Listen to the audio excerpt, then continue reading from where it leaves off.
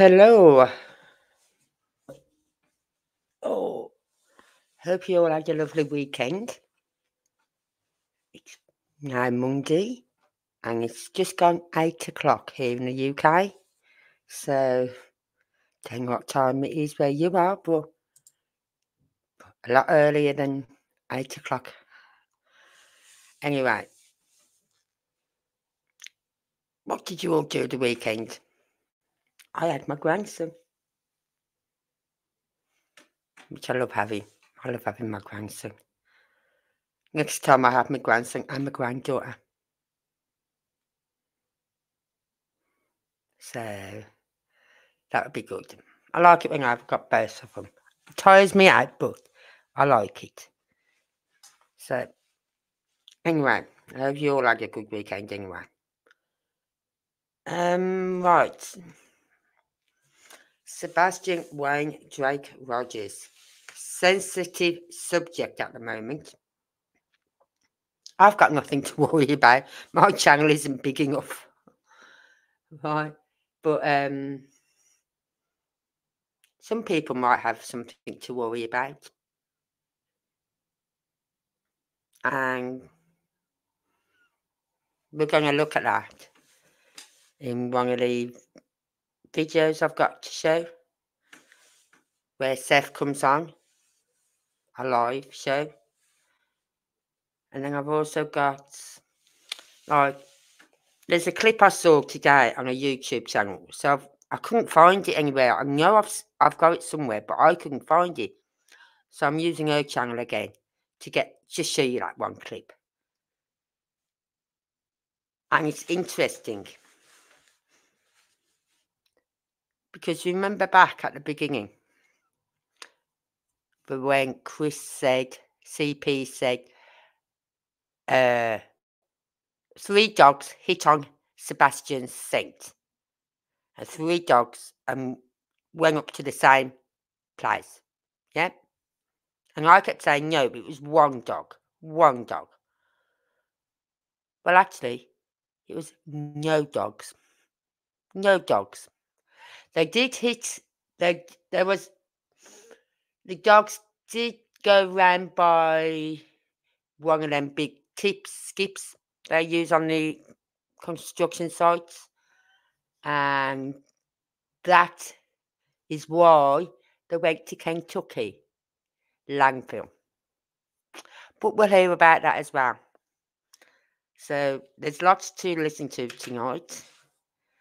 Both very interesting. What we've got to show you. One is with Seth.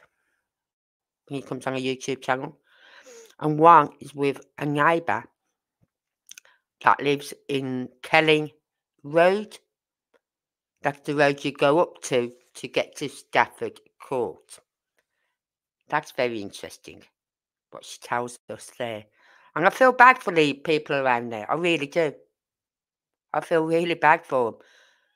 Hopefully now it's dying down a bit and not so, people aren't constantly going up there and driving around and taking photos and flying drones.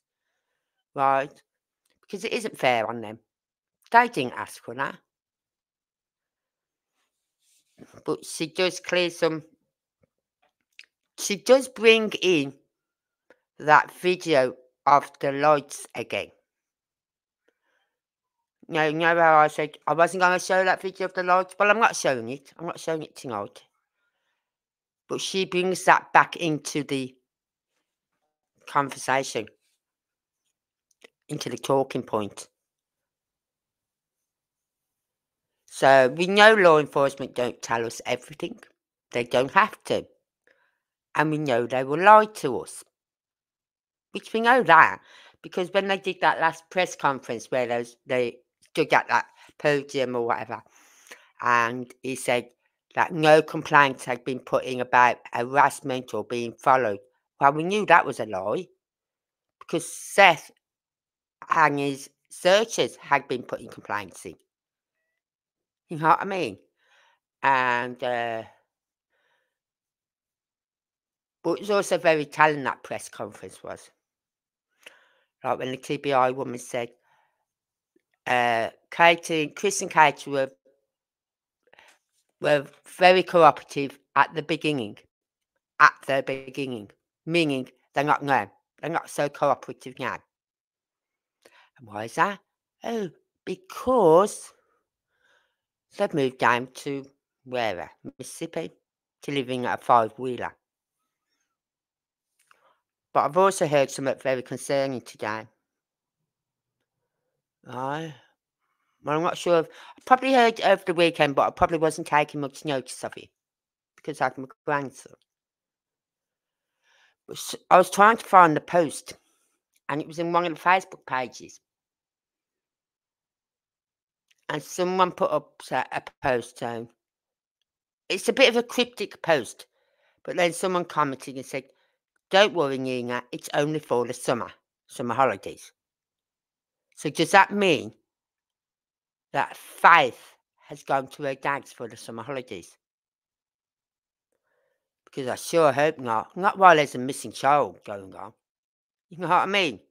Surely the courts will not allow that. They've got a missing child, but they're going to allow her, his daughter to go and visit. When he hasn't even been cleared. So for him to sit there and say they've been cleared, they haven't been cleared. No one's been cleared, not even Seth. And Seth has got a rock solid alibi. And then you got people going, oh, but you could have paid someone. What with? What with?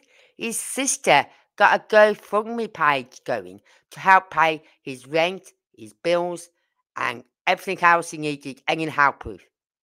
Right? While he was not at work, while he was searching for his son. So, what money did he have before to pay for someone to go and, I don't know, kidnap his son? You know what I mean? So, and I think people need to lay off Seth. They really do. Right? The last person to see Sebastian, to speak to Sebastian, to have anything to do with Sebastian was Katie. Now, they said they passed the lie detector test. We don't know that. Law enforcement haven't said anything. You know what I mean? Law enforcement haven't said yes, they passed the lie detector test. They haven't said nothing. Seth did because he went on, he did it through Nancy Grace.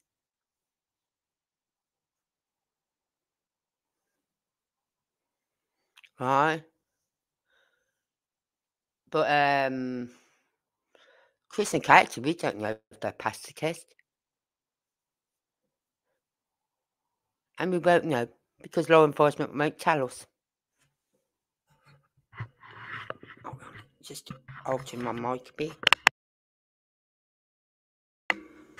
That's better. So, we're looking at Sebastian Rogers. And tonight we're talking about Seth.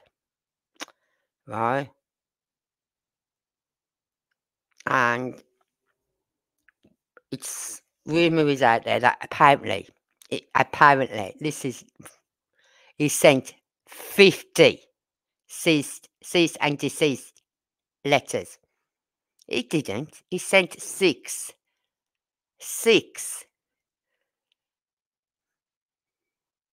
And because one of them he sent the letter to, or the email to, however they sent it, right? Stood in front of him, sort of thing, face to face or on the phone, and said, Oh, I've just earned $20,000 this month from talking about your son. What? And you lot are moaning about Seth having money donated to him, and you got YouTubers out there earning that much money from talking about his son. And then you got other YouTubers who are blackening his name. One I don't know who it is. I don't know which YouTuber it is. Uh, apparently, they have a YouTube channel. I don't know. I don't know if I've got an idea of who it is, but I'm not sure. So I'm not saying. But apparently, they they um called him the said the worst things you could say about someone, about a woman or about a guy. The worst thing you could ever call someone. Right? Yeah, Seth works in law, in law enforcement. He works for the criminal. Um. Oh God. For detention centre, you know what I mean? He works for them. He knows the law, and yet they're calling him that. He's like publicly saying that. Now I'm going to have to. And uh, last time I said this, I said I'm going to have to go and watch all the YouTube video interviews that CP or Katie have done. Well, I'm sorry. I had to give up. I couldn't watch them all. I think I managed to watch one, two, and a little bit of all the interviews I've done.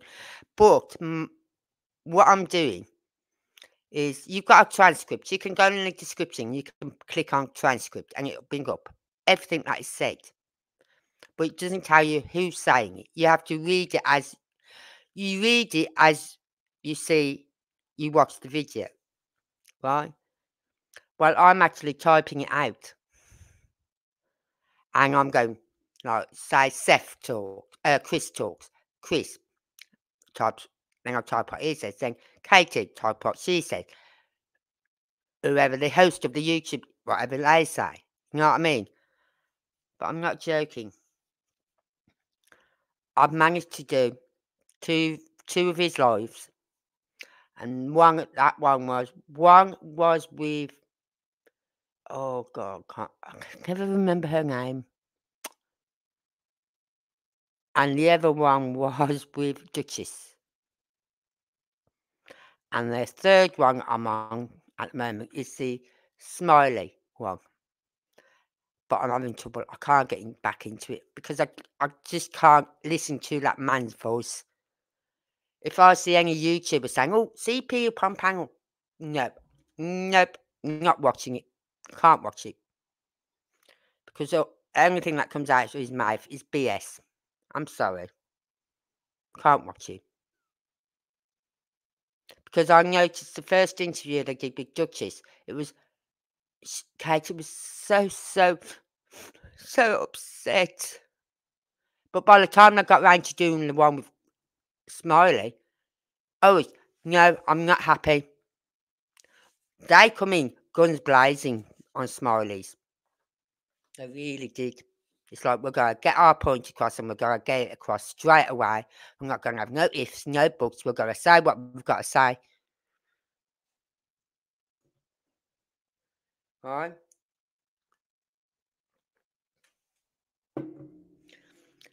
And he was saying about how he won't do an interview with J, JLR because he don't believe in YouTubers making money.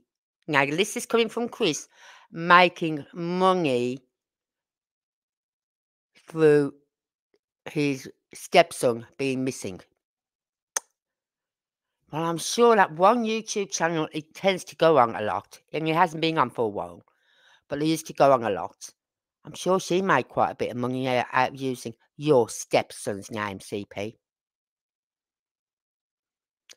Because I believe that YouTuber is one of the YouTubers that probably got the cease, cease and desist letter from Seth, I believe. Well, he said there was three who lived in Sumner County. Three. I mean, I know two YouTubers, and the third one isn't a YouTuber, but she's connected to them. Robin. Hi there. When will law enforcement wake up? You know what, Robin? I don't know. Because this is just ridiculous. They they've got to be building a case. They've got to be because they've gone too quiet. But then again, they did go quiet on some Summer Wells' case. And look, they had evidence there of child child neglect, and they've done nothing. You know what I mean? Not even charged him with anything with some of some of So will this law enforcement, Sumner County do something? Because they got DC DS reports and child services reports and whatever, which is not good because otherwise Seth would say, yeah, everything was fine in there, there's no problem. You know what I mean? I'm sorry, but you don't have a well, you can have child services come to your home and really it's just the child has lied. Or not lied, but um em embellished. Embellished what you've said. Yes, that's the one I'm going to be showing tonight, Robin. Very, very informative. So, I don't know which one to show first. That one or the Seth one. Which one do you want to listen to first? The interview where Seth comes on or the neighbour? Because they're both good. They're both good. I've got them both. I just got to open my channel up, my YouTube channel up. So, hang on. Download. I've now got into the point of if there's a video, rather than keep sharing it, right, I download it onto my YouTube channel. So I know where they all are, so I can just go and find them one click, well, a couple of clicks. So, uh, we've got the one where Seth blames Katie.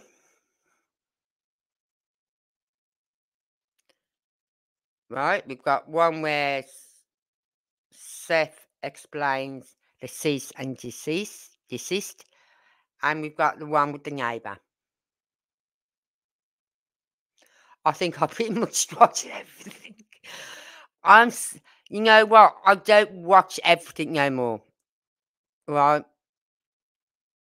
Because I know I do lives and they can be two, three hours long. Yeah? And I'll just tell people, look, if you don't want to hear the babbling and you just want to watch the videos, just skip to the videos. Just skip to them. You know what I mean? Because that's what I do now. If they're talking about something and someone's coming on alive, I'll skip right up until that person comes on. Then I listen to that person. And once that person finishes talking and gets off panel, I close it down. You know what I mean? Well, this is something I've not been able to get confirmed. As I was just saying, someone put a post up, right? And it like a very cryptic sort of post. And then someone must have commented and said, Don't worry, Nina. It's only for the summer. But we all know what happened last time. But saying that, it did have it for Christmas, didn't he? He had it for Christmas. So, but he's got it again for summer. I think is a bit unfair. She can have it for the whole summer. She can have it just for a few weeks because, well, if the mother wants to go out away somewhere with the kids, you know what I mean? She didn't have her at Christmas. Not having her summer holidays. It shouldn't be the whole summer holidays. Yeah, that's why I heard it. I heard it was on, but I couldn't find it. I couldn't find it. I can't remember. They said it how can you get five if he's got a miss? This is what I said. They've got a missing child in the house. So how on earth can the judge say, yes, your daughter, you have to, your daughter has to go to the father's during the summer holidays? He's got a missing child. And it's not been confirmed where he was. Right? It's saying he was at work at quarter past five in the morning. Who goes to work an hour, wrong, wrong, six, one hour, 45 minutes early. Because they don't start till seven in the day shift. Right? And someone, I did notice someone put a comment up the other day. They put a post up. I think it was today. And she brought up the same thing I, I've always said. If CP knew about Sebastian going missing at what? 10 past 6, quarter past 6, yeah? Why? A, he would have been at work because he was on the work, uh, he was on site at quarter past 5. So he'd have been on site when he got that phone call. And B, why did he not come home straight away? Why was it he got kicked off site at 10 o'clock? And someone said, Oh, I haven't heard about that. And I went, Oh, yep. Oh, I've heard. Bum, bum, bum. I'm typing away. My little hands couldn't go quick enough. My little skinny little fingers. I got skin. Well, I got chubby because I've got fluid on the one side. I mean, one arm. I get fluid retention. But so it's like my little fingers were tap, tap, tapping away. I've heard of that. And I can't understand how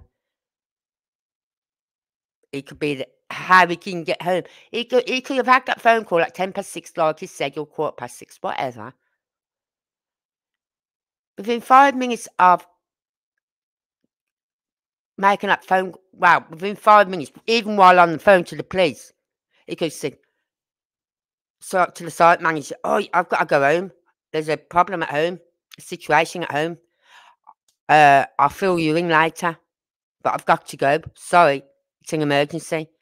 He could have been home by what quarter past. If that if he'd have had that by say, oh, say half six, half six to seven, seven to eight, he could have been home by ten. Am, but he didn't get home till about one, one thirty, which makes sense because if he got off kicked off the site between ten and eleven, 10 to 11, 11 to 12, 12 to 1. Yeah. He left between 10 and 11 that morning.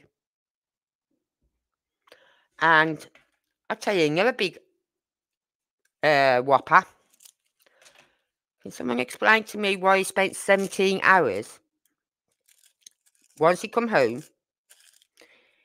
Right? Now, I can understand him going back and getting his five-wheeler because apparently they said he pays monthly.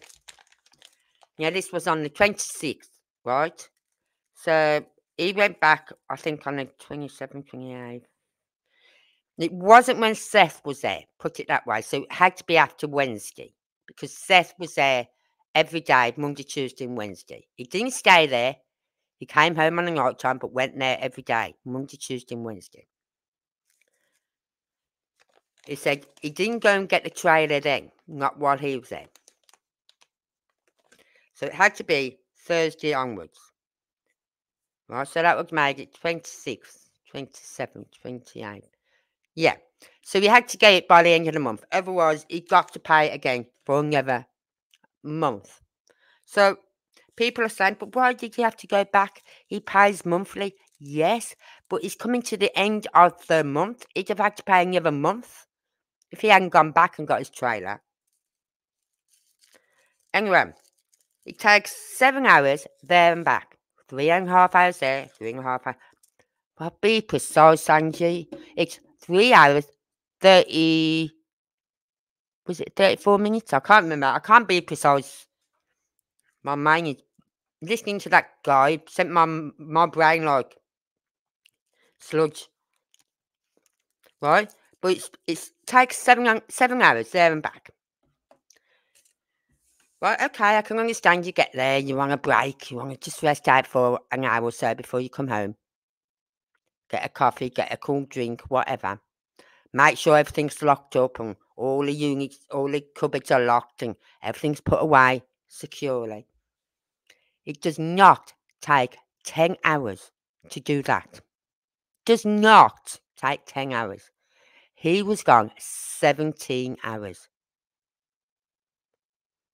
17 hours. Now think about that. 10 hours. Hmm. You think five hours one way, five hours somewhere coming back. say four, four and a half hours there, whatever.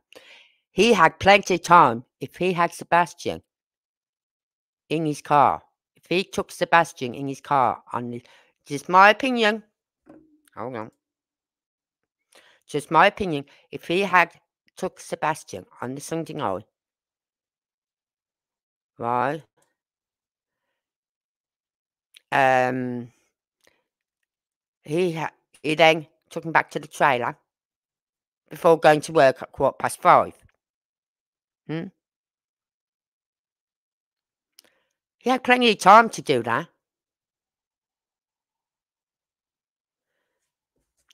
And their story is falling apart. Anyway, he had 10 hours once he got back down to that caravan site to secure everything up, to chill out for an hour or so, get a drink, something to eat, and then drive back.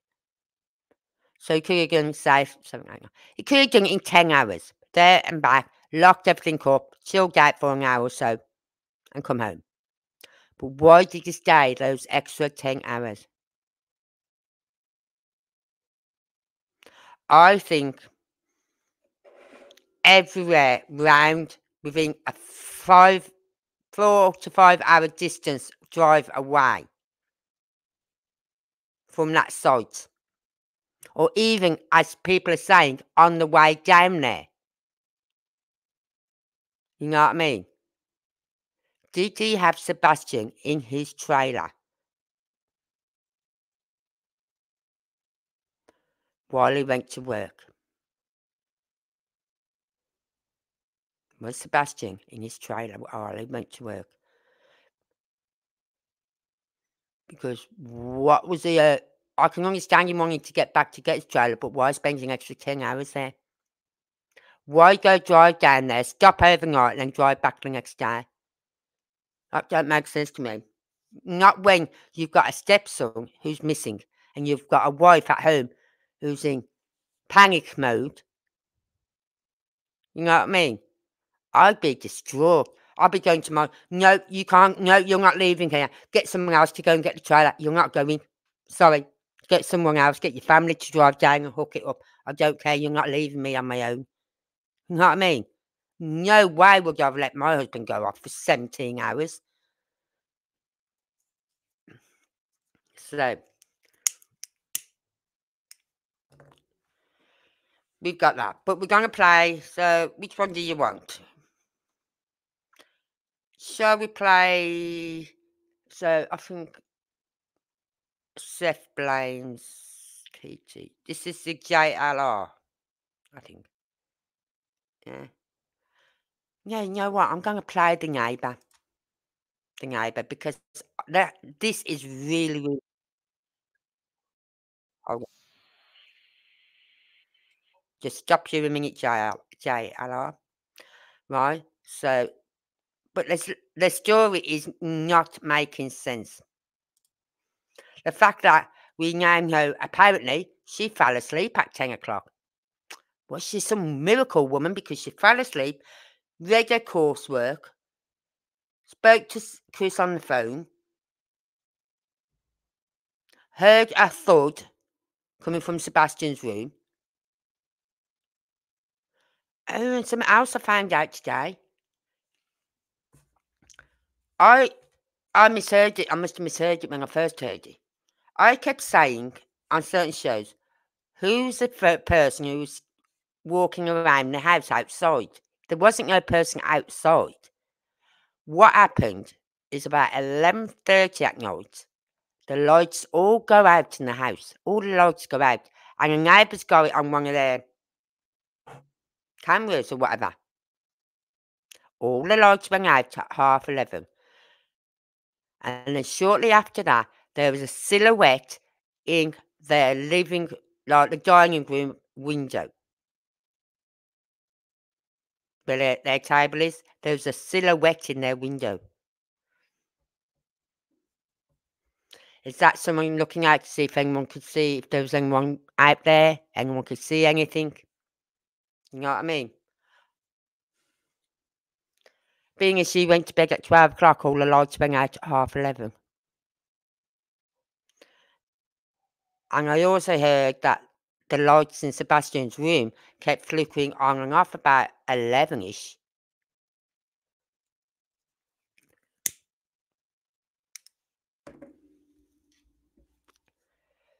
So there's lots of little nitbit tidbits are coming out. Right? Right. There we go. No, we won't do it. That one do it. We want. Oh god. This one. Right. It. Just make sure you can see it. Yep, you're there. So this is the one with the neighbour. And this is a very interesting one. And I just feel so sorry now for this woman because she has publicly come out on video, on a live, so they can see her face and spoke out. But I think she's trying to get out the fact that the police were doing were busy that week. You know what I mean? she's trying to dispel some of the rumours. That's all she's trying to do is dispel some of the rumours that was going around.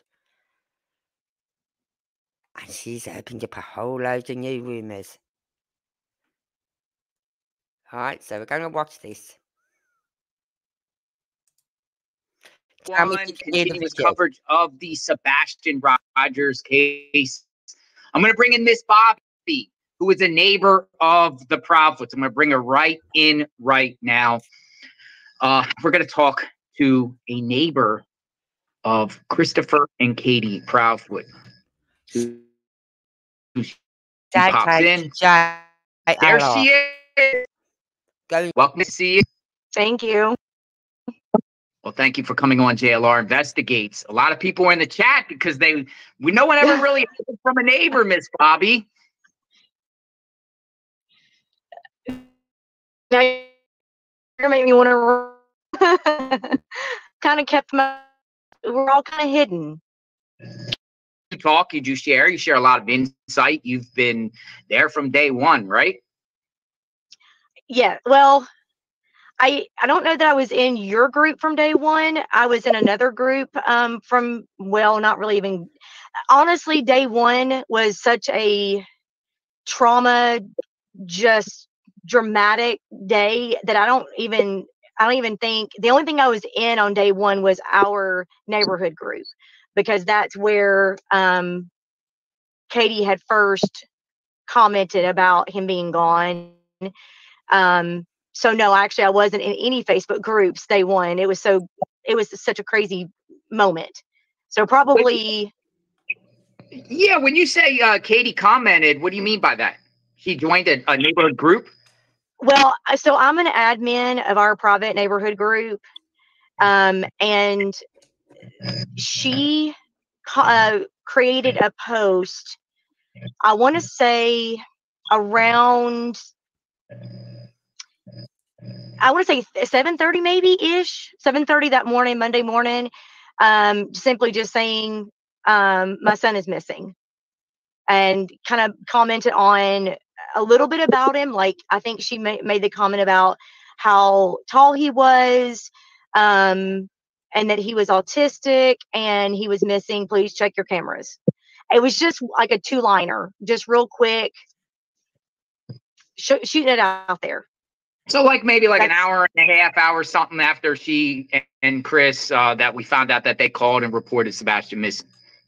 Correct. That- it was yes, because I think that from what I understood, she called around six thirty that morning. I think was it about six thirty? I think is yeah. Okay. So yeah, it was.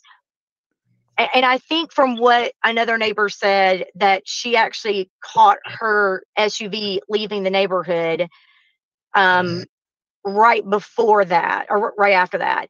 Um, and so it was she did all that and then came back and then i guess that's when she put it on the on the facebook page but i also remember what i thought was very odd was shortly before that another neighbor so if their house is here if you're going up stafford a little bit farther up stafford um, was actually the first one to ask, "Hey, what's all the what's all going on in the neighborhood?" Because my son, older son, left to go to work that morning, approximately eight o'clock, and there was already police all up and down Stafford, like just covering it. Um, and they were already out walking around and stuff. And so I don't know. She, I guess she saw some of that traffic as she was leaving to go to work, and she posted first on the Facebook page, and then Katie after that is when she posted. And I went back to find that, and that previous neighbor deleted her post. What about Katie's? I don't know. No, her the original post, the first post. Yeah, the, it's no longer the neighbor. there. Is, is she? Yeah, it's gone. She, I, I, she had to have deleted it because you can't. If you're not the creator of the post, you can't delete someone else's post. They have to delete it. But when I went back a couple weeks after everything happened and things kind of calmed down a little bit, um, I was talking to somebody else and I was like, you know, I remember um, didn't such and such uh, make the post first? And this is a neighbor down the street for me. And she said, yeah, I, I remember that. And I was like, I wonder what the time frame was different. And I went back to look and it was gone. So the original neighbor that very first posted asking what was all the commotion going on. And I still wonder if that's why Katie posted that. But then Chris, it was like two or three neighbors after. So she, Katie posted her comment or her post, and then several people commented after. I didn't see anything. I didn't see anything because she was asking like everybody check their cameras.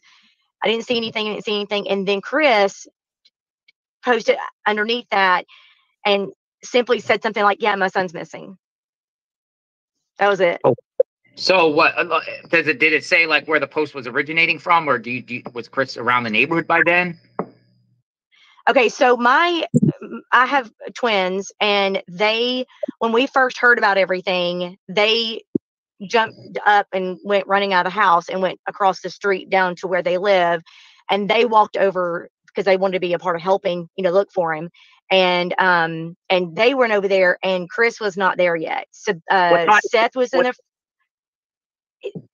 eight thirty. Eight thirty. Okay. Eight twenty ish. Yeah, because my oldest son had already left for work. He left about eight. Then, then my twins, when uh, uh, I got the phone call from the neighbor very nearby them, that is a good friend of mine, about. Well, that makes sense because Seth said he didn't get there till about eight eight fifteen. You know what I mean? So he probably just got there, really, when he was outside. When they were seeing, when he was seeing outside with Katie and Kathy and some law enforcement. So he probably just got there. So that makes sense. 8.15, 8.20 that morning, um, asking if I had heard what would happen. And I had not yet because I hadn't gotten going for the day yet. Um, and then when my son texted me, I didn't answer. So he called my kid, my other boys phone and asked them, hey, you know, y'all see what's going on? And they came around my room and said, Hey mom, did you hear what happened? I was like, wait, what? What's going on? My phone's ringing. You guys are running in here. Like, what is happening here?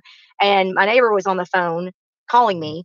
And so mm-hmm. as soon as I heard the neighbor tell me the story, what happened, they went running out the door and went over there to kind of help, you know, with the search and stuff.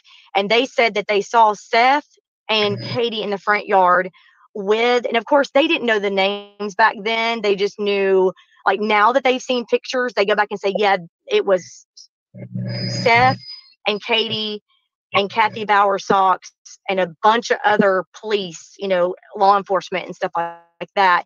But chris was not there yet. Interesting. Well now, he uh, wasn't there then. Now where do you live relative to the proudfoots i live uh, at the very top of the hill on kellen. So the next street, the street that turns into Stafford, the or, main you know, street, Main Street coming yeah. in. So just basically yeah. what you're now now going back to Katie, like what you know or what you heard. When was Katie driving around in her SUV? Like a time frame? Like when when do you think she was driving around well, in her SUV so, looking for fashion, like she claims? Right. So I that's uh, there's so many different things here because um, the neighbor that I actually spoke with, that I'm friends with, she's the one that has the camera on the corner of Stafford and Kellen. And I'm not going to mention her name, but um, she's the one that the camera footage got leaked without her knowledge and her permission that everybody has seen. But I've directly spoken with her. Now that was wrong. Now, if that got rela- released by Nick Perez, right?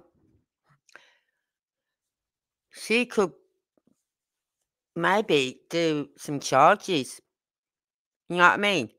Because she, he didn't get her permission. Because that video that he released was obviously either a friend of one of her children who took that off their security footage. Because you can tell it was done on a phone because of the shakiness of it. But I wouldn't be happy either if someone released that. Because I knew, I said straight away when I seen it, I thought that I know where that that is in the back of their houses. I said it wasn't.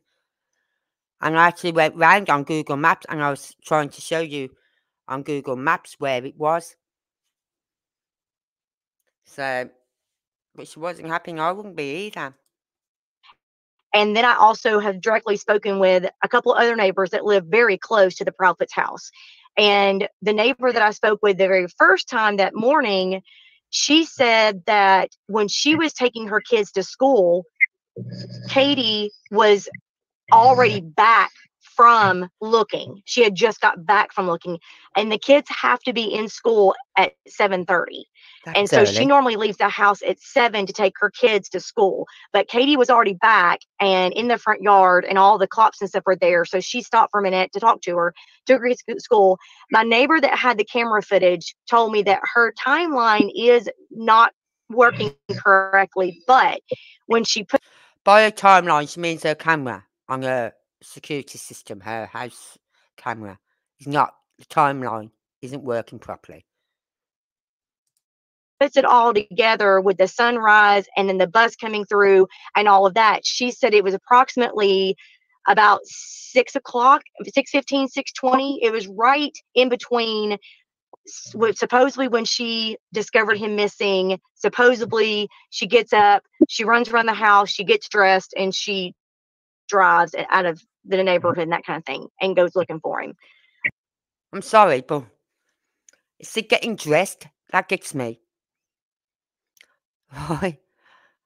I don't care if I had Noddy, like, uh, or Teletubbies, or whatever PJ's on. I'd have just jumped in my car after going looking around outside and asking neighbours and whatever. I'd have jumped in my car. But there's something, and she brings this up. She goes up to the school does she not? She says she goes up to the school to look. Does she not get out this car and go in the school and ask? Plus, why would your son be making his way to school with no shoes on?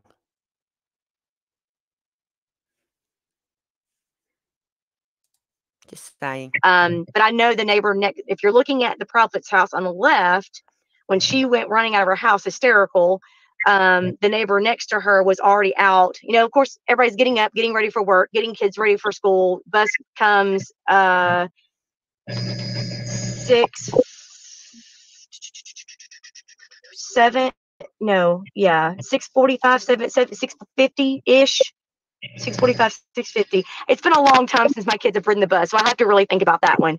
Um, but it's definitely before 7 because the kids have to be in school in class by 7.30 um, and and we're the last pick up before he actually goes to school because we're right next to the school. Um, so you know everybody was getting up and getting ready for work and everything so they actually she actually saw her out and she asked her what was going on. She told her and so she actually walked around the house and was helping her look around the house. So she was already back from looking around seven. Interesting. When she left to go look for Sebastian, I know that if you turn right going out of the Proudfoot, you go up the top of the hill, it's a cul-de-sac, or you go around and you can go up your street all the way at the back where the, the construction is. Did she, before she ventured out of the neighborhood, did she go up those roads do you, do you know of to look? Did she go up my road? Your road or, or her road itself to the top of the cul-de-sac. Uh, you know, where The, where the her only road thing ends. I was right. So the only thing I was told, of course, we we nobody in my house was up or out yet, so I can't verify that because we weren't out yet. But the neighbor that told me that she saw her her SUV drive across her driveway saw her leave. like so leave out that's w- right. That's yeah. interesting. 'cause So you would think that she- maybe you stay in the neighborhood a little bit and go up and down your own streets. She said, Look Well, that for- was when she that was out. when she went.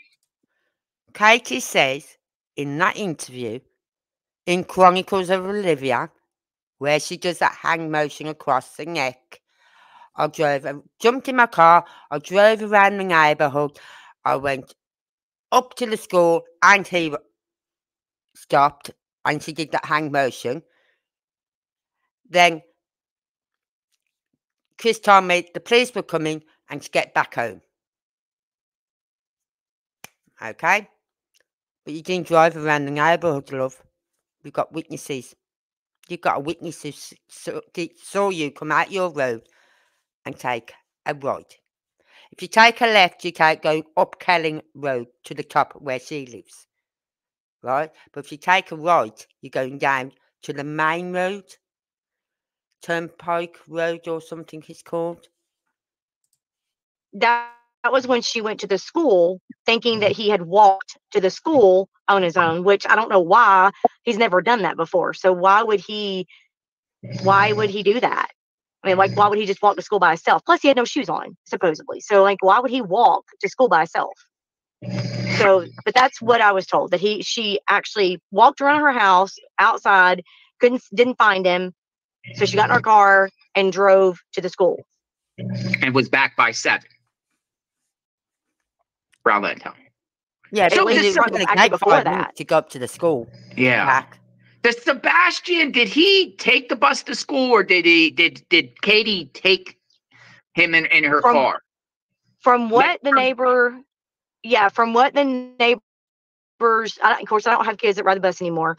Um, but from what the neighbor nearby said that he does, he did ride the bus. Now, the neighbor on the corner that has a surveillance camera said that there is a special bus that comes for certain kids that have special needs and whatever. And she she said, I don't think he gets on that bus. I think he gets on the other bus.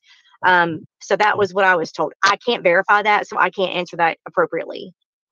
Gotcha, got you. So we're talking all law enforcement, all there, starting to descend onto the area, 8 a.m. ish, right? 8 a.m. ish.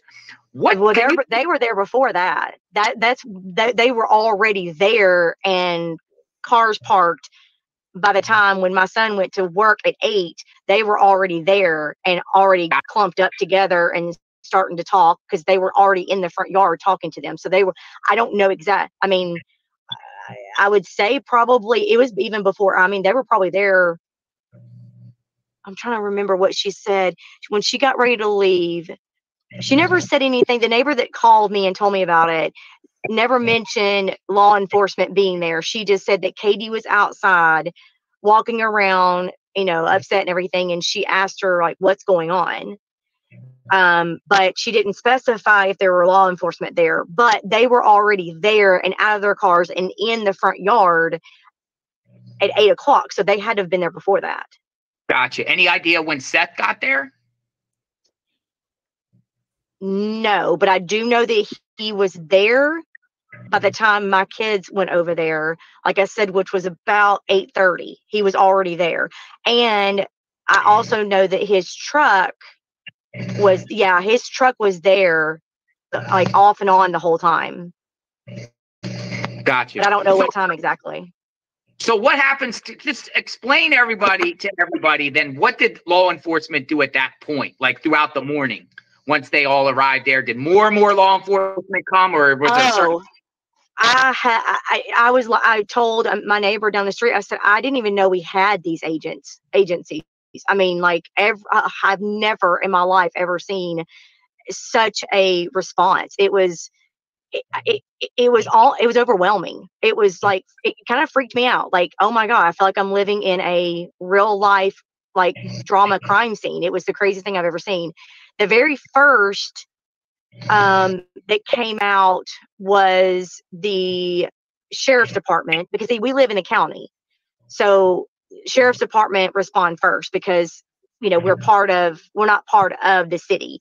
So they came out first and they literally walked all up and down and around and everything um, and then they came door to door um, and asked everybody you know who all had cameras and whatnot what did you see? What do you know? whatever um, and then it was now of course i'm having to really go back in my head it's been a little while um, it was it was later on that that afternoon they brought some dogs in and they um, started walking around they came around the houses and asked everybody to walk around their own property look underneath stuff in anything that's unlocked so so all of us up and down my street, everybody, my neighbors came out with me. She and I walked together, walked all up and down our yards, all across the street, up and through the cul-de-sac, um, down the street a little bit. Um, there's a, a wire, a barbed wire fence behind us as of right now, where the new construction is. So you can't get over that, but we could walk around it. And so we both walked up and around that. Um, just looked everywhere that was kind of close by. Um, and then I noticed that they had the drones up and of course, the news was short. That that was Tuesday. The news came out and was flying the helicopter around. Um, it was chaotic. It was absolutely chaotic. Um, did, did you see um, Seth and uh, Katie out there looking? No, not in our neighborhood. Mm-mm, never. Never seen and them was, walk, walk no, around. Seth was driving around no, and calling. They were in their yard, out, but never left their property. No. Um, and I know for a fact because um, so Monday my kids were out with law enforcement because at that point it was we need ev- all the neighbors come out help us look everywhere whatever. So they were open to everybody coming in and help. So at that point my actually my kids jumped into one of those razor things um, and drove all up and through the property and stuff and then my other one walked with the canine unit in the um, construction zone. He walked all the way through that. They literally, I had to call them at one point in time and tell them, y'all need to come home and have lunch. I mean, this is crazy. I know you want to help, but you got to come home and eat. And so then they came home, they ate, and then they went back out there and they were out there with them all day Monday, all day Tuesday. And then, so Tuesday we had SWAT. That was the day we had the vigil. And um, little it, it was interesting because we put out a post on the neighborhood group that we're having a vigil and everybody's invited but we want it to be just the neighborhood only because we want it to be a private vigil just for our neighborhood and for the family. We were hoping if we made it more um personal like that that the that the family would come and they wouldn't be overwhelmed with all this. That was the other thing. Good god the traffic. The second that it got out we had tons of people just driving up and down the street just looking and watching. I'm like i, I don't know what you're going to do to help. We, we're flooded already with co- you know police. I don't know what outsiders coming in are going to do. I mean, it's it was it was chaotic as it was anyway, and now you got all these extra people coming out there, so it just got so chaotic. Um, but so Tuesday night we planned the vigil. Um, went down there, got in a big circle, uh, introducing everybody, and um, the there's neighbors. I don't want to get too personal here. There, there's a, there are neighbors. Actually, we have th- I think two, maybe three sets of neighbors that are in law enforcement. They're in different counties. Um, one of them is actually a part of Hendersonville Police, and then the other two are from other counties. Um, they, they came the vigil. And matter of fact, the one that is part of Hendersonville has been in since almost the beginning um, know them very well, good good people. Um, and he was down there with a flashlight because we had so many people driving up and down and around and start circling, circling and going up and down and circling and coming back and forth. They're just like, good grief. The Proudfoots sent, I don't know who it was, but they came down and we were all introducing ourselves and they introduced themselves as aunt and uncle. The Proudfoots? Don't have a aunt and uncle. Proudfoots apparently, I don't know if it was Chris's somebody's brother or that's what they introduced themselves as. We are Maybe it was Sebastian's aunt and uncle. Chris and Maybe Katie said it was. Chris and Katie said they were their aunt and uncle. Well, it, it wasn't. Chris and Katie didn't come. They sent family members, and when they introduced themselves, they introduced themselves as we're aunts and uncles. Why so I didn't guess Chris, Sebastian's aunt and uncle. Why didn't Chris? Did Seth go? No. No. So no Seth. No Seth. No Proudfoots. They basically sent their own representatives, family members that claim Yes. they ran. That's correct. Yes. I got two questions back on the first day. When did when do you know that Chris arrived home? I did not because I didn't even I, I didn't know I had never met them. They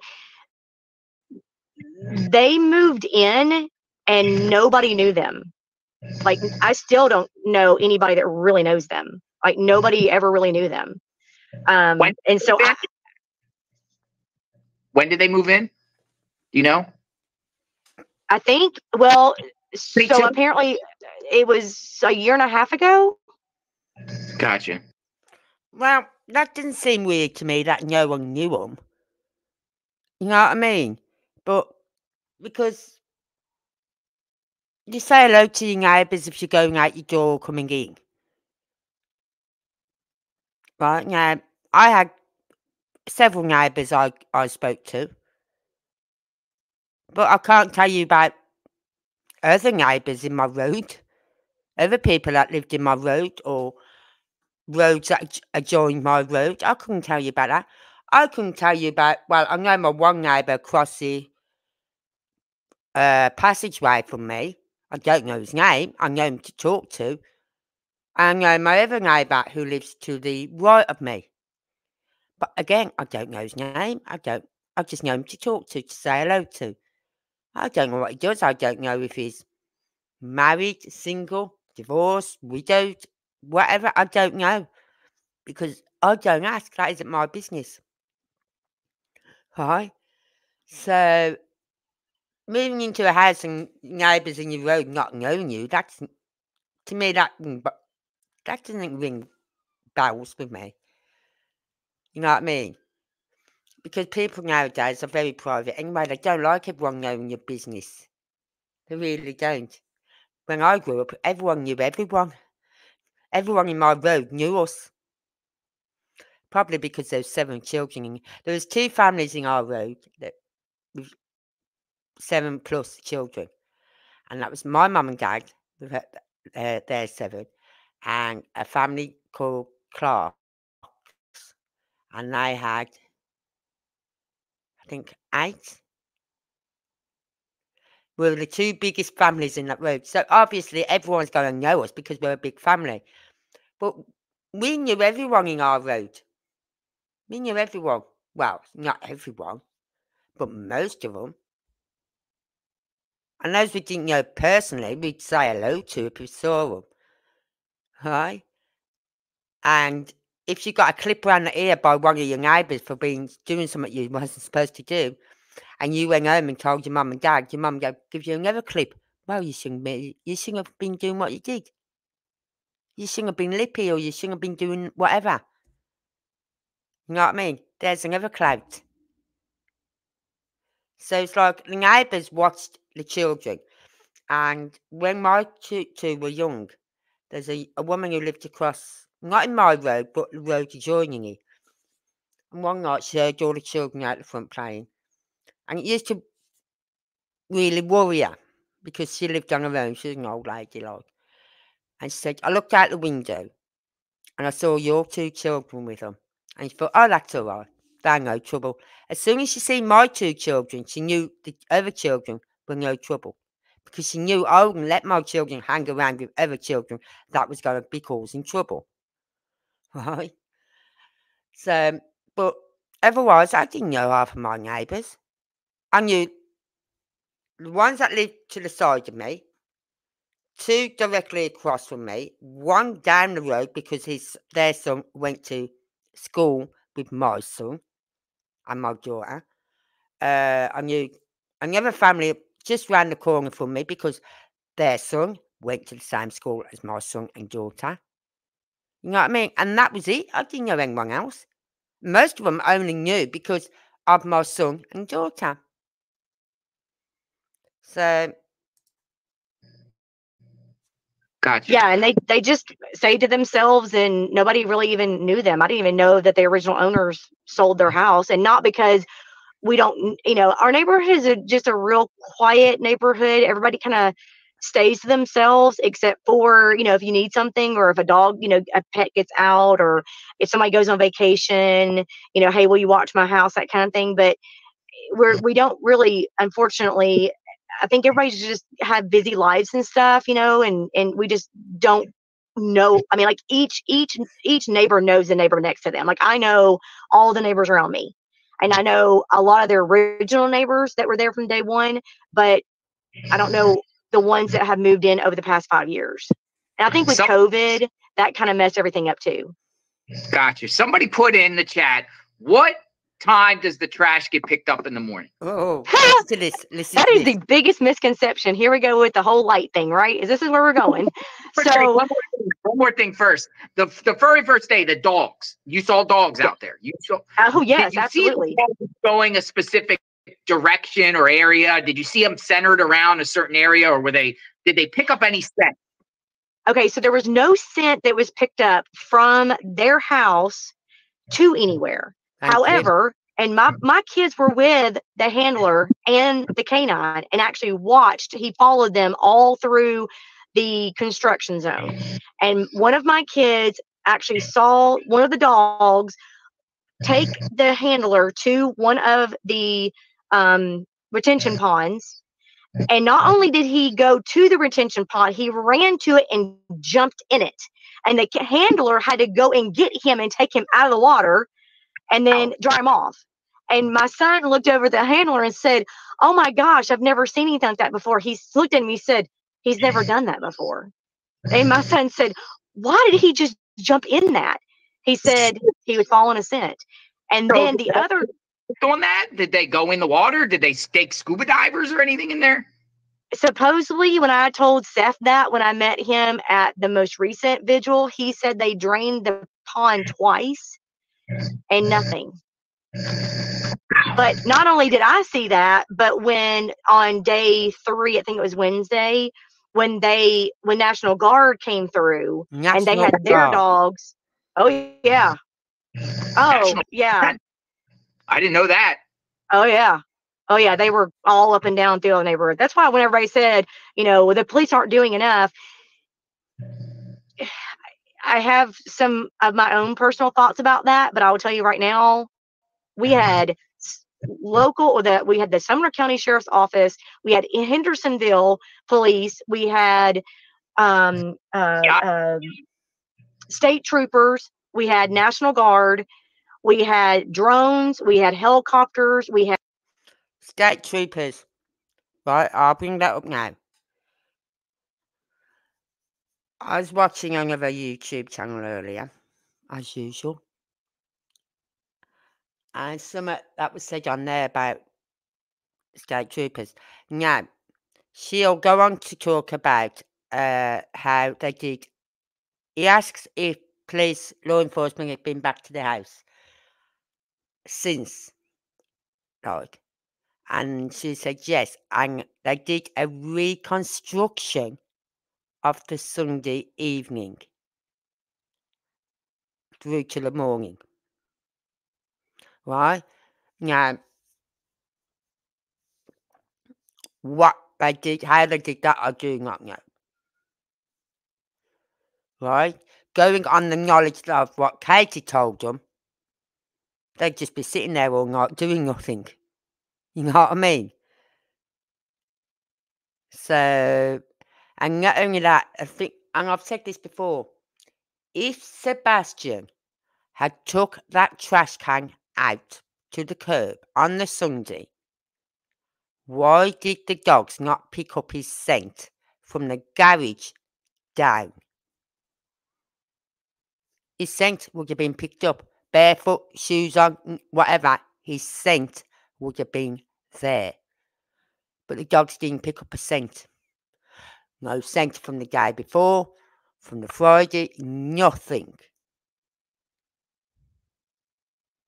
So, But what she says about how the dog anglers didn't, how the dogs didn't pick any scent from the house, I'm going to show you a little clip. I couldn't find it myself. I know I've got it somewhere, but I, ha- I couldn't find it. And so I'm using another person's channel to show you this clip. Right? And we'll see that. I'll show you that after this. we had canines. We had two sets of different canines, and the National Guard brought theirs. So we we were flooded. I'm just going to speak up a bit. Um, okay, so So- back to the whole dog. exclude the trash because the trash is what everyone is like curious about. The time the trash picks up, and then in reference to the lights, we're going to talk about the three three a.m. uh three ten a.m. lights. Let's talk about the trash. What do you know? Okay. So our trash gets picked up by J.E. McMurtry Disposal, has for many, many, many years. Um, they were they used to a few years back they would pick up around six thirty ish, but then the bus was coming through and it was making it hard for them to come through with the bus, and all the kids were out, and it was just chaotic.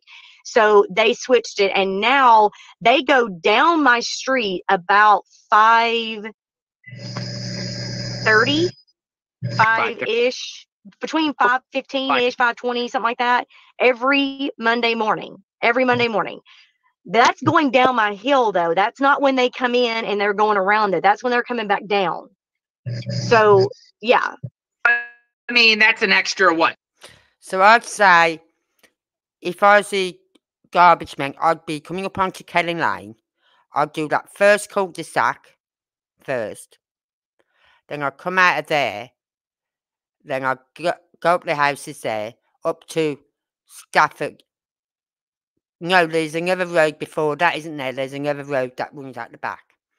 Right, I go along that road first, and then the cul-de-sac, and then Stafford Court, and then I make my way up Kelling Lane Road, all the way up to the top.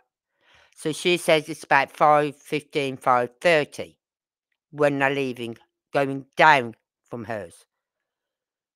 So I'd say the rubbish was picked up around about 5, 5.15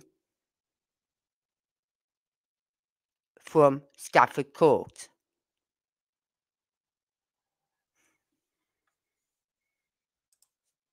Twenty minutes. How long does it take to, for the trash truck guy to go through the whole entire? neighborhood? and the the other misconception is a lot of people are saying that they have to hand dump the trash bin in there. They don't. It's a new truck. They have an arm and it does it for them. So mm-hmm. that was another thing where they're, they're having to pick up these big. No, they're not. They have an arm. They roll it over to the arm, connect it to the arm, and they dump it. in. You can hear it. I mean, it's not quiet. Mm-hmm. It's it's loud. I mean, you hear the the arm doing all that. So by the mm-hmm. time they but they they collect the trash coming up the street though, not going down it. They're collecting it as they come up. So I guess they're probably in the neighborhood just like around five, just before five. Yep. and they're out of there before the buses come, Yes, or the bus come, or the you know you said buses. Uh, where's trash go? Oh, it gets dumped in um, either Nashville or Gallatin. If Nashville is full, they'll temporary temporarily dump it to um, Gallatin, and then once I guess Nashville gets fin whatever, then they'll transport to Nashville. The big misconception was that the neighborhood behind us they get picked up by a different company on Tuesdays. Um, so that's a whole different thing. Is that that construction development you're talking That, about? well, that's that was the dumpster that everybody was asking about. How is it possible that you know whatever that the, the dog hit over there as well? The the second dog that was out walking hit also by the trash dumpster, and the trash dumpster owner found that out when when law enforcement told him that we got a hit by the dumpster. The owner of the dumpster called them back and said, "Okay, we dumped our trash on this certain day, Tuesday, mm-hmm. whatever, on that certain day." In mm-hmm. Kentucky, so mm-hmm. go, you guys need to go and get a get a warrant, obviously. And he gave them permission to go search the Kentucky dumpster or landfill. So that's why they went to Kentucky. And then I was told that they also checked Gallatin and Nashville as well. Uh, that night, Katie claims the night of the 25th that Sebastian takes the trash out after they arrived home from going out to dinner. is- Go ahead. There is there's no there's no specific footage of that. The neighbor that has the ring door camera that saw that, she said to me on the phone that the only thing you can see is a silhouette. She said there you cannot see a physical person. There is absolutely no physical mm-hmm. proof of Sebastian being at their mm-hmm. house that night after dinner. There's nothing. See, no physical proof that he was there. So we're now back to did he come home that night? I think he did. I think he came home that night. And I think he wouldn't go to sleep. He was hyped up. You know what I mean? His medication wasn't kicking in. Now, did she give him any of her any more medication? Which could be an overdose. Did she lose it on him? You know what I mean? Did something happen?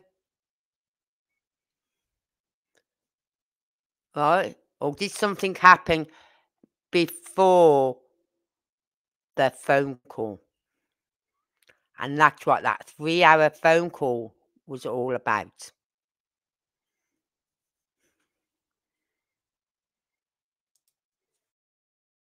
There's her car coming home my neighbor did tell me that she had saw her car come, but she parks in the garage, so nobody saw him get out of the car. What time was that? I always want to know what time she arrived home. Do you I, know? I asked, and she said that um, it was so dark that she couldn't really see. She saw the about um, six or so, I think, is what she said ish, because they went to dinner at Texas, and then supposedly came home, and then her car came in the driveway around six, and then somebody pulled the High trash bin out um, you know, after that. Uh, but she they don't know who it was because you can't tell. So no evidence. Any neighbor, including yourself, or any because you all talk. The neighbors talk. So there's no definite proof ID of Sebastian coming home that night.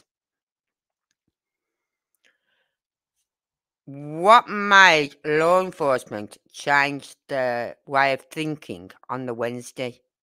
Something happened for them to start thinking and looking at this case differently on the Wednesday.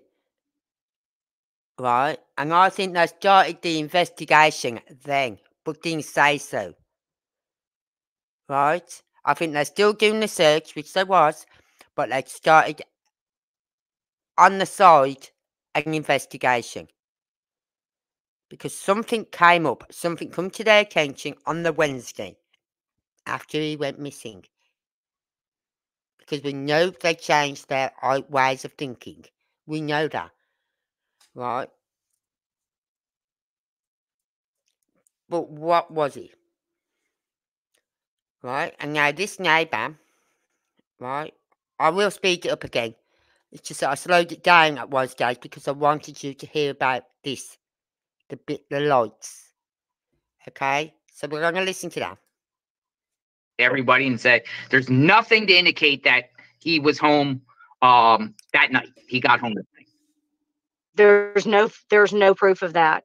Nobody has seen. Nobody ever saw him come home, or really. I mean, I don't even know if anybody can say they saw him Mm-hmm. leave with her eh, mm-hmm. I mean, no, I don't think anybody actually looked back that far. It was so chaotic at the very beginning. I think the police were so focused on a runaway team. Well, he must have left with her earlier on because he was seeing at the Texas Roadhouse. That that was what everybody was focused on. So when they first asked to look at their video cameras, I think everybody was checking actual of a, mm-hmm. him walking out but there's no proof of him physically walking out. And then it was okay, there, are there any cars around there? And so mm-hmm. going back to the whole light thing, yeah. I was told that there was an unidentified car sitting on my street. Right. Question. Are there any strange neighbors in the neighborhood? Hold on. I'm going to put this up. Subaru Steve. Are there any strange neighbours in the neighbourhood? Antisocial, sticks to themselves. Another neighbour might know. Hmm. But you see, Subaru, Steve, I'm now, now my kids have grown up, right? I'm very antisocial, very antisocial. I don't go out. As I said, I know my neighbours in my passageway, in on my floor where I live. I don't know their names. I know them to say hello to, have a good day, see you around. And that is it. Right? And I think over the years, more people have become more, they've got busier in their lives. Like you got mother and father both going out to work. They're coming home, getting tea on. They haven't got time. Like when my mum had us kids, she would stand on the doorstep talking to the neighbours. You know what I mean? She had the time because she wasn't at work when we was little. She only started to go, she only went back to work when my youngest sister started school full time. Bear in mind, we didn't have nurseries then. You just went into primary one. No nursery, no reception. It was just primary one. So you was probably five when you went to school.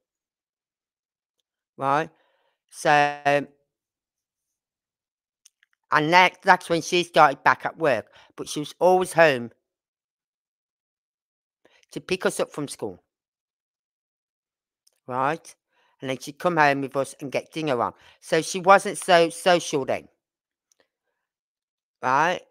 And she did go out once a week to bingo, right, with some a friend she knew from work who lived down the road, and that was it. She didn't go out anywhere else. She didn't go out socialising. She didn't go to the pub. She didn't go anywhere. She liked to bingo, and that was it. So I think more people have got a bit more antisocial. Like I don't socialise. I don't know anyone, and there could be a murder going on outside my flat door. And I'd look through my peepee hole or whatever. And I'd probably phone the police, but I wouldn't give them my number because I'm not going to have the police knock on my door and say, oh, and let them know that I'm the one who phoned the police. You know what I mean? So that's why a lot of people have become more antisocial. They they just got busy lives now and they got like I don't hear off my I don't see my son that often and he lives in the same town as me. But he's working and he works till nine o'clock most nights. The only nights he doesn't work till nine are a Saturday and a Sunday. And that's if he hasn't got a Saturday or Sunday off. If he's got a Sunday off, then he'll come over and I'll see him on a Sunday and we'll have dinner. But otherwise, I don't see my son for weeks. I really don't. Because I know he's busy, he's at work. My daughter lives an hour and a half away from me. Where I'm going this weekend. I'm going down there. So, but I don't see her. I don't,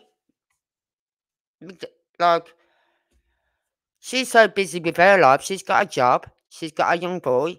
She takes him to school. Or she goes to work. Her partner takes the little, little boy to school.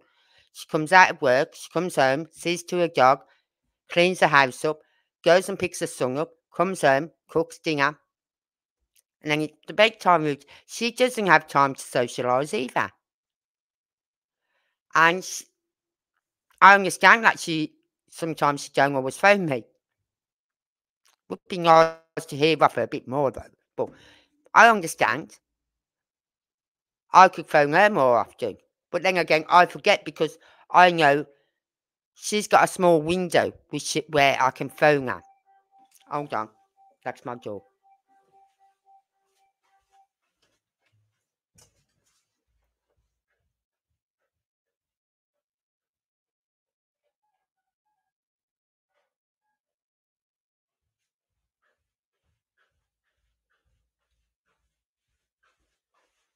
Right, I'm just going to put this video back on for you while I'm just going to sort my jaw out, okay? I'll answer your question, finish off in a minute when I come back. Facing the entrance, um, somewhere around 3:30 or so, and then that and then the light, the flashlights were actually seen on the neighbor's camera. Two mm-hmm. separate flashlights walking in between the yards, which the trash truck does not do. They don't need mm-hmm. to. All of the trash is at the curb. They have never, ever gone. Matter of fact, when you sign up for services, they tell you in the email their rules and regulations. If your your trash is not by the curb, they don't take it. Unless you know you're an elderly person, you ask them if your trash is like in the front of your house and you ask them, they'll come and get it like that, but they won't come around the back or in between houses. That's bull monarchy. That is not So- how that works. No track. You don't. You don't believe that that three those three ten a.m. lights were uh, around three ten after three a.m. were trash truck lights. Not only do I not believe it, but the neighbor that has the actual footage swore up and down that there are two different circumstances. There was the car with the lights coming towards the car. The car backed up on Kellen and left. And then about mm-hmm. two ish hours, hour half, hour and 42 something, they're, they're like she said, the mm-hmm. ta- time stamp on the video is not working. It is stuck. She said, but you can tell because it's pitch black dark in the middle of the night when the car comes down the street, turns onto Stafford, sits there for about three to five minutes. The flashlights are coming from two different directions in between the yards.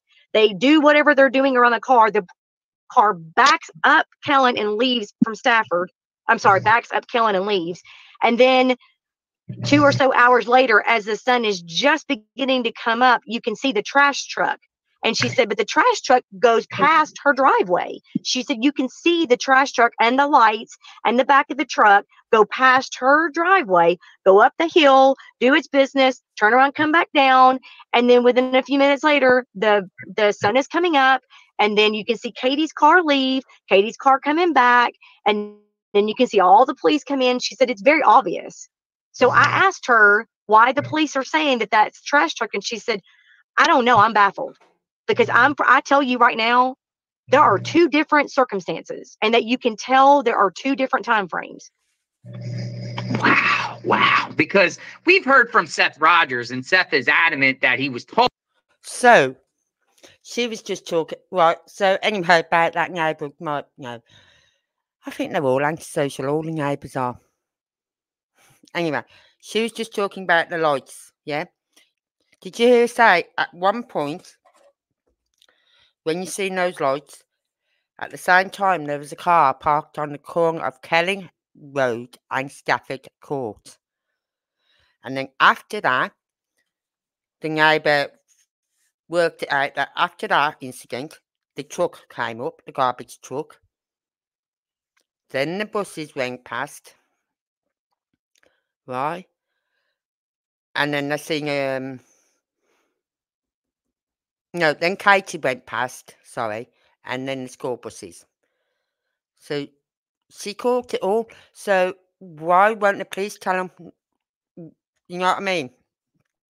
It's sus, isn't it? How they're trying to play Oh, out Scarp. or he's seen, That's or because LE or has told him that. what? What's up with that? Because LE has told him that. Law enforcement has told him that. Why? Because,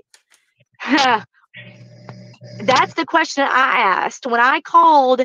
I got a kind of a.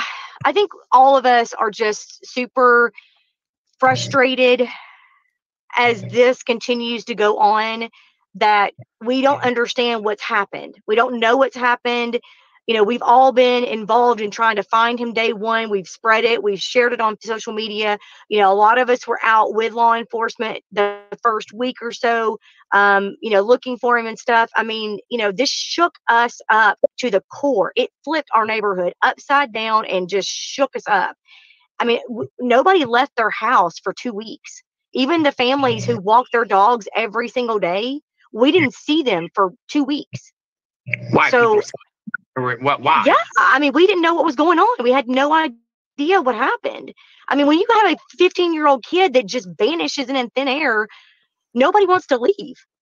We're just we're scared. And then of course you see Chris, you know, have getting upset through all these YouTube videos. And if you know your neighbor is that upset and threatening people and saying the things he's saying, you're not going to go uh, go be a part of that. You're going to stay in your little cocoon and stay away from them and I mean, mm-hmm. lock your doors and be by yourself and protect mm-hmm. yourself and just stay away from it.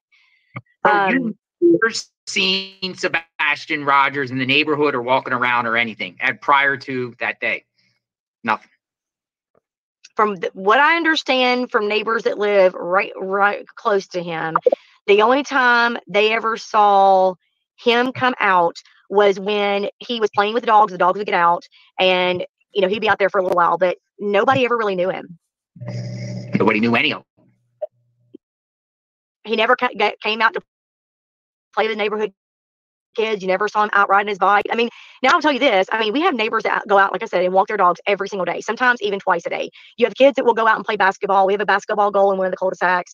Um, kids will come up and play basketball in the basketball goal. They'll walk, you know, ride their bike. We have a um uh one kid that has a four wheeler and a dirt bike and he rides around that kind of thing. Didn't even know Sebastian existed. Never played with anybody. No friends, nothing. Never had any friends over their house. How long was? Well, no, I'm sorry, but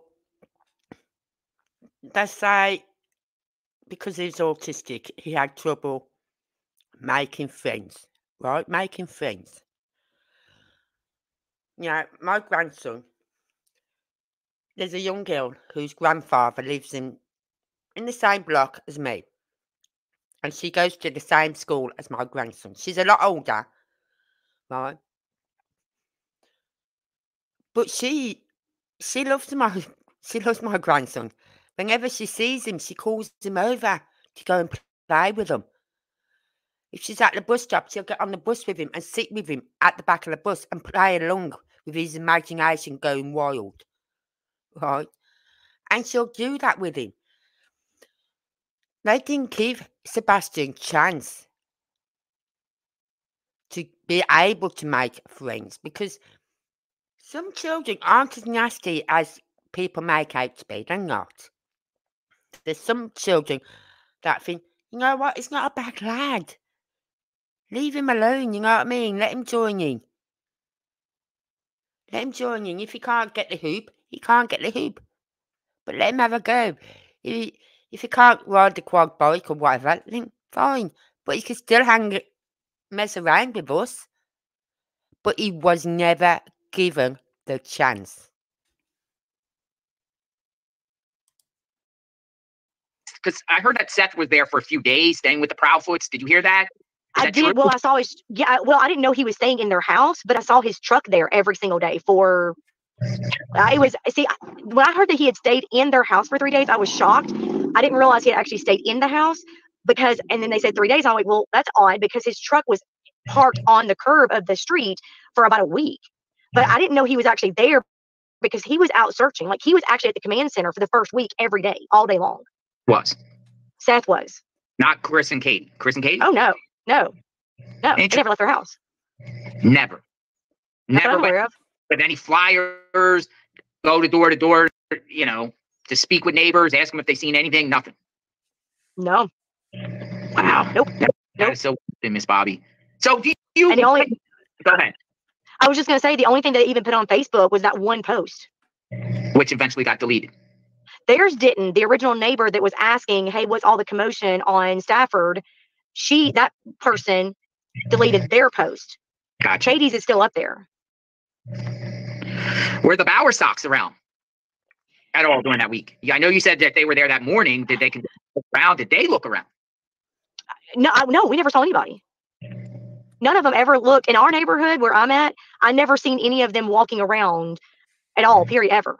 Seth, Chris, Katie, Bowersox, none of them ever. I never even met them. I had one encounter with with Chris one night, um, and after I mean, I no, never saw him, never met him, nothing the Chris encounter, you you mind sharing? I, I think we talked about this offline a little bit. This is interesting. Yes, I'll.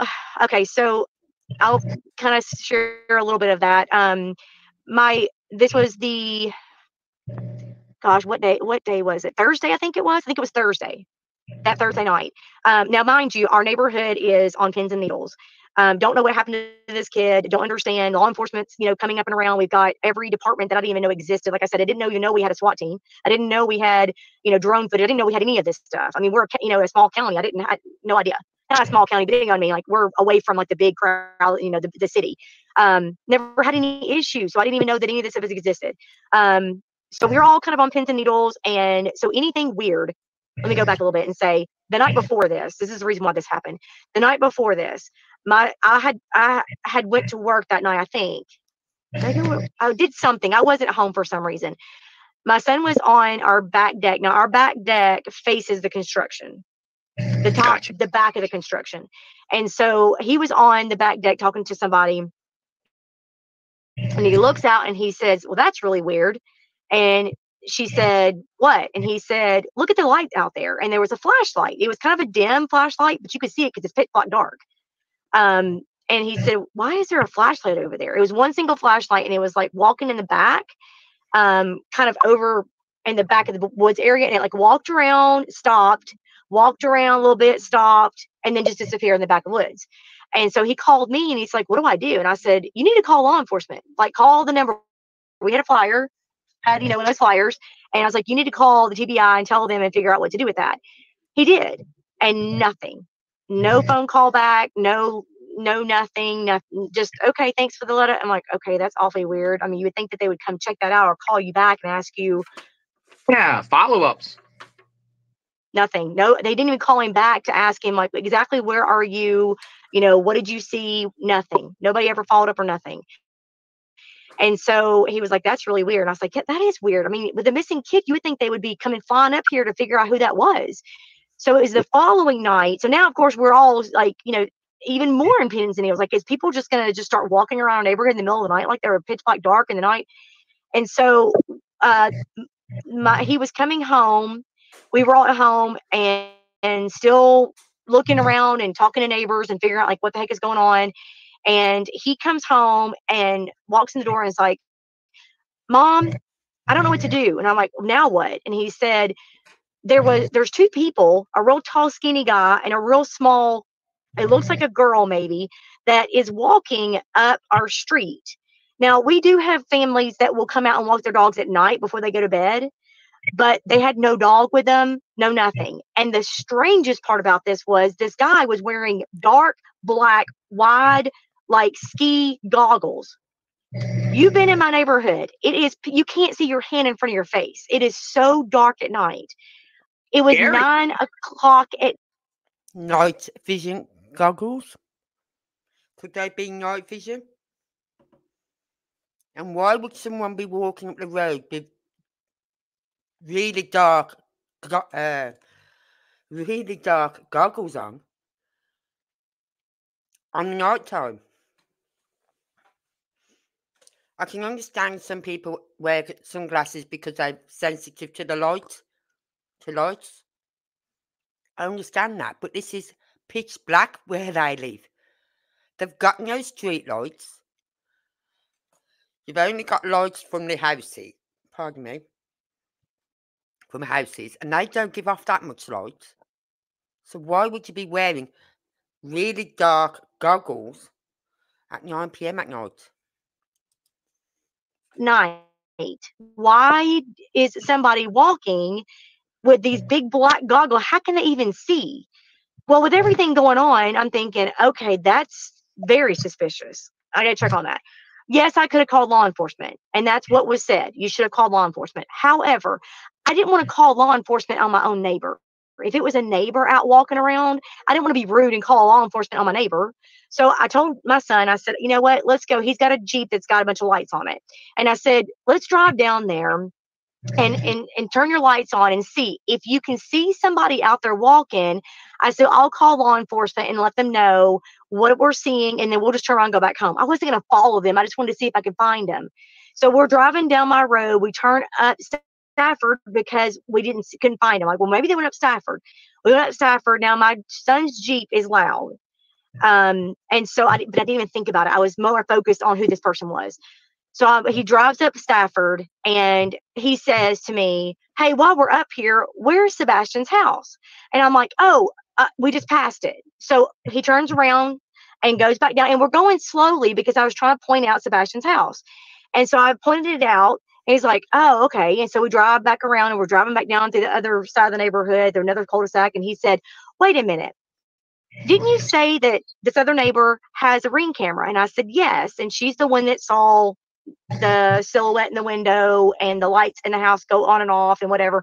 She's like, but that doesn't make any sense because if that house is is located here, how can she have seen over here? And I'm like, okay, back go back up the street and I'll show you.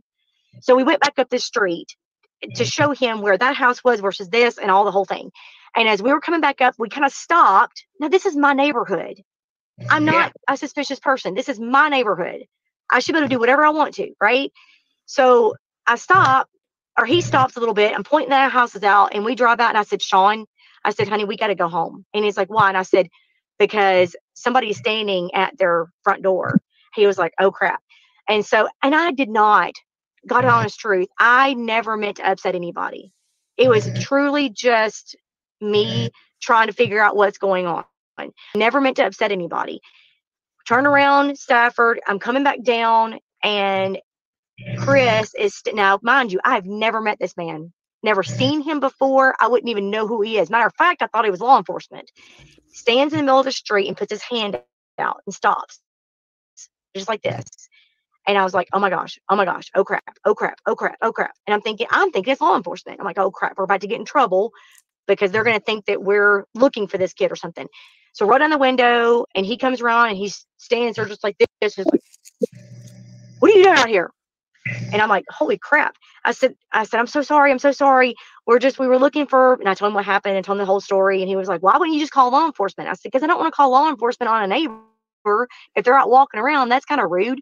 And he's like, well, you have no business driving around here. And started telling me in a very intimidating, very strong voice, I guess you would say, big tough, you know, he's a big guy, you know, kind of thing. You know that that my son is missing and and they've got police all around here looking. I said, Yeah, no kidding, I know, I'm aware. I've been talking to him. Trust me, I know, I get it. And then he said there's a there's a uh, police, what do you um the the heat sensor mobile unit things. You know what I'm talking about that that can d- heat sensor and stuff. I had one of those up in the top, hoping that if he came home, it would alert law enforcement that there was somebody walking around. Which I don't get that because you've got families that are walking dogs anyway. So I, anyway, so I was like, I'm so. Oh, so that thing at the top of their road was a camera, but also a heat-seeking camera. So if you come back in the dark, they pick up a heat source. Oh, but why did they take it down? So sorry, I'm so sorry. I kept apologizing to him, and he got really upset and you know, kind of said some things. And I was trying to calm him down. And I'm, I apologize. And my son's girlfriend was in the back, and he she thought that if she mm-hmm. rolled the window down and said, "I am such and such, and I go to your son's school," that he would calm down. Even though I said, Hey, I'm your neighbor. I live up there. Everything's fine. I'm sorry. I didn't mean bother you. I thought even me telling him I was his neighbor would calm him down. It's like he just glossed right over that. He didn't care. So she says, I'm such and such, and I go to school with your son.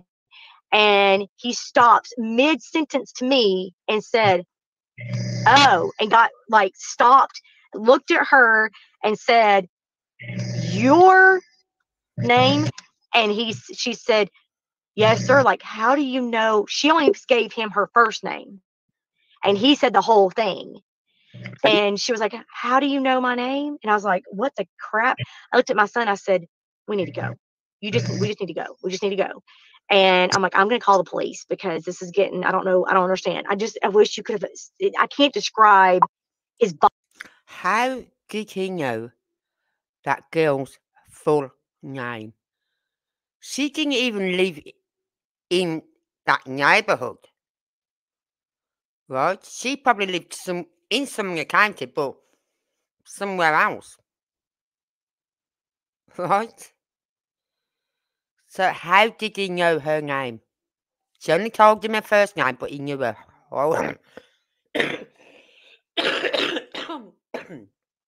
but he knew her first name. Now that would freak me out. If I've never met a guy before and he turned around and said, Oh, yours, and I only gave him my first name. Right, and he turned around and said, Oh, you're such and such. I would go, Oh, hold on. How do you know my name? I'd want him to tell me how he knew my name.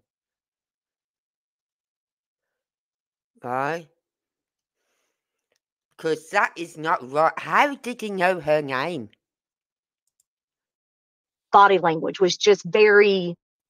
It wasn't like for that people were out there looking for his son or thinking he was more like I, am trying to stop. Get off my street.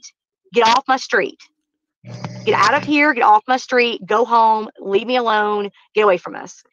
But he told her that so you're the girl that runs this Facebook group and this, that, the other. I'm going to demand you take that off. You get your phone. And he said, Where are your parents? And she said, At my house. And he said, Well, I'm going to find out where you live and I'm going to come knock on their door and we're going to have a conversation. And he, she said, Okay, good luck with that. And I was like, You know what? Look, we don't want to, you know, cause any issues and whatever. I try to give him grace. Don't know the man from nowhere. And I just kept saying, you know, he's upset. His son's missing. He's really upset. He's very defensive. Maybe mm-hmm. that's just all that what it was. Now that I've seen some of his YouTube videos, and I'm like, yeah, yeah.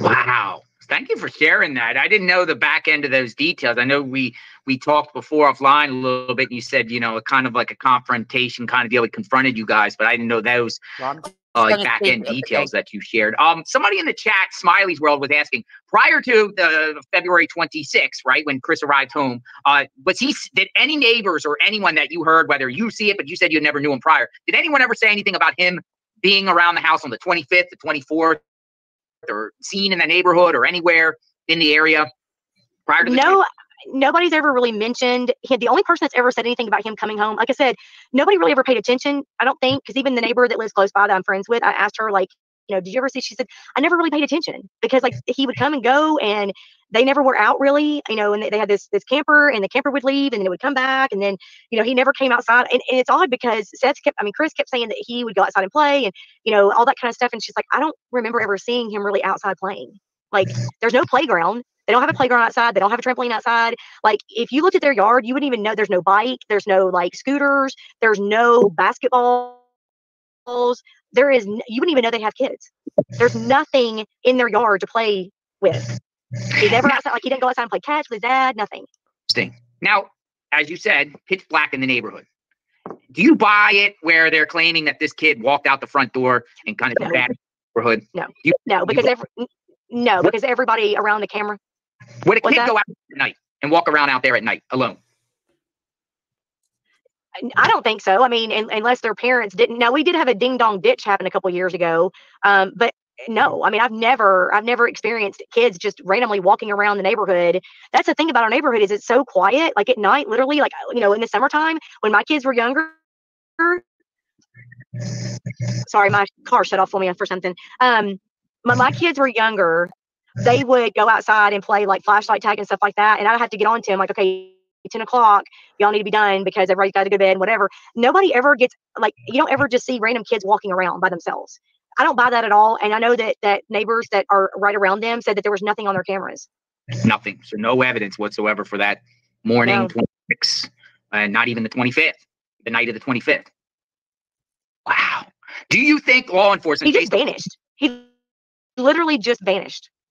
What's your theory? What do you think? What do you think happened? What's your theory? Based off you being a neighbor, based off you speaking to other neighbors, you're very close to the area. You've seen law enforcement over there. What do you think happened? I'd be very careful with that one. Hmm. Um, I know there were some family dis, dis issues, like there were some personal stuff going on within the family between Katie and Chris. Um, I, I, I, Seth told us, you know, that he was supposed to get full custody. One minute he says that Katie was okay with it. The next minute I'm hearing that Katie was not okay with it.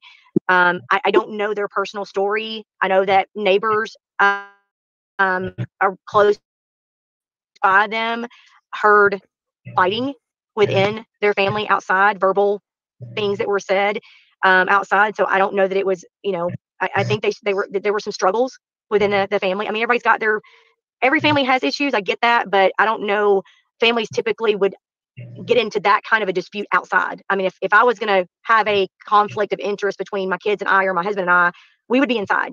I would be outside making that known. And apparently there were some situations where things were heard that weren't good. Bobby, when did when did when did those fights occur? Do you know? Uh, uh I mean, over the past, I mean, you know, I guess since they've they've been there periodically, it, it wasn't like a one time thing. It was there were other you know times where things were said and, and that kind of thing. I, I don't live close enough to them to have heard that. I mean, they would have to have screamed at each other for me to have heard that. I, I didn't hear it, but I know that neighbors around them um, have reported hearing things that were said outside, and it wasn't like a one-time thing. Any cops ever get called?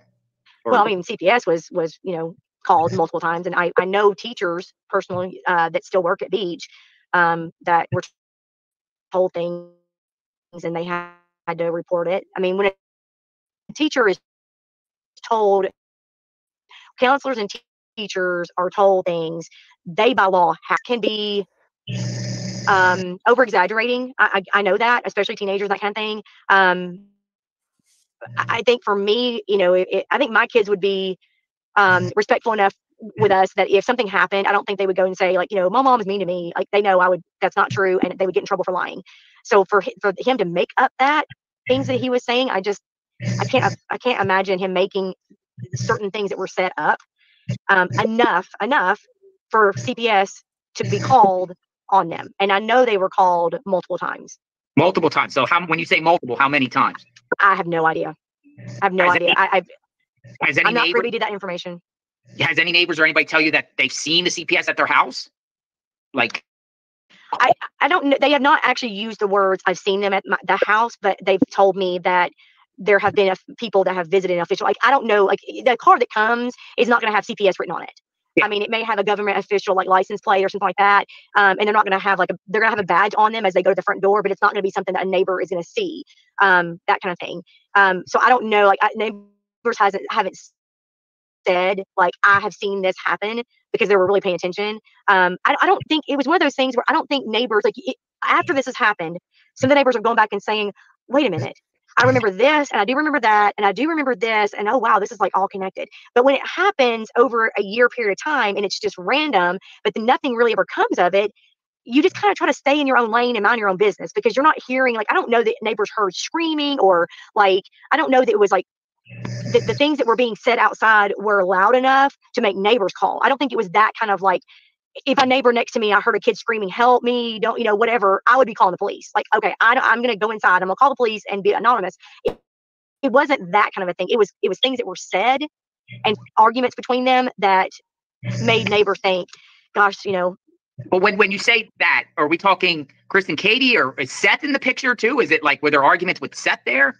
I don't think Seth was ever there long enough. I think he was there long enough to pick um, Sebastian up for his weekend, or they would meet somewhere for his weekend or something like that. I don't think that Seth was ever there. I think it was mostly.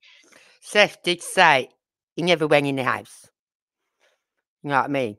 He just wait for Sebastian to come out of school, come home from school, and then pick Sebastian up and go.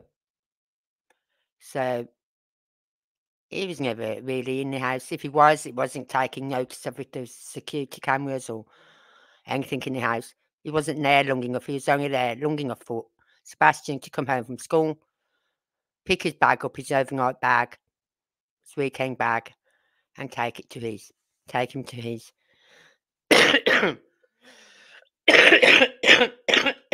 Sorry, big dry throat. so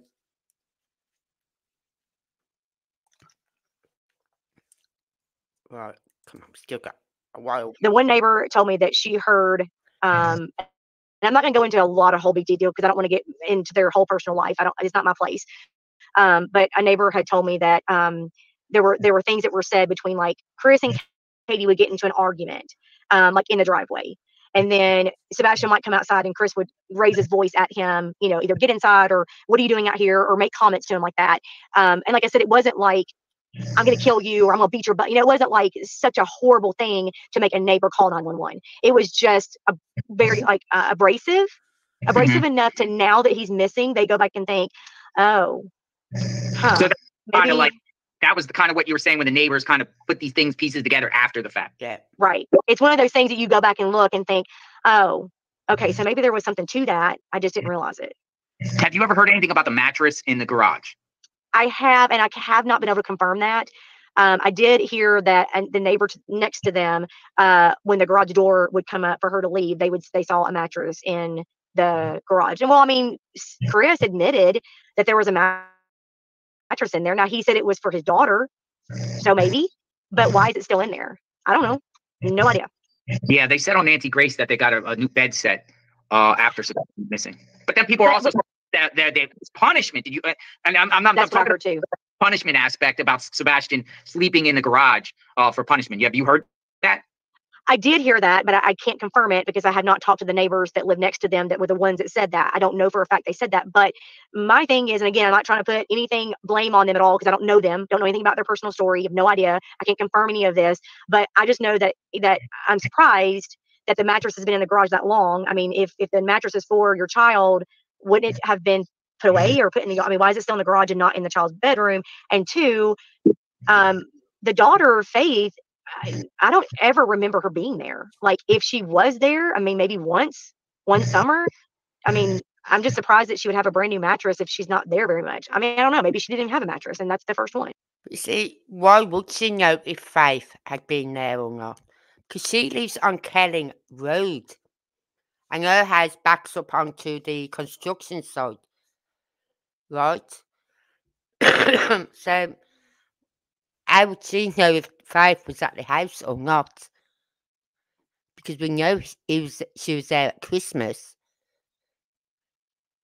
Because it was in the new year, when she went home, in the new year, Nina, the mother, went and got this, put a motion, some court thingy, right? And when she spoke to Chris, he turned round. Uh, when oh, when Chris phoned her or something to tell him about Sebastian going missing, going, right? She said, "Well, we've got a court case," and he said, "We won't be there." Now, how would he know he wouldn't be there? You know what I mean? If anything, I if that had been me, I'd go, well, we'll have to see because we don't know what's happening yet. We don't know where Sebastian is. If he gets back, comes back, then we'll be there. If not, I won't be there. I'll have to let you know. But he didn't. He just said, we won't be there. He won't be at the court hearing because Sebastian was missing. But Sebastian could have come back five minutes later or an hour later or a day later. You know what I mean? We could have found him. But Chris was adamant he wasn't going to be at that court case. But he was. I think he did um it's like Skype, is it? Where they go on video Skype. So You spoke earlier about a silhouette and a light Oh, inside. yeah. Talk a little bit about that. Some people were asking that in the chat. What's that all about? Okay, so um, if I go back to day one and kind of rehash a little bit, try to make this as, as short as possible, um, the the neighbor close by that saw Katie out front on the way to taking her kids to school, she was the one that called me. Friends, I'm you know good friends with her. She's the one that actually called me and told me what was going on. Um, and said that uh, I said, well, what happened? And she said, well, I went and asked Katie what happened, and she said, and this is where the story gets totally misconstrued. I don't know. Um, again, third party. I'm hearing this from another third party source, so you know I, I trust this lady. She's a good friend of mine. I don't, there's no reason why she would lie. Um, but she said when Katie um had they had got home from Texas Roadhouse, took the trash out, so on and so forth. Um, he, Sebastian was in his room. She was in the kitchen, I guess, getting you know whatever done. Um, and and from her house, she's uh, close enough to where she can see from the ring camera like the lights inside it's dark. So I mean, if it, if you have lights on, you can see it. Um, and so she said that she could see the lights in the house around 10 or so. Um, then Katie told her that Sebastian was in her room. She was in the kitchen. She said, You need to go to bed. And he said, Okay. And she goes in the living room and does whatever. watches TV. She says she was studying. I don't know. Uh, whatever, doesn't matter. She was in the living room for whatever reason. And suppose No, no, no. Let's get this straight. She was sleeping, studying, and talking on the phone. I know I can. Uh, I know women are supposed to be good at. Uh, what is he? Um, doing several jobs at once. I'm not that flipping good. she told my neighbor that she fell asleep and Say that again. You broke up. Say it again. You broke up. up she this punk and she yelled across the house and said sebastian and he said yes mom and he, she said are you okay he said yes i'm fine i'm good go to bed and she said okay so she gets up and my neighbor said you can actually see his light go off her walking across the house her light go off and then a silhouette come up to the window for a minute and then everything just goes black What time was that again? Because you cut out. I'm sorry, I know my son was calling me. Um, okay, so she she woke up around 11:30 is what she told my mm-hmm. neighbor that she woke up about 11:30 and apparently he was still up. But I I find it odd because my thought is and again, none of my business. I just think okay, put mm-hmm. yourself in that position. If I have a child who's got special needs and I hear a thump, I'm going to walk into my child. No, let, let me let me put it this way. My kids are all very healthy and normal. I'm very blessed to have very healthy kids. But if mm-hmm. if it's 11 o'clock or 11:30 at night and my kid has to be up at six the next morning, I'm going to be in their room yelling at them and taking their electronics away and telling them go to bed now. That, that I would be walking in my, my kid's room. Even where my kids are now, healthy and, and average children, whatever, no problems. If I heard a thunk, I'm probably still going to go in their room and ask, like, what in the world was that? I wouldn't mm. just stay. But, but you know, hey, maybe she trusted him. Maybe she thought it was no big deal. I don't know, whatever. But she, that's what she told my neighbor, and then she goes to bed. 11:30 though. I've, see, that's that information is not really out there. We keep hearing 10 a 10 p.m. kind of deal. Put him to bed. Here or hear the thump. Are you okay? Good night. 10 p.m. Right. But this is what she told a neighbor. That's right. That's right. And when I asked my neighbor, I called, so she told me this Monday. And then when the sheriff's office came by our house to do the same door knocking thing and walking around and whatever, I asked the sheriff, I said, let me ask you a question. And he's like, what's that? And I said, I know early on investigation, they actually were talking to us. Like day one and two, they were talking to us. So they were giving us information. They were telling us kind of what they were going to do and whatever. And then after about a week of it, they just shut down and never would talk again. The day that the TBI came in, that was it. No more discussion. It shut down. We're not talking about it. You're just going to have to be in the dark. So, but this day two, uh, when the sheriff's office came in, no, I'm sorry, the state troopers came in. Still don't know why state troopers got there. Haven't figured that one out yet. I don't know why state troopers would be there. But state troopers were came, came in. Actually, they came into into my driveway because they were rinsing their shoes off. They had gone into the construction area and his boots were all muddy. And so he and my son were rinsing his shoes off. And I looked at him and I said, "Let me ask you a question." I said, "He's like, what's that?" I said, um, "If you were if you'd fallen asleep in a living room and your kid walks out the front door." Wouldn't you have heard that? And he was like, Not only would I have heard that, but I would have jumped up with my gun in my hand to figure out who's coming in my house. Yeah. Because that's the thing is like she falls asleep on the couch and her kid just walks out the door. But then when I asked my neighbor about that again, called her the next day, I'm like, okay, explain this to me. This is what you said. This is I don't understand that. And she said, oh well, she woke up and mm-hmm. then heard the thump and that kind of thing. So I don't I don't know. Yeah, it's just it goes with all that in the evening time. At the same time, like you said, no evidence that any neighbors or anyone seen that they, he actually returned home that day. And then we also have that lights, those lights. It's just a mystery in a sense because those mysteries. Someone asked it. Go ahead. I'm just gonna say those were not trash trucks. Thank you. I concur. But why did authorities say it doesn't have any ev- evidentiary value? I asked that when I called the lead detective and I flat out told him that I know the neighbor. I've seen the video footage from the very beginning before it was edited. She told me with her own mouth, looking at it herself, there are two separate occasions car, then truck. Why is that? We've had it. He told, he argued with me and told me that he had it broken down. The Secret Service looked at it and they confirmed that in fact it was a trash truck. And I said, I'm telling you, it was not. He said, Well, I'm not going to say I argue with you. I was like, Okay. Wow. Somebody said in the chat, um, any video footage of Katie searching for Sebastian that morning? Like, do they have any? Since you have a neighbor that has a ring camera, did any cameras pick up Katie actually out there searching that morning before? If uh, she, if she, oh, you mean before all the police got there? yeah. For, yeah, so the neighbor that was leaving to go take her, her well, actually, the, the neighbor's camera did pick up her walking around her house. Really? So she walked around her house. Yeah, because in the neighbor, if you're looking to her house, the neighbor to the left of them, that the wife got came out and was actually looking. Uh, oh, there's like a little um, like a wood door underneath the house. What do you call that underneath the house? The crawl space. Um, they actually opened up that door and were looking in the crawl space together. And so they they were looking. But as far as outside of the neighborhood, I've never seen them, and they've never no, not that not that I'm. Oh, so Katie and her neighbour looked in the crawl space. SG, I kind of lost interest in the interview when I heard uh, hearsay biased opinion. Plus, after 100 days, it can be difficult to recall accurately. And she's reading stuff on Facebook group, in my opinion. Yeah. But she's also talking to, she's been talking to neighbours. Right? And neighbours who've had the video evidence. Like, there's a lot more to this. You know what I mean? This interview. And it's like she goes on about the videos. Every video they've had, they've handed into law enforcement.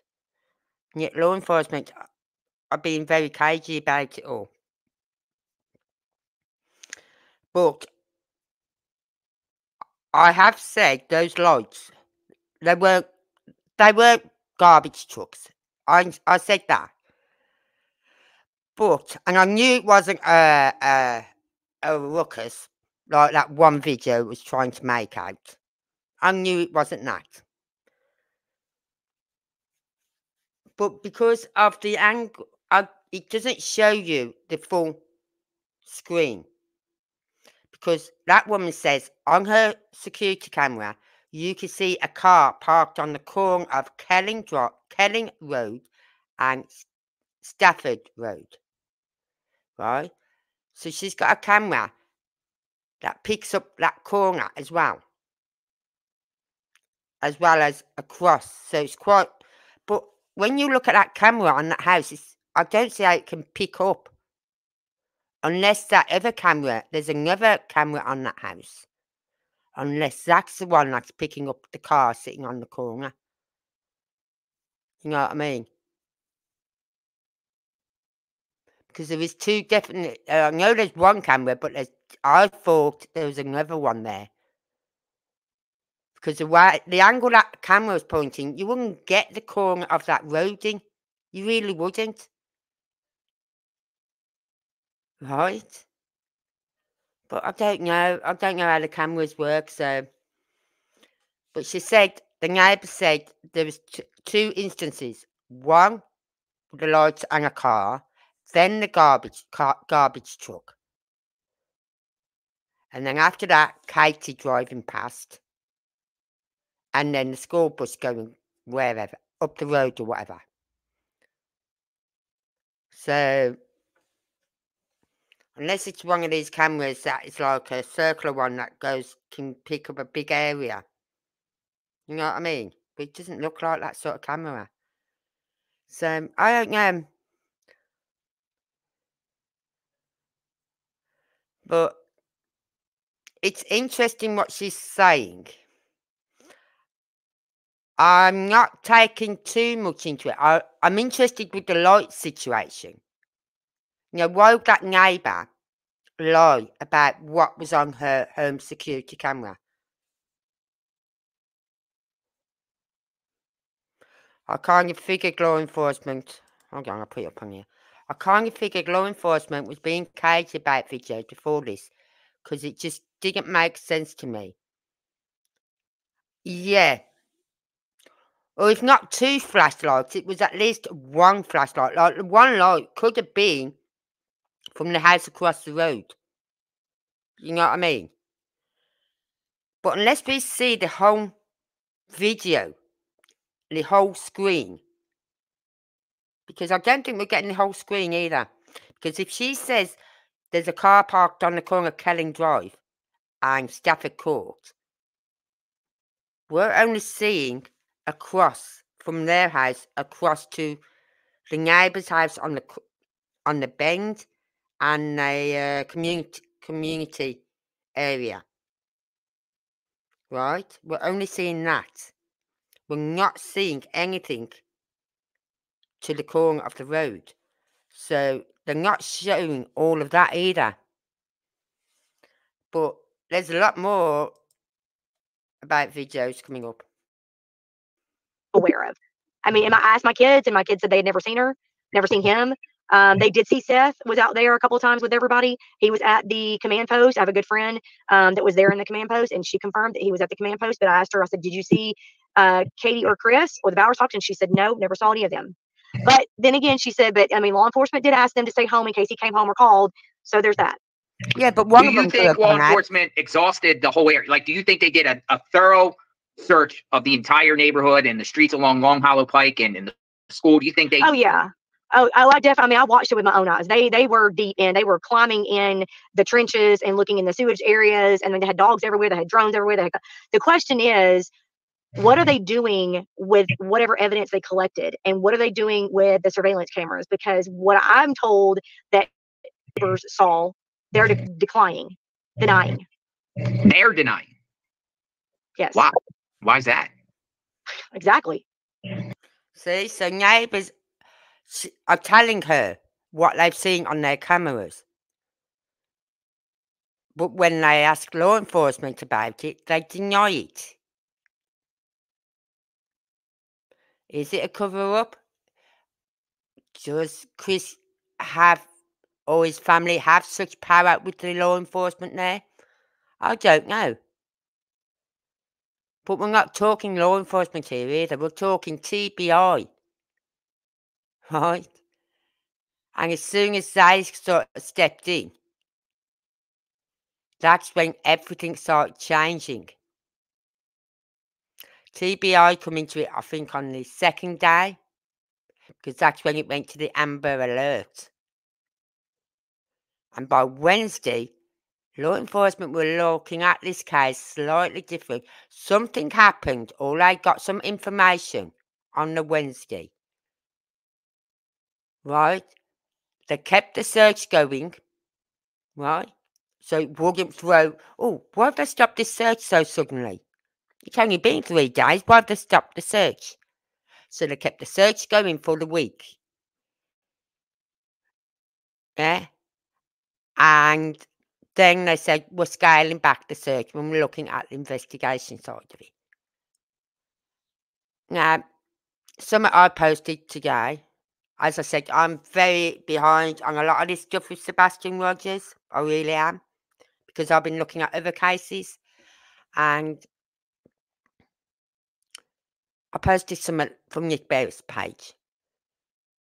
And it was something about the DA. And I thought, hold on, hold on. I know Chris said to Seth in that live with Web Sleuths, you was in that room with the DA and law enforcement and this and that, yeah? And we all thought, why is the DA there? Right? And then Nick Berris mentioned he spoke to the district attorney. And the district attorney said what he said. And I'm thinking, hold on. I know I'm from the UK. I don't know how it works in the US. But have you ever known a district attorney be involved in a missing child's case? Yeah, yeah, like the, I hold on, they're walking with the dog handler. Should they not have been staying back away from him? You know what I mean? They shouldn't have been walking with the dog handler. Surely they should have been. Sorry, mate, you can't walk with us. Walk behind us, a distance behind, but you can't walk with us. You know what I mean? But why was there with the dog angler? They shouldn't have been with him in the first place, to be honest with you. They should have been, well, you want to help? Let's get you searching elsewhere then. You know what I mean? So that is an odd thing.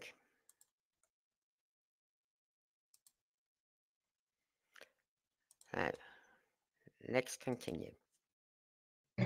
I don't know. That was what I asked. I have no idea. See I what I, see what I find interesting, Miss Bobby, is you know I I was up there what a week and a half later, and then uh, we were searching, and uh, we were searching in, on that federal property, and there was a dog hit, Mhm.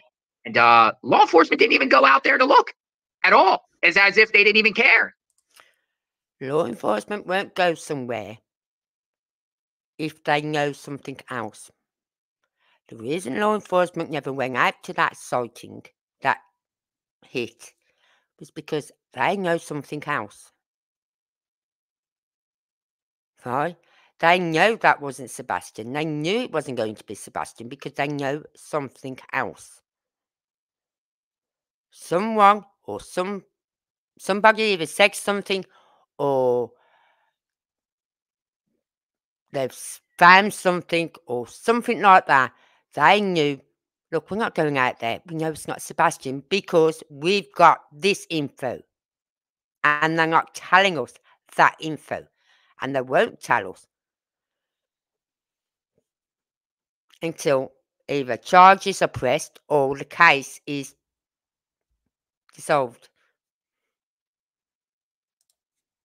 That, There could be I would think that they Right. would look. It seems like they've already made up their mind or know have a conclusion of what happened to Sebastian.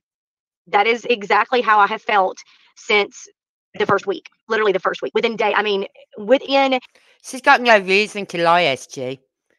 She's got no reason to exaggerate or lie, you know what I mean? Her son could have probably been up walking with the dog handler. You know what I mean?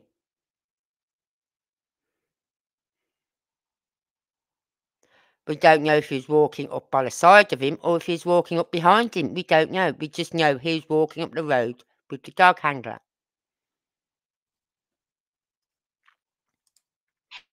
and a lot of people would get on Facebook and like, you know, belittle our neighborhood and yell at us like, why aren't you guys out looking? And why aren't you guys have signs? And why don't you have, if I was in that neighborhood, I would flood it with green. And uh, yeah, but you haven't been violated and you were a part of this where you had hundreds of cars a day driving up and down and taking videos and pictures of your house and, and, and, and, and stopping and, t- and asking you questions and the news reporters being, you know, being out front your house and, you know you, you don't you don't have you don't understand where we are and we just we just want to just have some peace and some privacy. We're still we are looking we're out there we're asking questions we're talking to each other we're on social media we hang out flyers you know whatever. We're just not we don't why do we need a sign when we're in the neighborhood? I mean we mm-hmm. live here for heaven's sakes. Why do we need a sign? You know i mean mm-hmm. we know what's going on. You know if you drive through here you know this neighborhood belongs to him. Why do we need a sign to say look for him? But anyway um i feel like from the very beginning it was massive a massive search effort. But i just don't understand what they did with if they found anything what they mm-hmm. did with it. Why are they trying to act like the camera the footage you know did they find anything on the footage from what i'm being told from my neighbors that saw stuff on the footage and i asked them and they want to deny it they want to argue with me. Why? Why are they? And then when the tbi came and actually walked into my house sitting in my living room uh, uh, couch and interviewed me and i told him what i had heard and whatever and then after that he gave me his card and said oh and we i promise you i had 12 people every day for about three weeks from random places. I'm talking canada i'm talking uk i'm talking uh, hawaii uh, puerto rico they were trying to get into our private group. Why do you need to be in our private group? Why do you need to be in our neighborhood group? Gotcha. just want to know stuff? I don't know. But i mean we had just from the they were coming out of woodworks trying to get a piece of the information. But I, I they just shut down. And every time i would send the tbi agent i sent the story about what happened to my son and i and, and said i had it on you know video whatever and i said do you want to see this and you know i never he didn't even respond to me he didn't even respond and say i will let you know hold on to that nothing i mm. didn't even get a response from him Weird. i It's- called it seems as if they already know something and Yeah. everything else in their mind is irrelevant. Yeah. It's weird. that's how i felt that's how i feel i can't prove it i mean i don't know for sure but that's how mm. i feel and that's what a lot of us feel like i mean a lot of us feel like i had four or five of my neighbors come over to my house one day and we sat in, in my house and, and talking about all this and kind of sharing stories and stuff of what they we feel and we all feel like something is going on. Something isn't right. Miss Bobby, uh, um, uh, somebody in the chat uh, asked if um, when you had that neighborhood vigil for for for Sebastian, were the Proudfoots invited? oh yeah it was all over our facebook page. So they knew. absolutely. Absolutely. Well they were in the yeah and we had planned it a week before so it's not like it was last minute throw it together it was a matter of fact the ne- one of the neighbors that helped me organize it she actually had posted it on her profile like just on her her uh as a posting and just said, you know, I'd love to have a vigil. Let me know if anybody is doing one. And I messaged her and said, hey, why don't we do this in our neighborhood? That way the family can come as well and it can just be our private neighbors. And she's like, yeah, that sounds like a good idea to me. So I put it on the Facebook page as a post. I tagged her in it and I said, hey, this is what's going to happen. This is where we're going to be. And then several people posted asking what time. We kind of actually kind of kept going back and forth about what day, what time, and whatever. So, did we go to their door and knock on their door and personally invite them? No, but we didn't do that with anybody, and we had a big group show up. And they would have. They know. They knew it. One was existing. They, instead, you said they brought two representatives, family members. That's the other thing is there. It's you, that's the other thing is you know for a fact they knew because they, they sent the family. Yeah. How were, how what, what did the family say? Like who, the people that you said that came, uncle and aunt, right? Uncle and aunt, they said. Yes. What did they? Did they say anything? Did they talk? Did they? They didn't really talk much. They just kind of stood there and listened to us, you know, introduce ourselves. And we went around the, the circles, you know, quite a big circle. And we went around the circle and everybody, you know, said their prayer and, and whatever. And then afterwards, you know, we just kind of said, Hey, do you guys need anything? And we said, you know, do you need food? Can we set up a food train for you? Or, you know, is there, you know, do you need, do you need anything? And they both said, Oh, we've got a lot of. See, now they did a vigil. Now, what did they say? What did CP and KP say about that vigil? They didn't want it held in the area because they didn't want everyone outside their house. Well, it wasn't outside their house. It was in the area. It could have been up the top of the grove, up the top of the road where the cars drive up and then drive round and go back down. That would have been big enough for the neighbours to turn up for a vigil. You know what I mean? It's just so hard for me to believe alleged neighbours, especially someone who lives on a other street. I must admit, oh, I must admit, like I did say, how would she know if Faith had been at their house or not? Because the way she spoke, her house is at the top of the street, Kelly, Kelling Road, and it backs onto their porch their back porch backs onto the construction site. Yep. So how would they know if Faith had been at their house or not? She wouldn't. How would she know when they was going in and out? She wouldn't. She has to rely on what the neighbours are telling her. Right? And we know Faith was there at Christmas because uh, Sebastian went to his dad's. And Seth said he was on the phone for hours with her, talking to her. And then when she went home, in the new year, when the courts were all open again, they went and put a motion in to uh, like an injunction or something like that. So support we're, we're good. We're fine. Don't worry about us. We're good. We got plenty of support. Does the uh somebody asked in the chat, does the Proudfoots have security? Did the neighbor did you guys know if they had because because Katie worked at Brinks, right? Or Brinks security well, system? That was the very first thing I asked my neighbor when she told me that Sebastian is on the spectrum. And I said, Hold on a minute. Doesn't she work for Brinks? And she said, Yes. And I said, She has a special needs child. She works for Brinks. Does she not have security or locks or some kind of like a safety something to keep him from coming out? And she said, not that I'm aware of. Now, the people before them, I do not believe they had security. Um, they were older, elderly couple, so I don't even know if they cared. Um, but apparently they didn't because then Brinks came afterwards and installed. And I know that for a fact because she called me and said, well, they're getting security now. And I think Chris said that was because they felt like they were being threatened and all that kind of stuff, which I don't, I can't prove or deny, whatever. That's up to them. That's their business. But from what I understand, they did not have anything before that. So, um, interesting. Very, very interesting. Has, uh, has the Proudfoots been back at their home? Like, are they there? She has been. I think she went back to work because she's been home and her van comes and goes. Um, I think Chris came in one weekend. I don't know, but I, I've kind of just stopped. Like I was I, I, would drive by once every, you know, like maybe once a week just to see, you know, if, if they were there because they were there.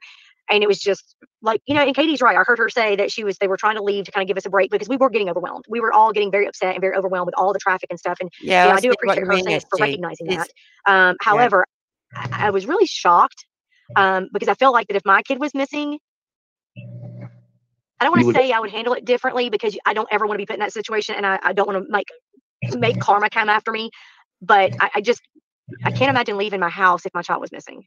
Yeah, no, I mean that's she's been called out by that. I mean she's claiming that yeah. she can't wait to come into the door, Bubba, and uh right. and uh. But I'm not her. Over to I'm not her, and I, I can't. I'm not going to say that she did the wrong thing because I have no business saying that.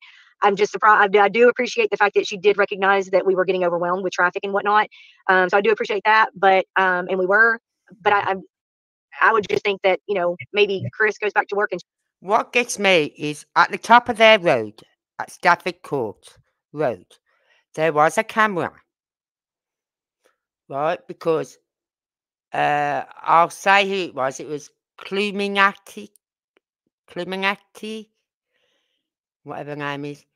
They did a drive around, and when they went up their road, they turned round and at the top of their road, as they turned, there was a great big stand, like a tripod sort of stand, and a box and everything, and it had a camera on, and it's pointing down the road.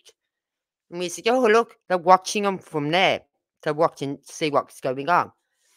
Now, she mentioned earlier there was that like a heat-seeking camera there at the top so that if he did come home during the night, it would pick up the body heat. Right? Why did they take that camera down once? Uh, literally after. Was it after the first interview? It's like within a week of them scaling back the search. Right? I'd say within a. Yeah, within a week, within that week of them scaling back. So they scaled back the search on the Sunday, they told them on the Sunday they're scaling it back. By the following Sunday, that camera had been took down. Now, if the police or law enforcement or TBI thought for one minute that Sebastian was going to come home, they'd have left that up.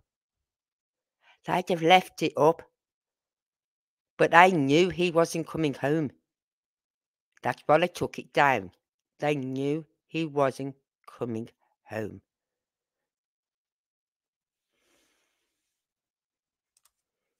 She stays there just in case.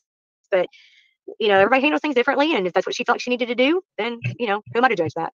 But they haven't, since this incident happened, they really don't come out at all, interact with anybody you know what? Well, yeah, I mean, I've seen them interact with a neighbor very close to them a couple of times, um, be out talking to one of the neighbors, um, but I have not seen them out talking to anybody else. There's rumors like said, that there, there's rumors that they might be moving. You know anything about that? Have you heard? Is there? I keep, I've heard that so many times, and I, there's no confirmation of that. Um, Interesting. I've asked. I've asked other. We have a couple of realtors in our neighborhood, and I've asked them, and they've they've not. Like I have not heard any confirmation of that. Has um one more thing? Has the detectives or authorities ever go back to their house, like in certain time, like maybe like a week or two weeks after Sebastian went missing? Have they ever returned that you know of returned to the home? Oh yeah, they they came back. What was it, week two or three? They came back and basically started it all over again. Started the searching all over again, and they also reenacted the whole scene. And they started at like what ten o'clock Sunday night ish. Was it something like that Sunday night going into the next, the early the next morning to see if they could kind of like retrace each one of the steps and everything that happened. Type of deal? Mm, or, yeah. Interesting, but nothing seems like, well, got their evidence and got something out of that possibly. If they did, they're not telling us. They're not. How's the neighborhood now? I think um, it's getting better. I mean, I'm noticing um, a lot of neighbors are getting out more and walking dogs again and talking. And um, I think people think that we're all like huddled together talking about everything that's going on. And it's not like that at all. I think we're all just trying to stay out of it, trying to stay, give them their space and kind of stay away from. Possible, SG, possible. Hmm. That is possible. That the equipment was needed elsewhere for some other missing child. I'm doing a case tomorrow, tomorrow afternoon. I'm doing a live about two young lads, both autistic, both gone missing. Everything and we just don't i know for me i don't want to get into their personal business i just don't want to be that that neighbor that's all like super nosy and thinks that she knows everything because i don't i don't know what happened i don't understand this kid did not just vanish he just didn't vanish but does any neighbors think it was a kidnapping or like think their children are in well, danger? So that was the very first thing I asked on on Wednesday when TBI came and sat down with me and talked to me. And I looked at her. I said, "I get that you guys are being super quiet about this because it is still an investigation. However, if hold on, hold on, it wasn't an investigation on the Wednesday, love. They're still searching for a missing child. Are we right there? Am I right? It was only an investigation from the Sunday, which would make the 26th, 27th, 29th, 29th, 30th. The first, oh, no, 28, 28 days in February. 26, 27, 28, 30, no, first, two, Tuesday, Wednesday, Friday, first, second. The fourth, around about the third or fourth of March, it became an investigation. It wasn't an investigation on the Wednesday. This kid was kidnapped, don't you think you might want to tell us so that we can kind of lock our kids up and you know be be safe or whatever? And she instead of her, and I guess is you know again part of the investigation, she said, "Well, you should always do that." That's interesting. Yeah, they have a responsibility. I mean, if one of their theories is Sebastian got kidnapped, and they never said Sebastian was kidnapped. But there was uh, no there's there's no there there were no cars that came up their street and then left up their street and left. The only car that was ever seen was the one that was on Kellen that parked on the corner of Stafford and Kellen for about three or five minutes, where the flashlights came towards it, backed up and left, and then the trash truck, and then Katie's SUV, and then the police, or then the uh, school bus, and then the police.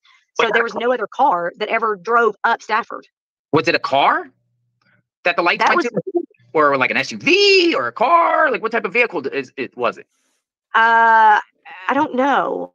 I, I don't don't remember. Just they the words that where I was told was unidentified car. I don't know if it was an SUV or car or what. Um, that was just what I was told. It was an unidentified car. And that was another thing is when I asked the, det- the lead detective, I said, um, you know, this car that was on Kellen, he was like, yeah, we already figured that out. That was an Uber. And I was like, no, the Uber was a neighbor on Devon that ordered an Uber about 530 to go to the airport. I know that. But the car sitting on, why would a car sit on Kellen if they were going up the street? How is she finding that information out?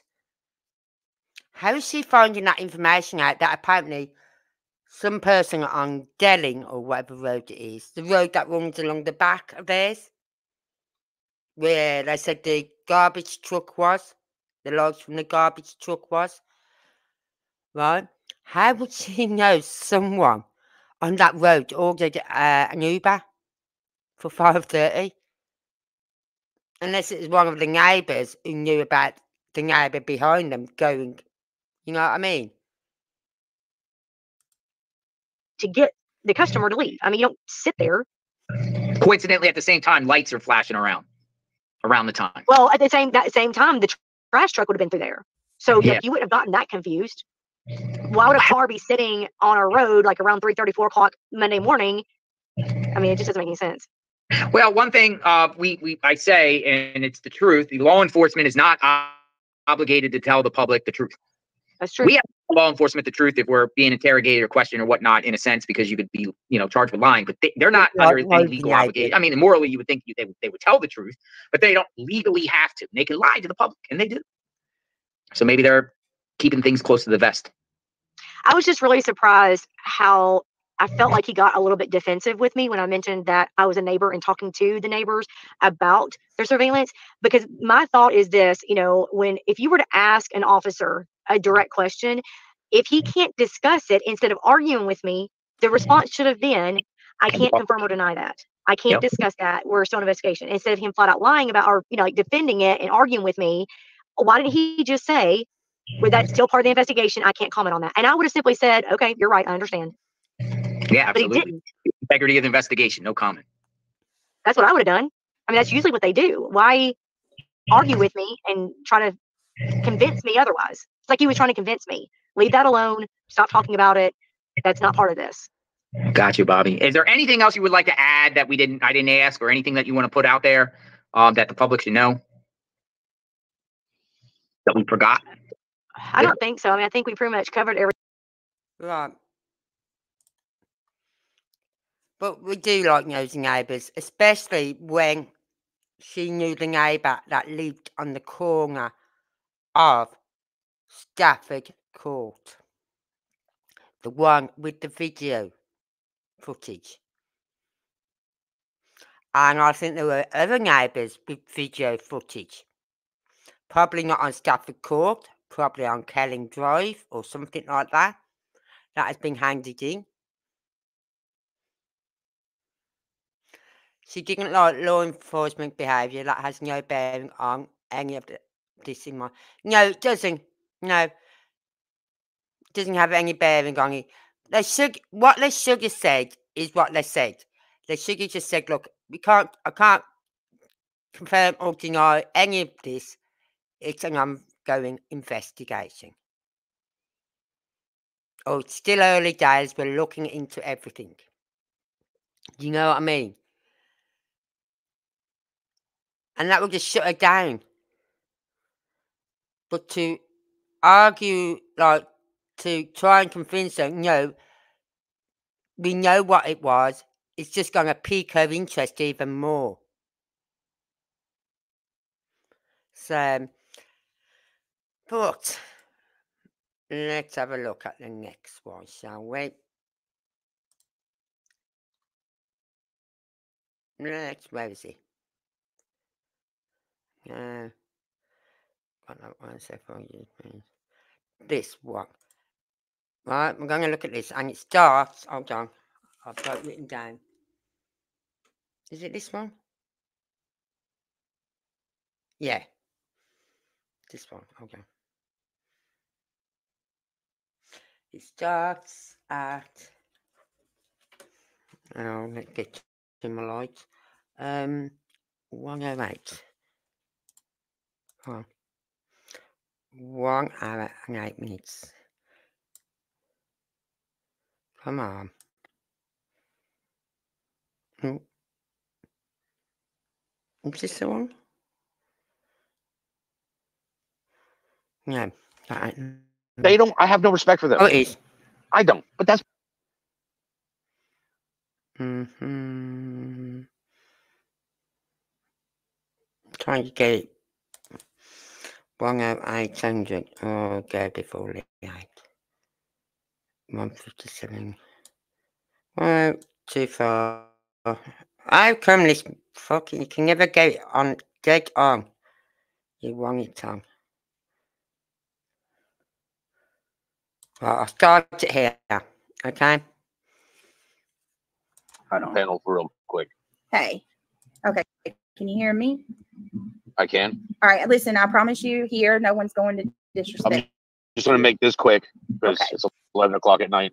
I've been busy all day. Okay. Um, and I got an early morning. I've got searchers coming in again next week. Got places to go. Got to get what little sleep I can. Um, I understand. I sent out cease and desist. These people are nasty, Oh, they are. and no parent of a missing child should ever have to sit there and listen to the people slander him and de- be. De- de- Yep, I've listened to people call my son a sexual offender. that's Jay. I've listened to people call me one. Yep. All right. I didn't have any relations with Sebastian's mother until she was way after the age of 18. Thank People you. need to get off their high horse Agreed. because I'll tell you right now, I don't have to do anything and God will knock you down. But I sent cease and desist to re- make sure that there is proof in the legal system that I am not connected to these people. Okay. Yeah. That way, I'm not sitting there and they can sit there and say whatever they want. Defamation is pretty easy when someone's sitting there I for six don't hours know. on a live panel, letting I people talk know. I massive think- amounts of crap about me and accuse me of everything from putting a nail into Jesus Christ on a cross or pushing the red button for Biden. You know, Yeah. It's you just say whatever you want about the me, but when you start talking trash about my son or you're using pictures of my son and stupid little things or click me bait because you guys want to make money, and when I say you all, I mean everybody who's out there. When my YouTube channel comes out and I sit there and I make people pay for a membership to listen to me give updates, I know that I'm going to receive nothing but negative attention about it. Nothing but negative attention because Lord knows I'm the child's father. I need to make sure I have flyers. I need more yard signs. I need more materials and more resources, and there's not enough. Absolutely. There is not enough until my son comes home. People want to talk about me being at work. That's my personal life. Get over it. You're not going to find out if I'm at work or not. It's none of your business. I've had people infiltrate my home. I've had people sit there and literally lie and have conversations that you just wouldn't have with a person. Not if you actually had a soul.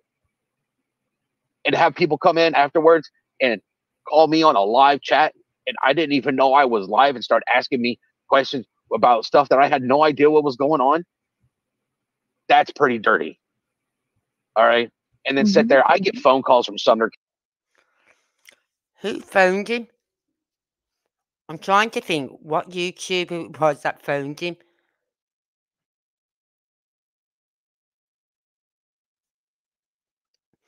Oh, I know he did a live. He went on live with Smiley once, right? And I think it was before a vigil. And he didn't realise he was on live. And said, and he said something, and he said, "Well, at least I'm not on live." And she "Oh, mic drop, you are." And went, "Oh." You know what I mean? He didn't realise he was on live on hers at first, on one of hers. But I don't think that is the one. I don't think that's the one. County and from TBI about everything that's going on. Well, they need to stay in their lane. Don't ask me what I have a ci- civil attorney doing for me. All right. They need to be focused on investigating and finding my son. But every time one of these creators open their mouth, and I say that term very loosely because there's a lot of YouTubers out there that are not creators. All they are is we'll take what this person did and we'll go over it. Yeah, Yeah, you're and I'll tell you right now, they don't. I have no respect for them. I don't. But that's my personal opinion. And I don't care if somebody has respect for me or not. I'm looking for my son. See, okay, I'm playing this video now. We're going over this video, right? But I'm not going to slag. Oh, pardon my language. I'm not gonna put a father down. I'm not gonna bagmouth him, apart from CP. But he's not a father. He's a stepfather. It's just whatever, right? But I'm not going to sit and put down a father whose son is missing. He was at work. He was on camera. He works at a, what is it, a detention centre or whatever. I can't remember now what it is. Right, um, SG, perhaps you could help. Where, where is it he works at? I can't remember what it is. And um, at these places, because there's cameras on every door, every corridor, you probably can't even go for a pee without being caught. No, not jail. Well, jail, but not, yeah. It's where they keep them until they go to court and they go to prison. Yeah. We don't have that here. If you're sent down, if you get caught and you go to jail, prison, you go to prison. You don't have any detention centres and whatever. You go to prison and you sit in a prison until you go to court. Right? And so he's on camera from the moment he walks in that building, if not before he walks in that building. And he's on camera until he leaves that the premises. Because I should imagine they've got cameras outside watching the car car any cars coming up and people like that, people coming up. You know what I mean? They're on full security at these places. Because guess what, everyone? There's criminals in there. Bad guys. Right? So he's on camera. And so I'm not gonna bash a bloke. His son is missing. He don't know why his son will go. Yeah, he has an alibi without a doubt. He's got the best alibi you can even think of. And then when you get people saying, Oh, well, he could pay someone. He knows people, he knows criminals. Uh, excuse me, his own sister had to put a GoFundMe up to help him pay for his rent, his gas, his electric, and all that, to get flyers done, to get uh, signposts done, to have t shirts made, you name it. Yeah?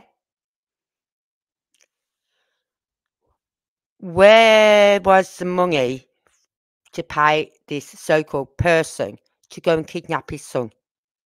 If he had to get, if they had to get a GoFundMe up to pay his rent while he's out looking for his son, where, where, uh, where did they get the money from to pay this so-called person to go and kidnap his son?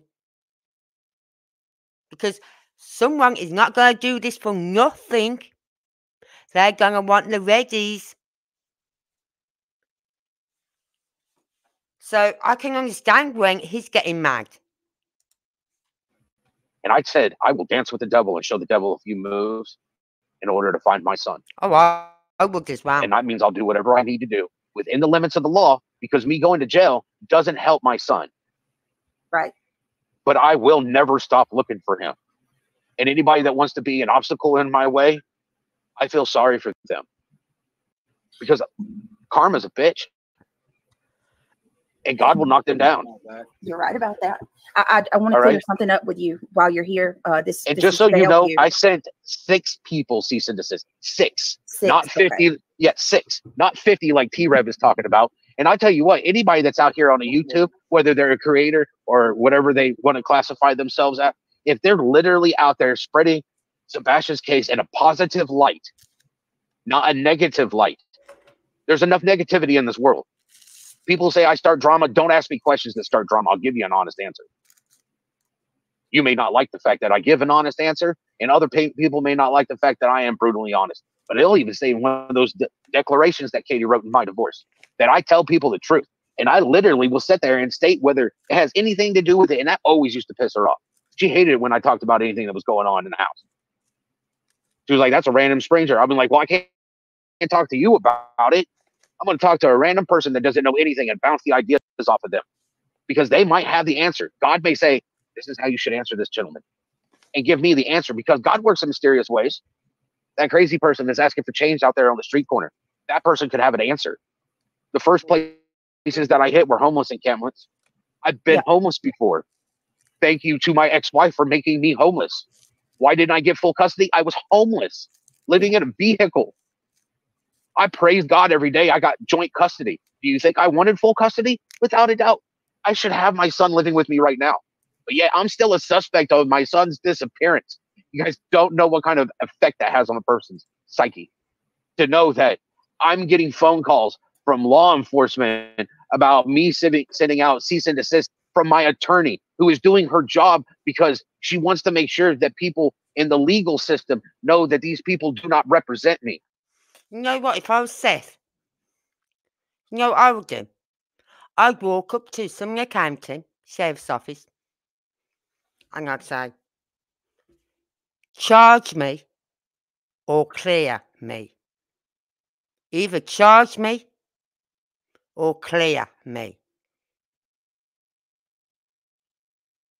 I'd call the bluff. I'd say, charge me or clear me. I really would.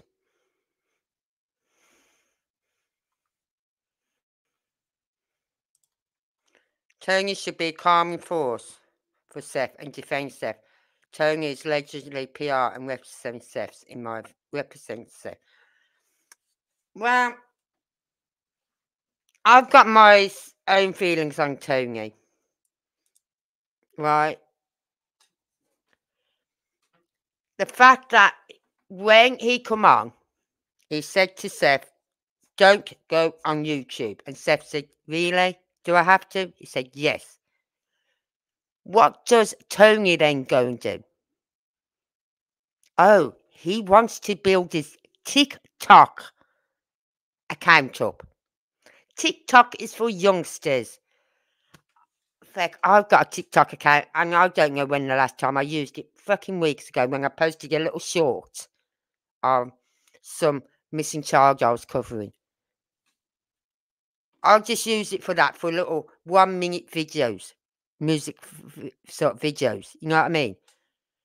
I would not even dream of going on TikTok and building up my um subscription on there, so whatever, to do a live. I'd rather go on X and do a live than go on TikTok. But that's what he's doing. He's doing it to build his own people up. I'm not happy with Tony either, but poor Seth felt so desperate he went on YouTube himself. Yes. Yes. And you know what? See that picture I've got up on the screen? It's got Seth Rogers speaks out. Should have put Seth Rogers speaks out the voice for Sebastian because he was and is the voice for Sebastian. Tony isn't. Right? He isn't. And if Seth wants to keep him on, then who am I to say different? You know what I mean? As my mum taught me, you plant a seed, right, with my husband. She said, just plant that seed in his brain. You want something doing? Plant that seed.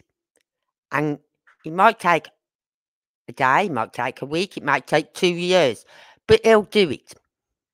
Right? Or he'll agree with it. Right? And I'd say, and I used to plant little seeds in my husband's head. And then you come along like a, week or so later, oh, I'm going to do this. I think we, I think we should have this colour in the living room, or I think we should do this in the bedroom. And I go,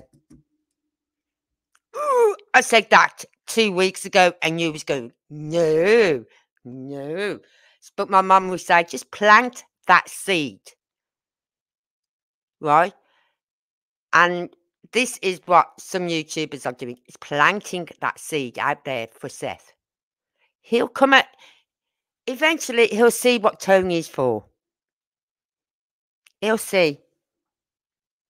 You know what I mean? But because he isn't helping Seth, he's put out misinformation.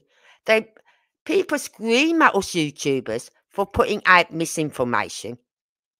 Oh, you should fact check. You should check everything you're told. They used that guy, that whatever his name was now, that young lad. They used him. And they got information off him. Well, Tony did right? Because, and then everyone's going, hold on, that isn't true. Oh, well, such and such told me. So he's throwing that other guy under the bus, right? So that other guy's now pulled away and said, I don't want nothing to do with it. And I don't blame him. It was at that vigil, the last vigil I had. What was that comment Tony said? Oh, Everyone wanted to talk to Seth, but we had to stop them. We had to make sure they was there for the right reason, sort of thing. Something like that. And I just got this vision of Tony jumping in front of Seth and taking a bullet. You know what I mean? It's like this bodyguard for Seth. Right? I hope he does. But until that day comes, we just got to Stick with Seth. Just stay with Seth and Sebastian. Focus on Katie. She's the one last saw him, last spoke to him. Right? She was in the she was the only one in that house. She's the one who spent the day with him. The one who went for the evening meal with him. Right? The one who drove him home the one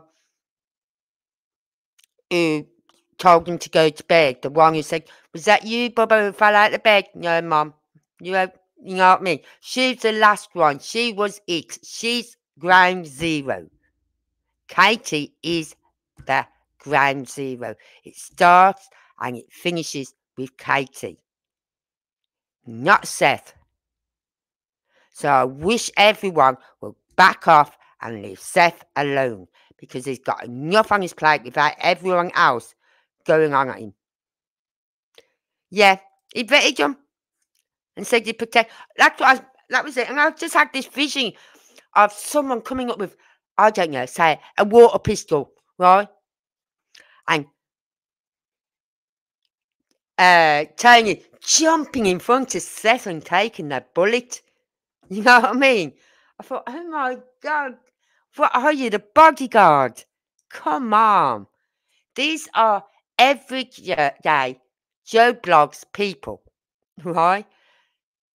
Who are there for Sebastian. And I just wanted to give some reassurance and support for Seth. They're not out to down. For Christ's sake.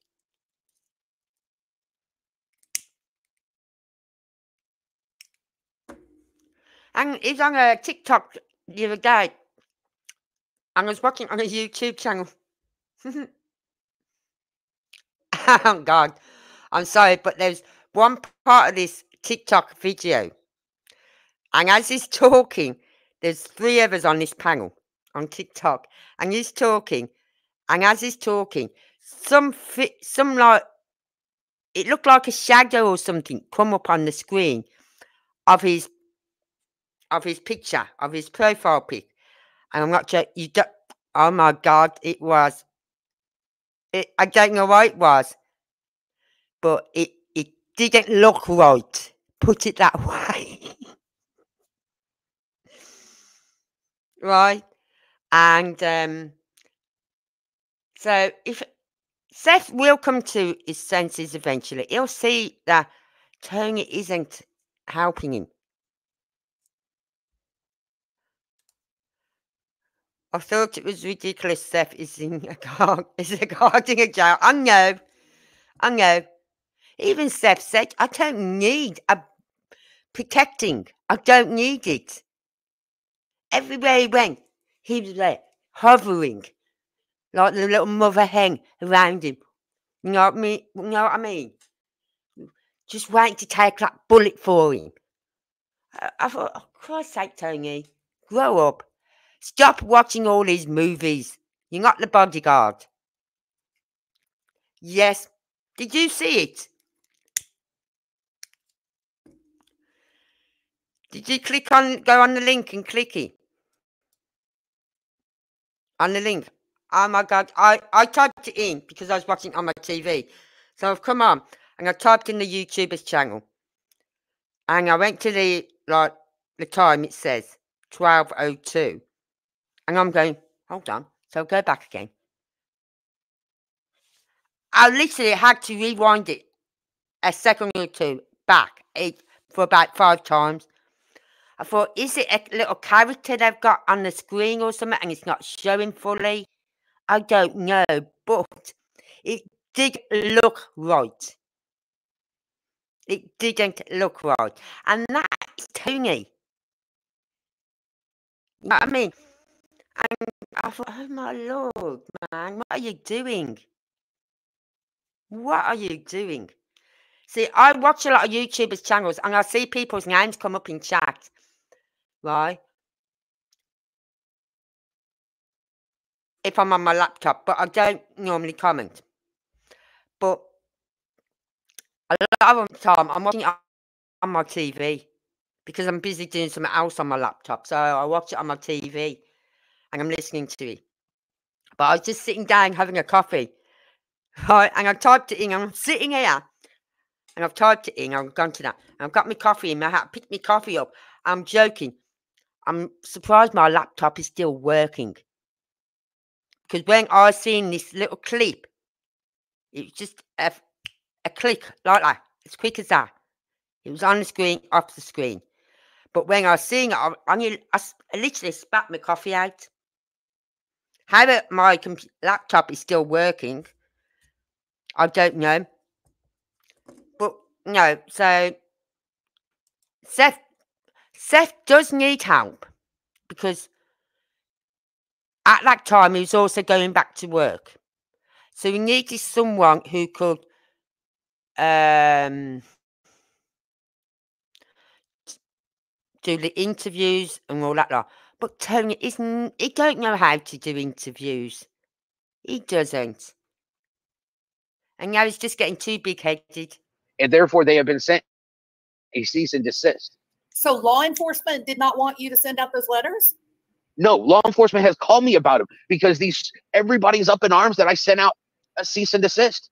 There's some of these people live right there in Sumner County. Three of them do. T Rev lives there. Klumati lives there. And so does uh T Rev's girlfriend. I'm not even gonna speak her name. She ain't worth it. Whoa. All three of them live there. And you know what? T Rev has never showed up for a search. Oh, he bought hot dogs and buns. Appreciate it, buddy. I didn't appreciate everything else you did, like taking a picture of me while I was in my recliner in my house. Oh, so it was T Rev who took that picture of him in his house. That's not right. He shouldn't have put that out. Yes, I saw. He's a powerless circus. my lord.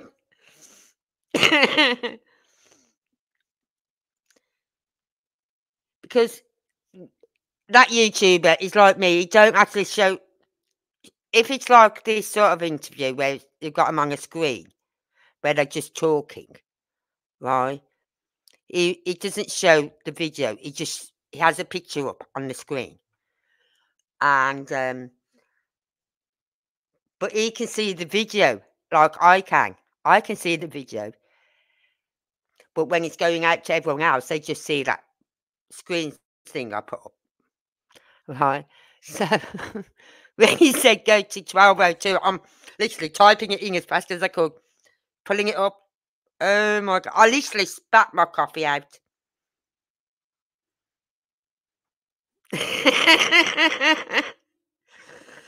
That's not on no. That's is Stepping into my sanctuary and violating my sanctuary. Because not only did you violate my sanctuary, but this is also my son's sanctuary. I didn't appreciate that. Klumati showed up for, you know, one search, one search, yeah. only one search. And she acted all nice and friendly. Yes, she did. Mm-hmm. Introduced herself by her name, not by her, you know, never once told me that she was a YouTubist, none of that sort of stuff. But I treated her like a, regular researcher. Searcher. Hi, thank you. I appreciate your help. And then she turns around and plays, you know, I want to be number six on, you know, CP's list of marriage or whatever you want to call it. I don't care. People want to talk trash about me, but people want to look at me and tell me I'm trash and that I'm despicable because I have what an opinion and No. attitude. No, you don't My son is missing. Exactly. Okay.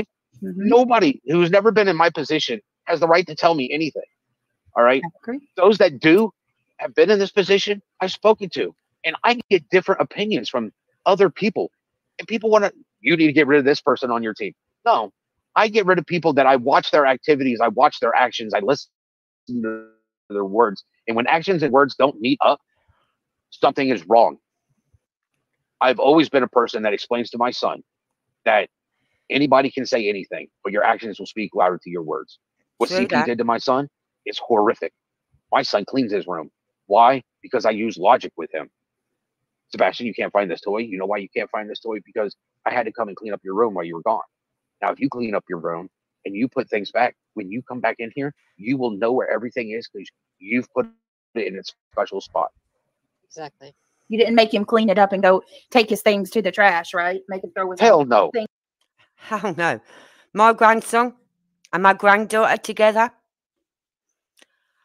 I can go through their bedroom. I've got to do their bedroom tomorrow because I've got to put clean bedding on and everything, right? And um, I'll go in, I'll get their bedroom spotless. Spotless. Right? And it'll be like that for two weeks. Then when I've got them on the weekend, in two weeks' time, he'll come, he'll go in the bedroom, or she'll go in the bedroom. He don't normally do it straight away. He normally, he's normally very good lately at the moment. He just gets the bricks out or something. But no, Olivia, she goes in. I'm a, I'm a, grand, I'm grandson Ellis. They go in and they get the boxes and the tubs and they just tip it all out. All out on the floor. Oh, really? Did you have to do that? So you know what I'll do? I'll just because it's just one guy. It's literally on the Saturday they do it. They do. He doesn't do it on a Friday. He'll do it with his sister on a Saturday. And by the time they've finished playing, it's bath time. Well, dinner time, then bath time, then bedtime. So what I do, I think, you know what? I'm not going to pick all this up because they're only going to tip it out again. So I just literally make a path, clear everything away from their bed. If I have to push it to one side, right? I'll push it to one side so they can get in and out of bed without stepping on anything. So they've got a clear pathway. And that's what I do. Then on the Sunday, once they've gone home and I've come home and I've had something to eat and drink, I'll go in there. Well, sometimes I leave it to the Monday, probably the Monday. I'll go in there, pick it all up, tidy it all up, make the beds properly, strip it all down, put new bedding on, whatever, and do that. But my my grandson wouldn't say, can't find this. I say, can't yet. Well, it's in there. And he'll just go and tip everything out. Things away. Yeah. You know, hmm. this might be seen kind of selfish, but I'm a parent. I'm on a limited income because I, I work for the county. All right. I make fifty thousand a year. I work 12 hour shifts and I deal with with murderers and inmates that I believe can change. absolutely. All right. And I treat them like they're human beings. Yeah. Because I expect them to change. Are my are my sights set too high? Probably. But that's not for me to judge. I'm there to make sure they're safe while they're in jail before they go to prison. All right. I have a badge. I'm supposed to uphold that badge. I don't hide behind that badge. I am the representation of what the badge is supposed to be honor, integrity, courage, commitment. Only I can do that. I've Mhm. had inmates, oh, you hide behind the badge. No, I'm the same person when you see me at Walmart in a pair of shorts and a t shirt, grabbing a gallon of milk and orange juice to go home so that my son has milk and orange juice to drink. Pick him up, whatever he wants, whatever he wants to cook for dinner or whatever he wants me to cook for breakfast, so on and so forth. I work when my son is here with me, I work with him so that everything in this house is his. He knows what is his. He has to have room to grow. You cannot sit there and keep somebody trapped in a cube and expect them to grow. That does not work. Absolutely. 100%. People want to give me grief for how I raised my son. Well, I am sorry. I didn't think I should take him out on the street corner and pick a fight with somebody and show him what a real beating was. Yes, did I tell my son I was going to bust his butt? Sure did. did. Did I use that exact verbiage? Probably not. Hello. I'm a first time parent. Hold on, what was that you said? I never had to clean up after my children. I was very strict. I allowed them, I allowed them to mess up one room, then pick it up, then they could mess up another room. no, see, they just keep the mess to their bedroom, right? And I must admit, if I went in there and I started picking it all up, my granddaughter would come and help me. But then the other day, I was like, I've got these big letters that I can put up on the wall, and I've got to get these sticky things to put it up on the wall. And at the moment, I'm on a heater in my bedroom, and they kept keep getting knocked off. And um, as I walk past it, or my grandson, or whoever walked past it, they knock them, so they get knocked off. And my grandson said, Gran, your letters are on the floor. I said, I know, babes. I said, I'll pick them up in a minute. I'll do it. And he did. He picked them up for me and he placed them back on where they go. Didn't put them in the right way or stuck them in the right way, you know what I mean? But he put, picked them up. And if I really pushed him, I could say, right, come on, let's go and tidy your bedroom up. You know what I mean? And he would. He would do it. But I can't see the point in cleaning it up for that one night because they're going to be in bed. Then the next morning they get up and they just tip it all out again. So I'll just leave it out. And then once they've gone home, it takes what? Five minutes to pick all their little toys up and put them back in the right boxes and put them away. Right, five, ten minutes. Then, what? Five, ten minutes to make the beds. Five minutes to put the vacuum over the floor. You know what I mean? It take I spend about twenty minutes doing their bedroom. That's it. So I think I'm not gonna but I'm not gonna moan at 'em. It's once a fortnight. It's not every day. It's once a fortnight. And that would help if I said, "Come on." It's like many times I've gone to put toys away in the living room that my granddaughter's brought through. And I said, "Let's," and I go to pick it up, like just before dinner. I'll help, Gran. I'll help you. Right? But she's so comical, my granddaughter. Right? Went home, took my grandson home Sunday. Right? And he was in his mum's room. Right? Don't know where. I think he may have been hiding. I'm not sure. Anyway, she's come to him. She's got him this uh, smoothie. He wanted a smoothie. So she said she'd get him one. So she went, his mum gave her this smoothie. And she went into the bedroom and she went, Ellis. And because he didn't answer her the first time, she went, Ellis. And I thought, oh my God, that's such a brummy accent she just said then. The way she said it was so brummy. I thought, this child is so confusing because she's got the brummy accent. She brings that out in certain words and certain things she says. Like, you know, if she's saying something like, once she stood there in my living room and my grandson walked out, he said something as he was walking out, and she stood there and she put her hand on her hip. She's three years old. And she said, Just you wait there. And I stood, I sat there and I looked at him. I swear to God, that was my mum. You know what I mean? The way she said it. Just you wait there. I thought, she's turning into my mum. She's turning. Even on Sunday when she's went in and she said Ellis, and then because he didn't answer her, she shouted at him. And the way she shouted, I said, that's just like my mum. She's being like my mum again. It's like having my mum here. Honest to God. But then she'll come out some and she'll talk, she's talking, and you hear the Dundonian accenting her. But then she'll throw in the odd bit of accent. I'm going, keep to one accent, please. It's very confusing. Yeah, I do spoil them. They get away with a lot with me. It's a never ending, everyday learn, so learn something new. Yeah. So I used a video game, which is better than watching an R-rated movie with a bunch of people being shot and having heads cut off, or you know things like that. No, I took a video game that we have played and I put the blood mode on so you can actually see it because before there was none. I turned it off. He doesn't need to see all that.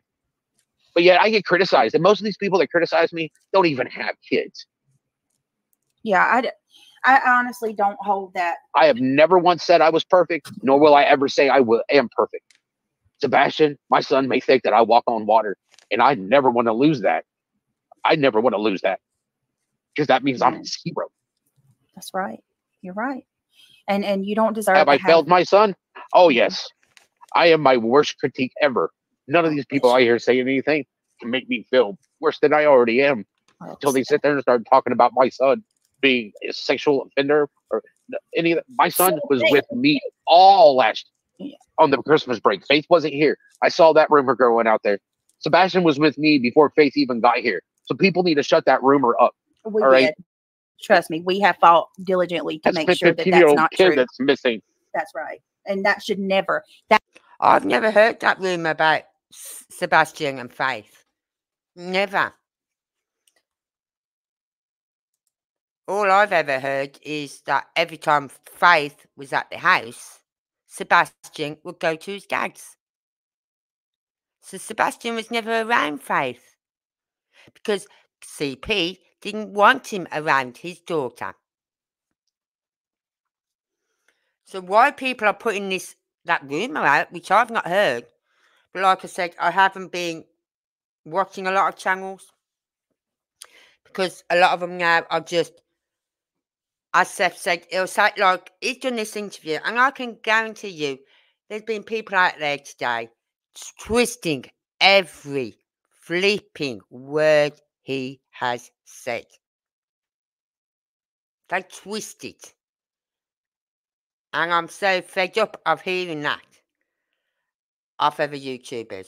If you've gotten, if you want, because I've been covering other cases, right? I've been covering other cases. Okay, I don't get the viewings because people don't want to hear about that. Apparently, from my from what I can see, people don't want to hear about uh, Whitney Hat, uh, yeah, Whitney Hatfield and that other lad, James.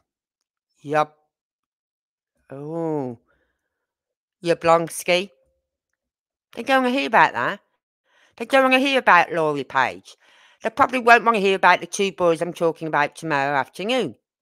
They're both autistic, and I think 12 and 13, or 12 and 11 and 13, or something like that. Both auti- autistic boys gone missing. And I'm, you know what I mean? I will sit here for an hour or more, and I could have no views. Because people don't want to hear that, because there's no drama to it. They want to hear anything where I'm showing videos with Seth or Seth. No, I won't show videos of CP and KP. I won't. I know if I did, I'd probably get more views. But I'm not doing it for clicks. You either watch my videos or you don't watch my videos. Simple as. You know what I mean? I'm not here for that. I'm here to get their names and their pictures out there. So But all right, they will twist this. They'll twist every word he said. That should have never come out of anybody's mouth. And believe you me, here and, and in a lot of places I know, Seth, it's not, it won't be spoken, and we shut it down. That there's nothing to even. That but is there ever- are there are YouTubers out here that promote that stuff. I They got cease and desist because they're nasty and vile things. Well, they they, ha- they have an agenda, right? They're playing up to Christopher Proudfoot. They wanted him on panel because he- they're getting the views from him being there Yep. because he acts like such an ass. That's what I've just said. If I had the video up of Chris, I'd probably get more people watching. You know, we could all act like an ass, and that there is nobody in this world that can't act like one. But what it comes down to is that he's not looking for Sebastian. His family's not looking for Sebastian. That's His own right. mother, Sebastian's own mother, is not looking for Seba- for Sebastian. It's insane. It's craziness. To Seth, get in a was- camper, to get in a Mhm. camper and go three and a half hours away from your house with your child. Well, it's three hours and thirty-seven minutes. Yeah. Thank you. How foolish of me. You're exactly right. That was You know, let's break this down because Lord help us, we may or may not get stuck. Yes, get it correct. It's three hours, 37 minutes. You know what I mean? Don't forget the extra 17 minutes on it. You know what I mean? It's not three hours, 30 minutes. Three hours, 30. Well, it's ex- extra seven minutes. Sorry. It's three hours, 37 minutes. behind a semi on Route 40. Ugh. Yeah. You know, that it, it's stupid. Yeah. It's stupid just It is. because nothing is ever finite. Everything is infinite. There's no, it takes three minutes to do this. That's bullshit. You ask anybody. There's too many holes in their stories. Oh, it's Mhm. just incredible. I know where I was at, and it really upsets me that they haven't cleared me. They have literally pulled over a year of my phone records. They have pulled, they have taken all the electronics. Yeah, I want my son to have his stuff back. I want my son to be found and walk into his room and it Yeah. be set up just like it was when he went missing so that he can start readjusting back to life. That's right. Okay. And if nobody has an autistic child, then they don't know what I'm talking about.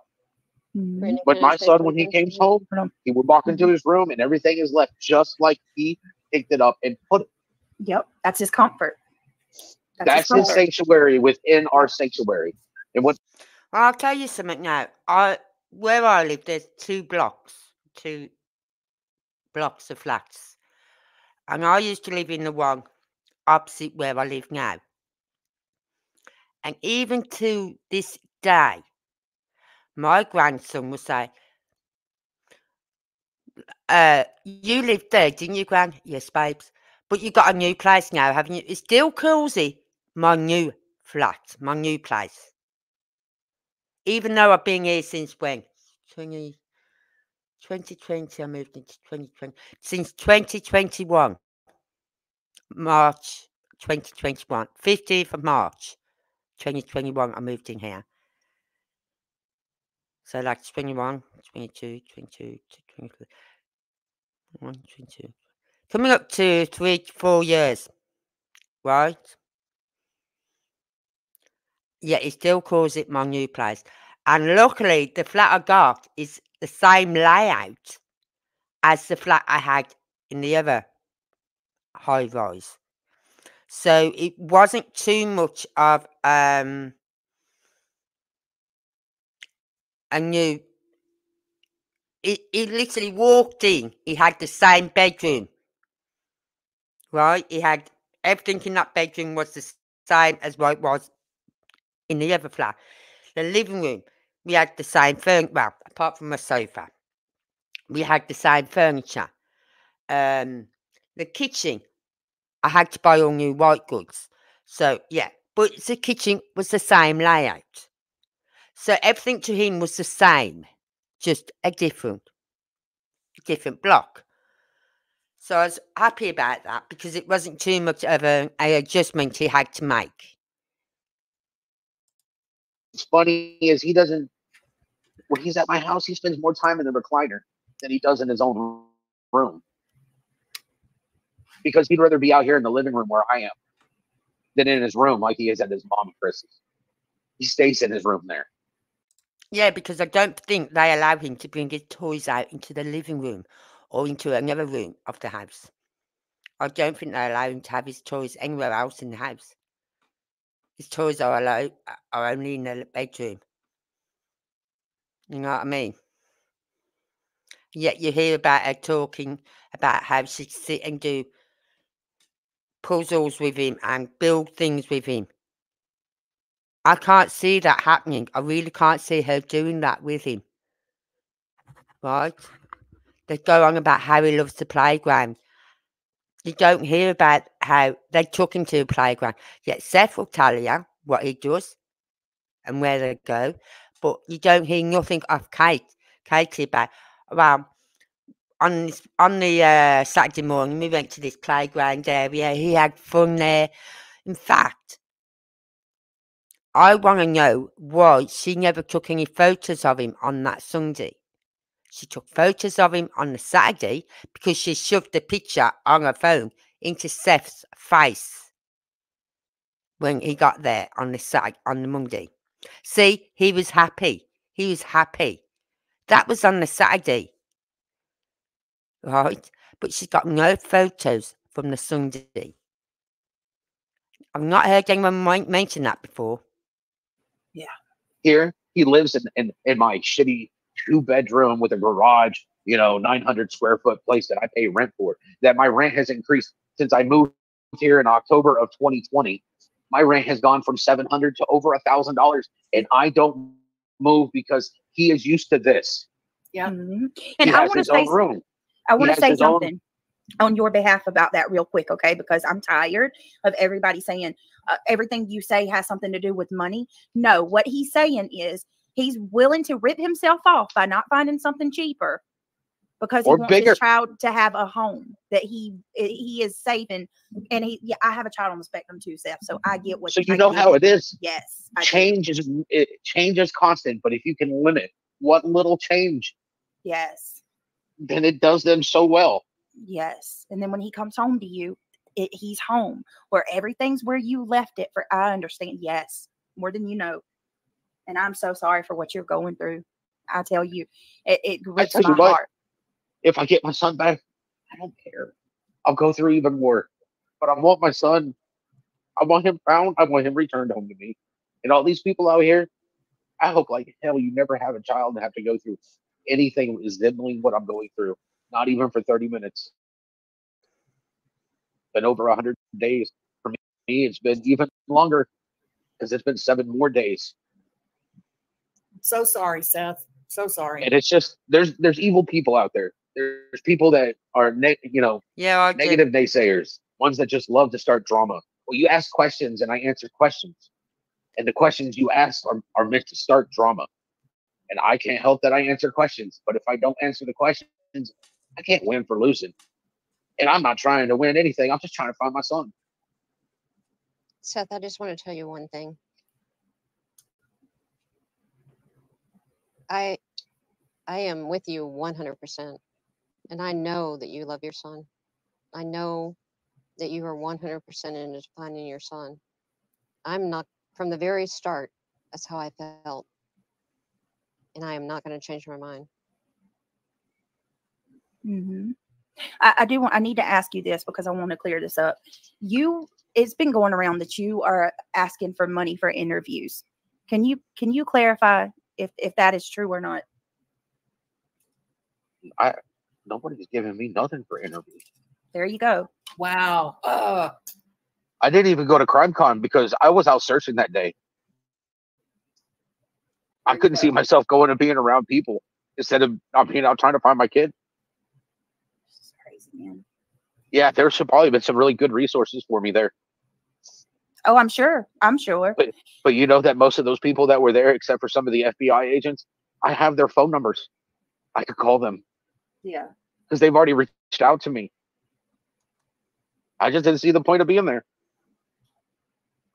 Well, I mean, in all honesty, I'll tell you, you you weren't even there, and people were already losing their mind that you were. So it probably is a good thing that you didn't go. That's it's. I know, I couldn't understand that when I- heard people saying how he'd gone to the crime crime con or whatever it's called. I thought, well, I'm sure if he'd gone there, I there'd be Nancy Grace, she'd have seen him. Um, Vinnie Politan, he'd have seen him. Um, what's his name? Dolly Vision, he'd have seen him. You know what I mean? There's other YouTubers there as well. They'd have seen him. And I swear, you know, if someone had seen him there, they'd have clip, clipped a photo and posted it on a Facebook page somewhere.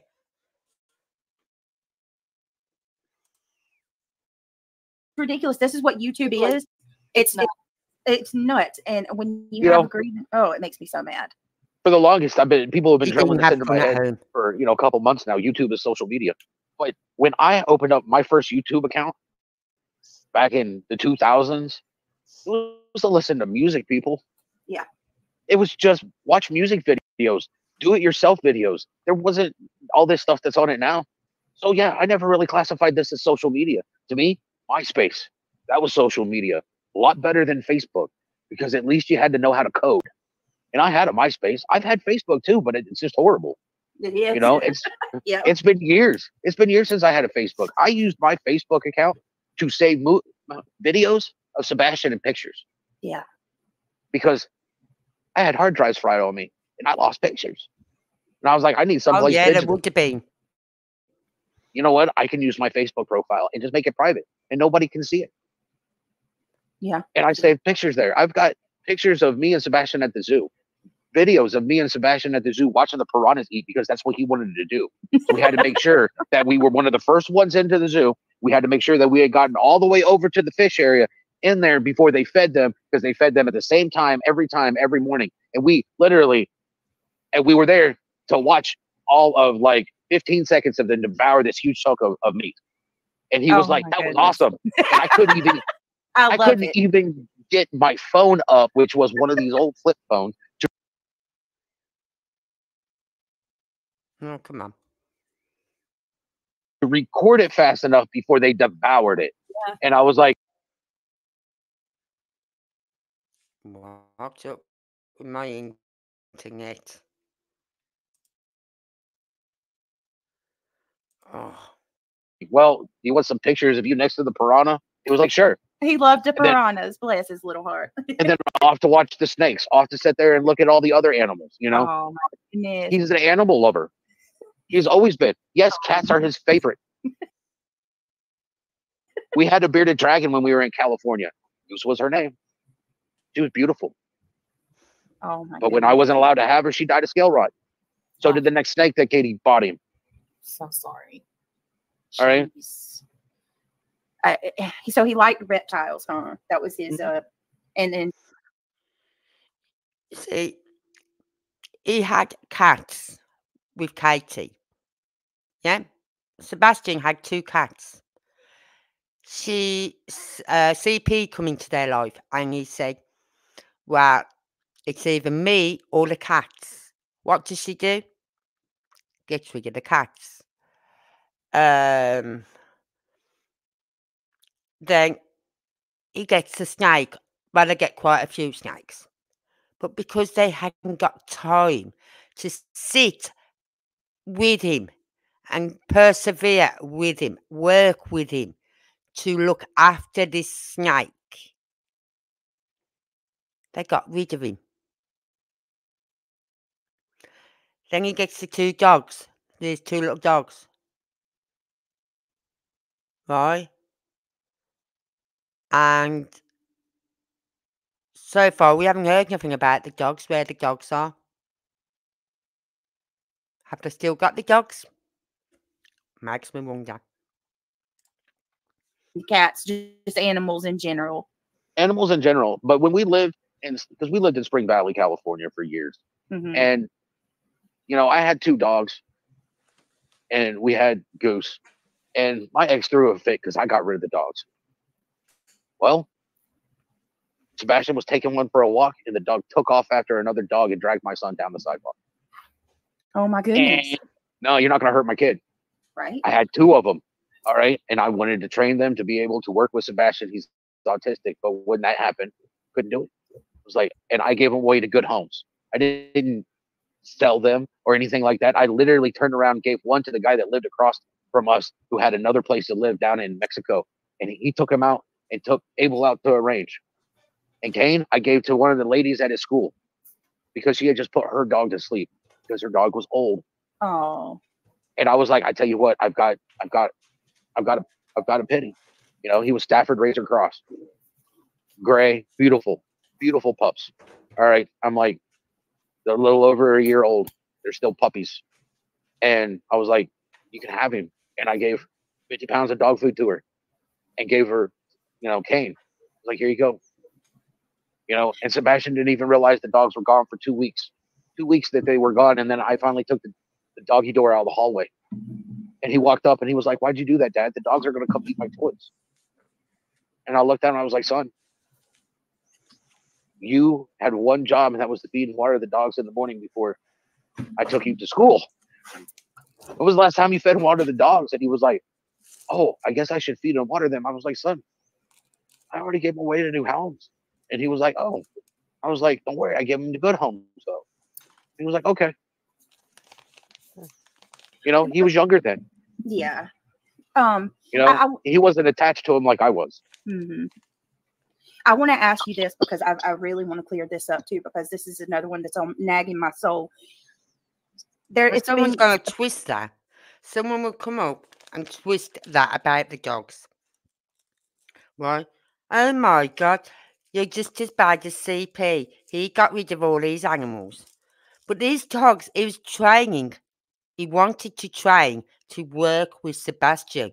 But when those dogs dragged him along the road, he thought, no, I can't have that. And that's why he decided to rehome them.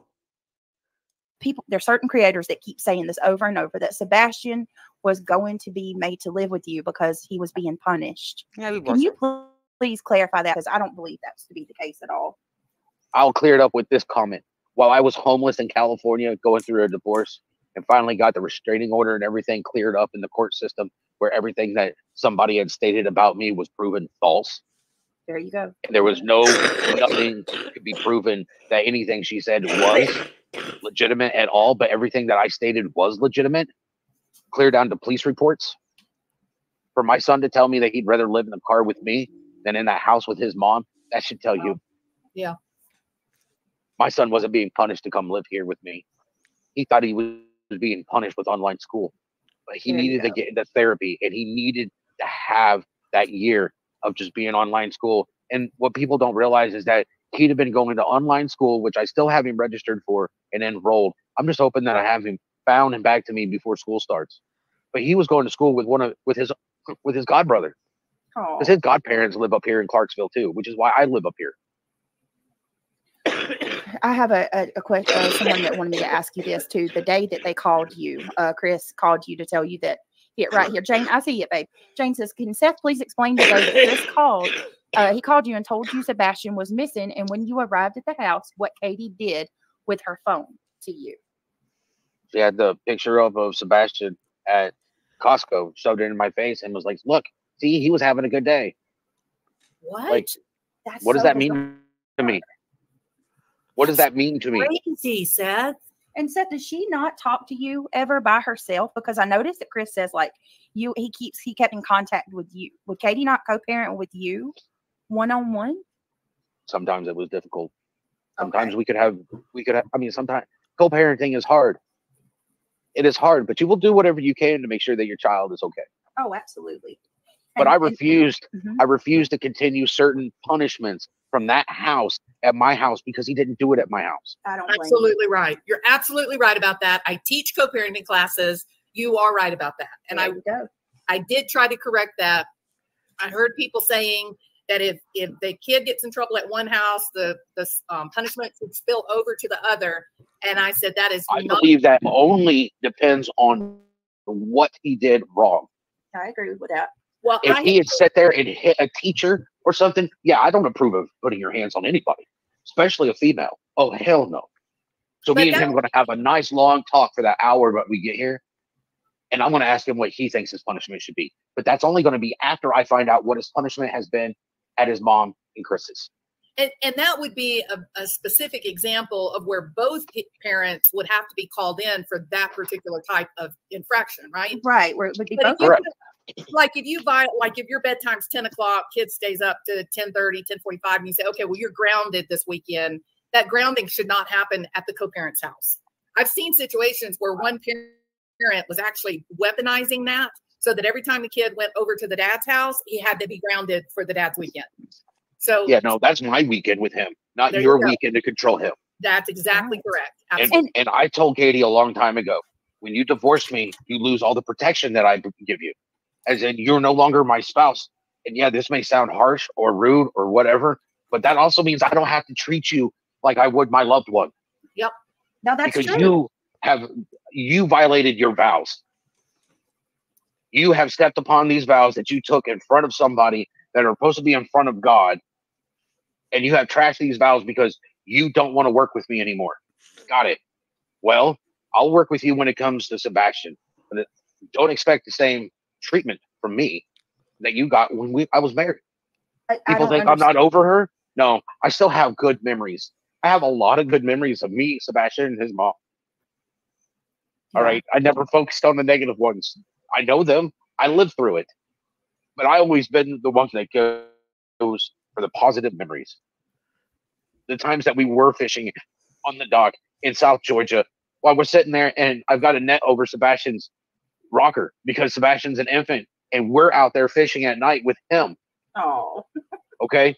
I still remember things that she probably doesn't like to remember. Like I had a pickup truck. I was the only one that was working. I was the only one, we only had one vehicle. And it started raining. And I told her, listen, it's raining outside. We have a kid. You're gonna have to ride in the back. You can't drive a stick shift. If you could drive a stick, I'll ride in the back, but she couldn't drive a standard. Yeah. And it's like I can't take Sebastian home and come back and pick you up. There's nobody at the house. I'm not leaving him. I mean, let's be, you know, common sense here. One of us has to ride in the back. Well, right after that, she got online and she was like, I found us a new truck. All right, that's cool. You know, I still miss my little Toyota. You know, I I remember taking her to the DMV to get her her driver's license for the first time. Oh. Okay.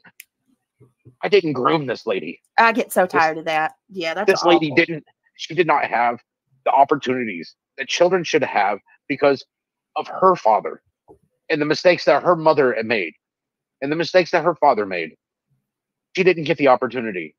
But as her husband i was damned she's going to get these opportunities. I bought i helped her buy her first car. Sprayed my wrist changing the brake pads on her first vehicle.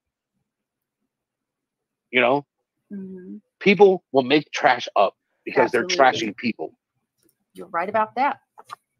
You're right and then they're going to get butthurt when they get a cease and desist because they're talking garbage and they're making me look bad. Which I don't need anybody to help me do that. Thank you. Well, well, I think calling somebody a predator, Yes. that's more than talking shit. That's a crime. They, Yeah. that's a crime. they can't do that, you know. Yeah. So, so when I thought about that, I said, well, maybe that explains the cease and desist letters. I, I wouldn't let anybody say things like you know, that. when there's a YouTubers out there claiming that they made twenty thousand dollars off of my son, Oh my god, Okay, that's gross. that is gross. they got a cease and desist too, because you're nasty. You're using the that fact that my Oh my son's not here and telling people you made twenty thousand dollars. Yeah. That's You're pretty wrong. nasty. I, whoever I, when a, I- who- when a oh my YouTube is that is literally here in Tennessee sits there and asks me about handguns, and I give him my personal opinion of what he should be looking for because of the performance, and he wants to talk about how much money he has, and I said, well, while you're at it, if you're go- making that much, why don't you buy two and give me one? No, the pistol don't cost two thousand dollars; they're twenty five hundred dollars. I've been saving up for four months before my son went missing to get it. Do you think I have that money now? No, I spent that money in doing other things. Right. right. Dude, did I want it? I sure did. That was going to be a birthday present from me to me. Now I just want to find my son. I get it. I don't give a fuck about present. I give a fuck about being able to hold my baby boy. Hold on a minute. Can I? Can I? I want to clarify that right now. Are Are you saying that the person bragged to you about making that money? Yes, Oh my That is- god! That's I can't that's with that. crazy. I'm sorry, y'all. That right there is awful. it's like That is you are horrific. such a piece of shit.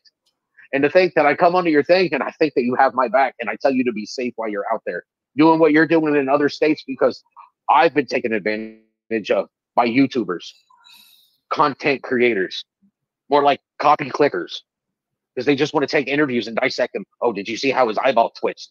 Oh, he keeps his hand up above. I've got nerve damage in my right arm and I can't even make it into an MRI. I've been waiting for over a month, close to two, for an MRI. All right. Yeah. I'm, uh, there's days that I can I'll tell you now, I've got nerve damage because of the operation I had, right? And it wasn't no fault of the hospital, of the surgeon. It's just, it's a possibility that could happen because of how close they was working to the nerves, right? Well, I've got nerve damage in my right, on my right armpit sort of thing, but it goes into my arm. Right? I cannot reach into my cupboard no more because as soon as I reach, the pain in my shoulder and my arm is unbelievable. I have to use a footstool now to get up into my cupboards. I can't lift my kettle with my right arm hand no more, so I have to use a jug to fill it up with water to put in my kettle because I cannot hold my kettle in my right hand, right? Because it's the weight is too much for my hand. I've got no, I've literally got, um, it's like I've got some strength in my arm, right? But not the full strength in my arm no more, right? I get fluid build-up in my wrist and hands through it. And yet people might say, well, you don't look like you, you deserve to be on disability. Um, you don't know what I go through every day. Every day. And now this is forever. This isn't just a, a, a year thing or two month thing or whatever. It's forever. So I feel for Seth. I do.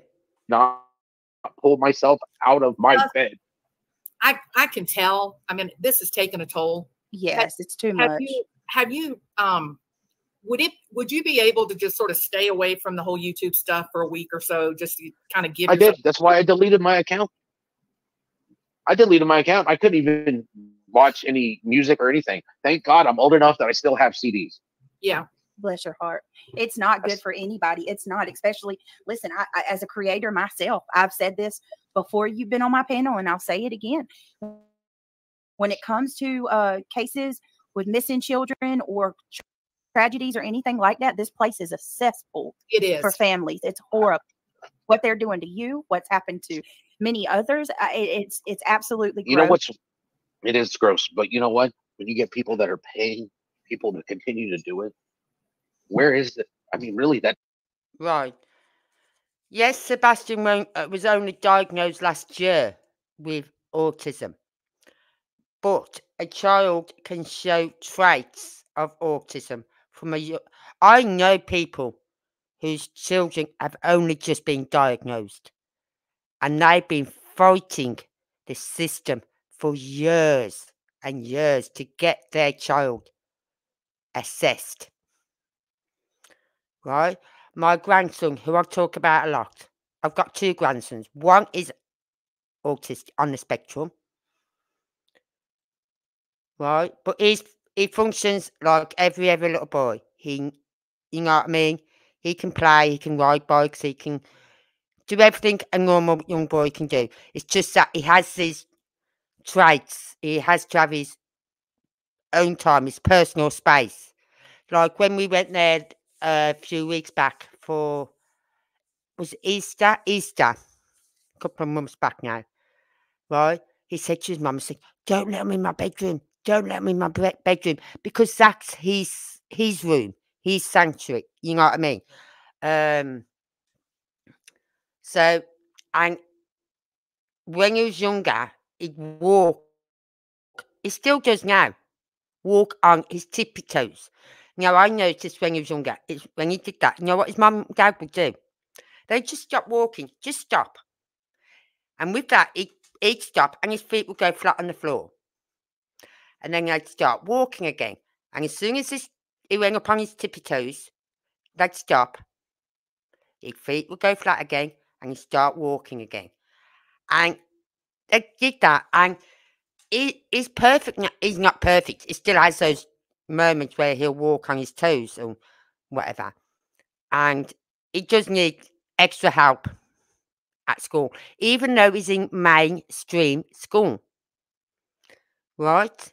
He's in, in a mainstream class, everything. But he'll get that little bit extra help. Where my other grandson, right, he, he shows traits of autism. I've seen him walking on his toes. He's got no spatial awareness. He can spin on a dime. And with that, he, when he was younger, when he was a baby and he's just learning to walk, and he'd spin on a dime sort of thing, and he'd smack into the door frames, constantly smacking into door frames. Right? Um, he's more he's more rambunctious than my other grandson. He's more of he's a big lad. He's only seven, coming up to seven in October. My other grandson just turned seven today. The one I have on the weekends, he comes seven in October. And he's a big lad. He's in size. He's saying to me other night about these pajamas. He said, Oh, they're getting a bit tight on me. I said, I'll do, I'll have to get you some more new ones, but they're still fitting fine, right? It's just that he's got such a big bum, right?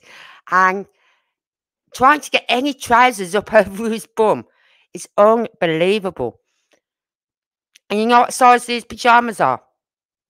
10 to 11 years old. And he's only six. And he's in 10 to 11 right? He doesn't like tags in clothing. He, even a little wallet. I gave him a little wallet oh, a couple of weeks ago for him to put his coins in. And inside were all his little tags. You know, he had me cut every little tag out. As, and he put his fingers, no, I could still feel something, Gran. And I'm going, there's no, and I was really struggling to get to these tags to cut them out. He doesn't like tags on things. Um, what else is there? Hats. it's really hard to get him to wear a hat in the winter. He, you know, um, it's very loud, but he likes. He has. Uh, he has got sensory issues. Yeah, it was, and I said, "This isn't right." He's spinning. He's literally he could spin like that, literally on a dime, as you say. But because he had no spatial awareness, he didn't realise those door frames right next to him. And he'd spin round and bump straight to the door frame. And I'm going, oh my God, he's done it again. Every day he was doing it. I'm going, Ellis, stop doing this. You can't keep doing that. You're going to hurt yourself real bad. And so he gets a lot of help at school. Now his nursery held him back big time. Big time. They kept saying, "Oh, we can, we can help him. We can, we, we can. Uh, we've got what he needs here."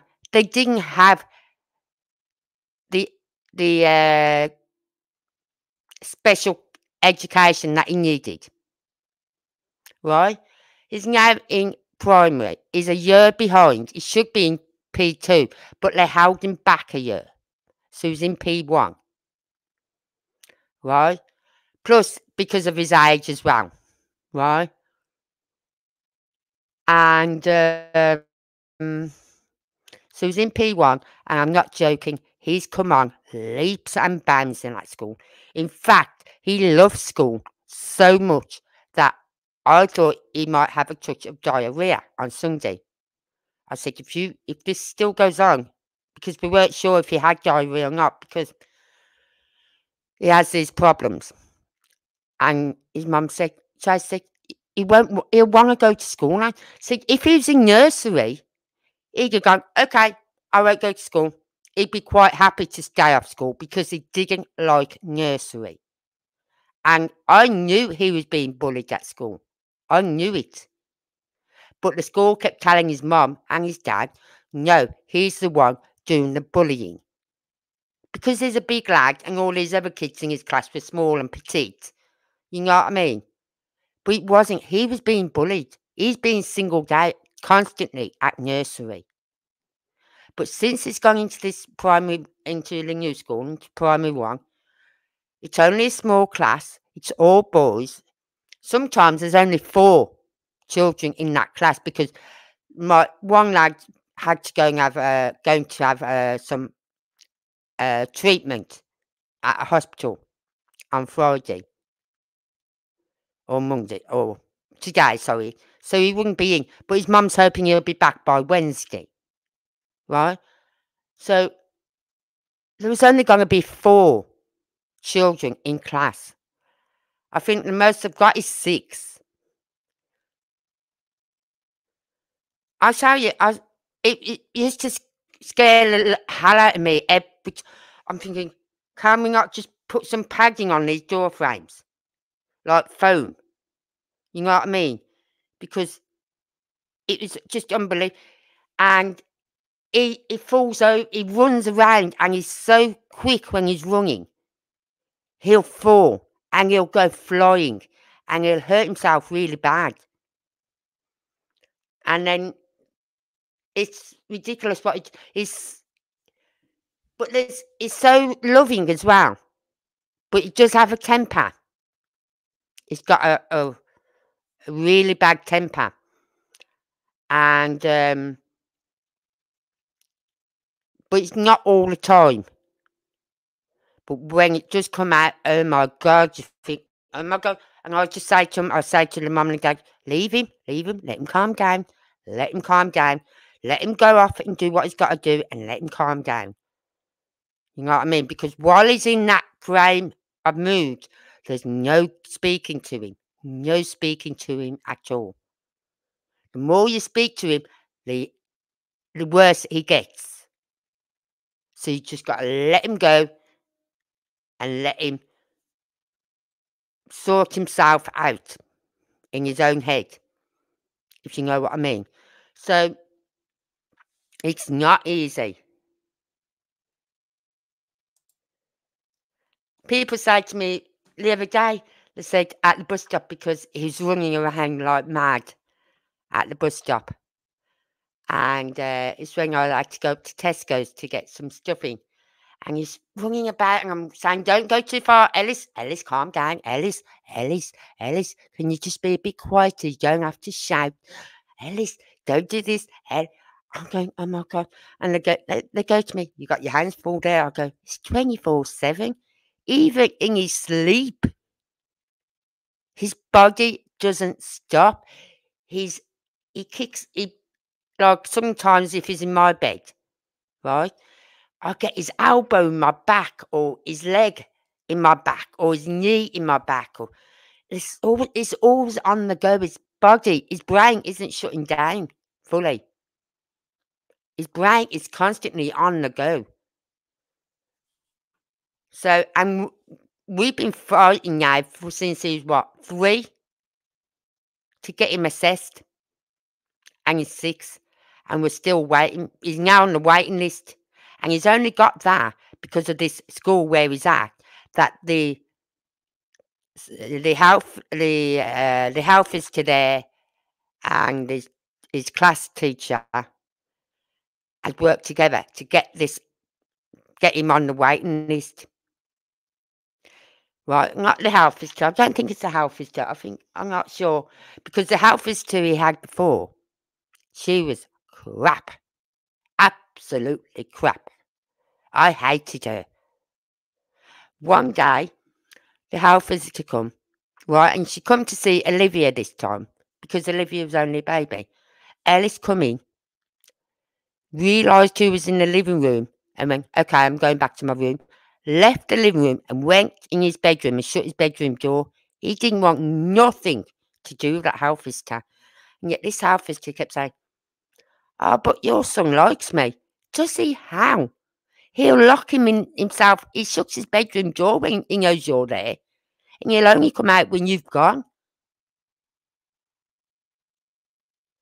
So right up until he went to junior school, he was being held back because no one was listening to his mom or his dad. They just had their own agenda. That he was a bully. He was. He doesn't need this help. He hasn't got this wrong with him. You know what I mean? He's just a bully. He's just spoiled. He's just had everything his own way. No, he hasn't had everything his own way. He isn't spoiled. Well, he's probably spoiled by me. But if he steps out of line, if he's naughty, then I'll speak to him. And I'll say, look, you cannot do this. Like he hits out all the time. Like when he's playing Tig or tag. But when he hits, it's not like a little tap. It really hurts when he does it. I'm going, Ellis, you can't do that.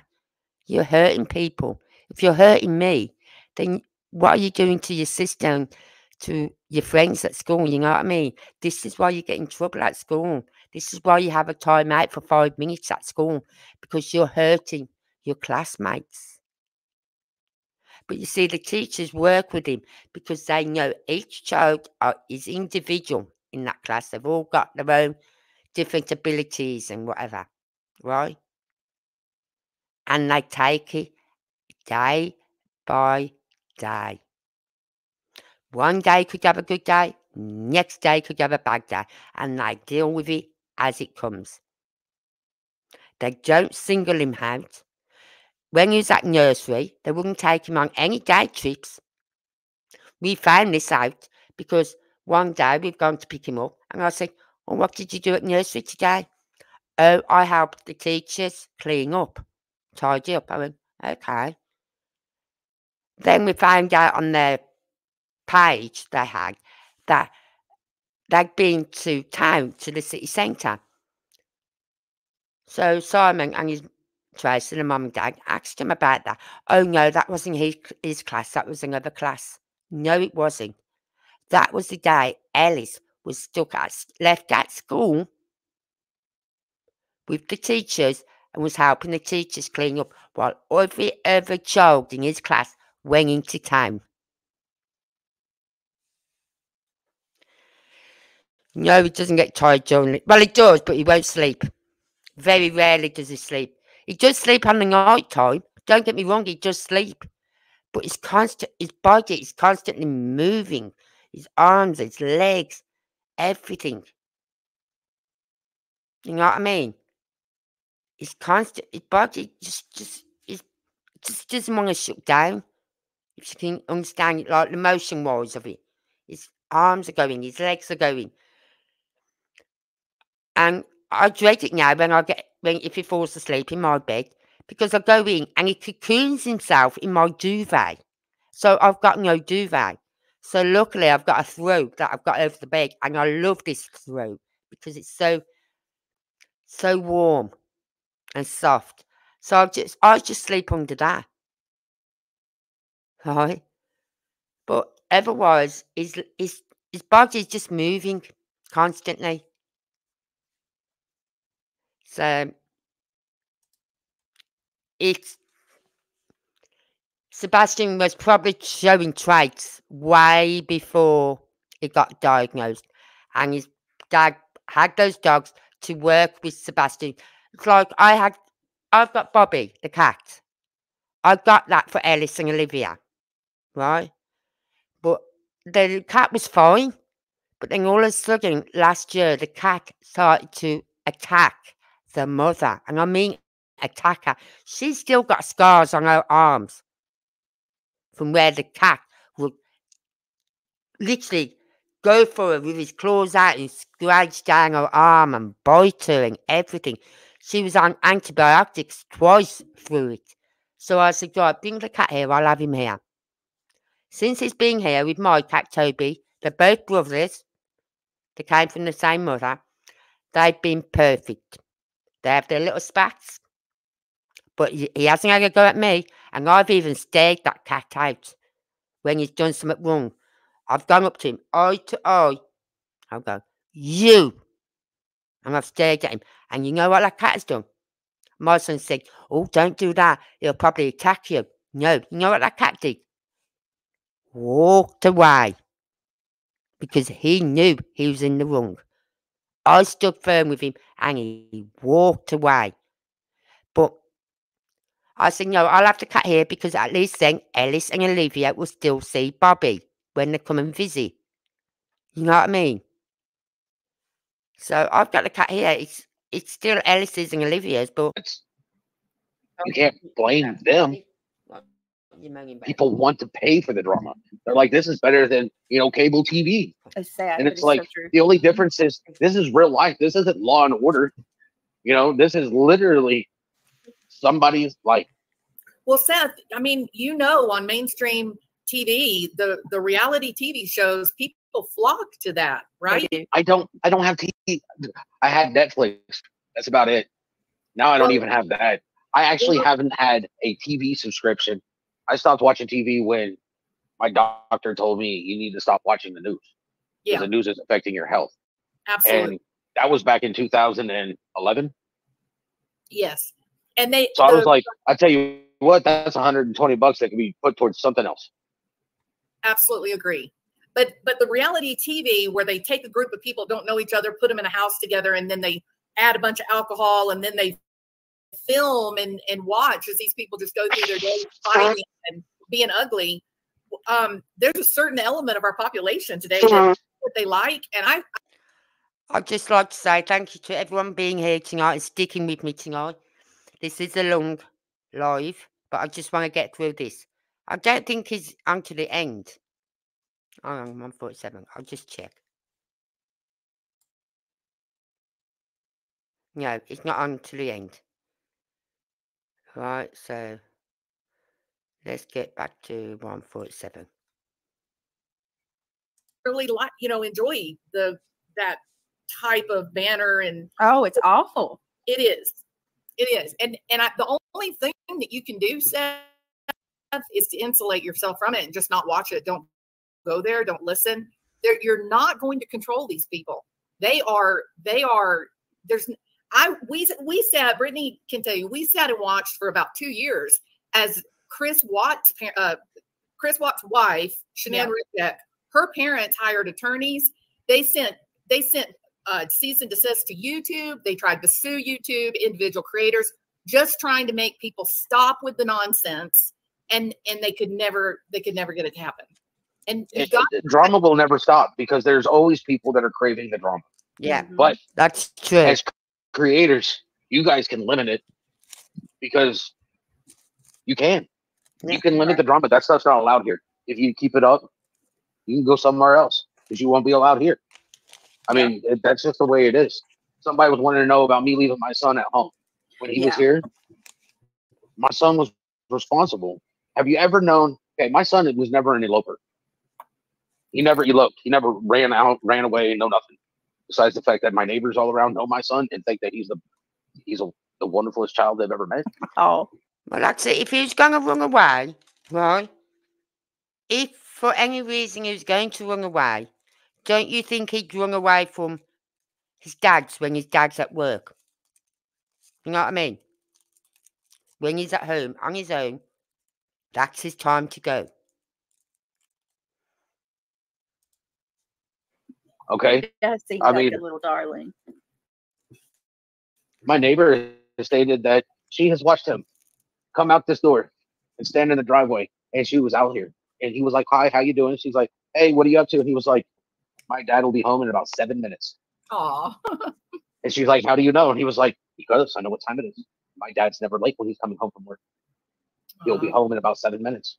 And she's like, Oh, he was like, I come home. He's already got coffee made and everything. And it's like, How'd you know I was coming home early? He was like, I just knew you were coming home, Dad. So sweet. So I sweet. made that promise to him. I'm going to work, son. I'll call you later on tonight. Because I'd call him from the jail. Because I can't have my cell phone in there. All right. So I would call his cell phone from the jail. And I would see how he was doing. He never had a reason to leave. I hate Yeah, this word.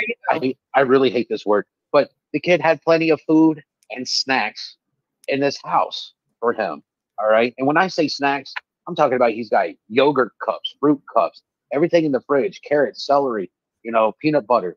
Boy knows how to cook. Does he, you know, hot Oh, snacks. Snacks in my house is a drawer, bottom drawer, full of crisps and biscuits. And a packet of biscuits will be gone in no time with my grandson. And I mean a whole packet. And then he's still hungry. pockets, burritos, you name it in the freezer because he knows how to use the microwave. And then he, w- if I was here, he would cook on the stove because that's what I was teaching him to do. I was teaching him to be independent for himself. Yeah. Wow. You have to let them grow if they're ever going to be able to fly on their own. How uh can I just ask uh, for just for clarification and listen? I don't I'm not judging you at all because I I think you you love your son and there's no doubt in my mind. I don't question it. Uh, but was did you have to work overnight or was it during the day? I worked overnight. Okay, and he did fine. That's good. I mean, listen, I have a child on the spectrum and something I can tell y'all about him. Sebastian was 15. They're perfectionists. Was Sebastian a perfectionist? Did he have to do things the right way and uh, you know, very punctual? I'm just curious. Not really following the question, but Sebastian did what Sebastian knew he needed to do. Right. So usually when it, you know, a lot I, just, I don't want to say that because it's not fair, but in the cases I'll tell you what, I'd come home and his bed ain't made. Did he make his bed like he was supposed to? No. I come home, be like, Sebastian, did you brush your teeth last night before you went to bed? Uh, I'm gonna take that as a no. Go brush your teeth. It's a typical teenager. Yeah, he's a teenager. He's gonna rebel. Welcome to being, you know, a parent of a teenager. Certain things you have to do. Certain things you just look over. Certain things you have to remind them of. All right. it Well, was just that. I I was would- happy. The difference being is with most teenagers, they know they have to brush their teeth before they go to bed, but they just don't. Right? Where with Sebastian, it's like, yeah, he knows he has to do something,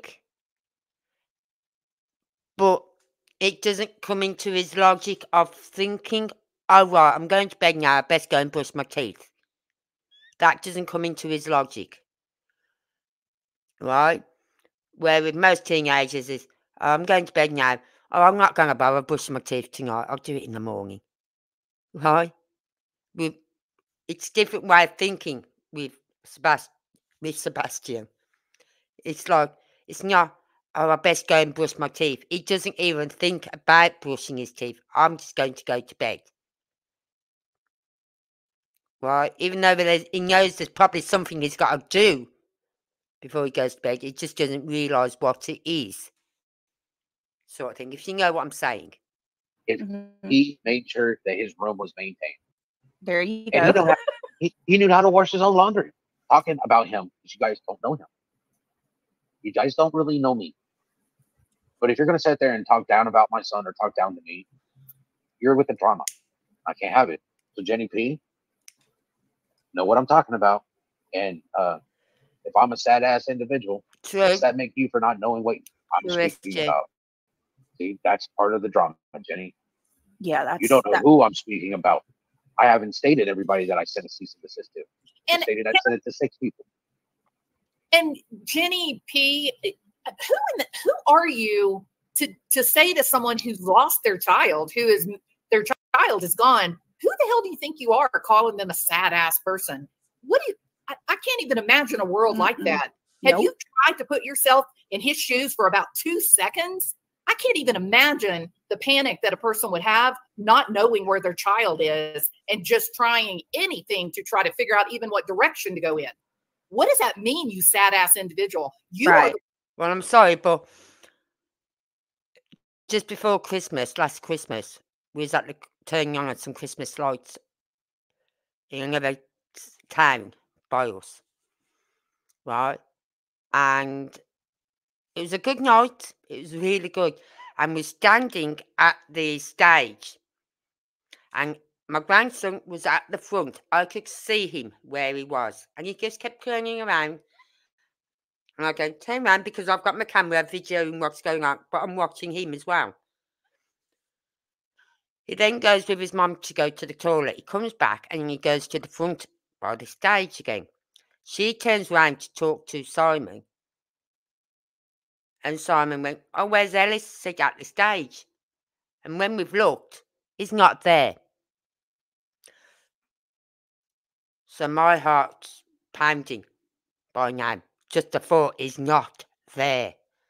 So I said to the mum, You stay Olivia, she's in the pushchair, just stay there. Simon went one way round to that side of the stage, and I went the other. It wasn't a big stage, right? Couldn't find him along the front anywhere. So we come back, met each other, and then split. And I went one way into the crowd, he went the other. We met back up. I said, That's it. I'm pho- I'm gonna let them go on the stage. They can give a call out, and as soon as they give a call out, the police will come forward and start looking. Right?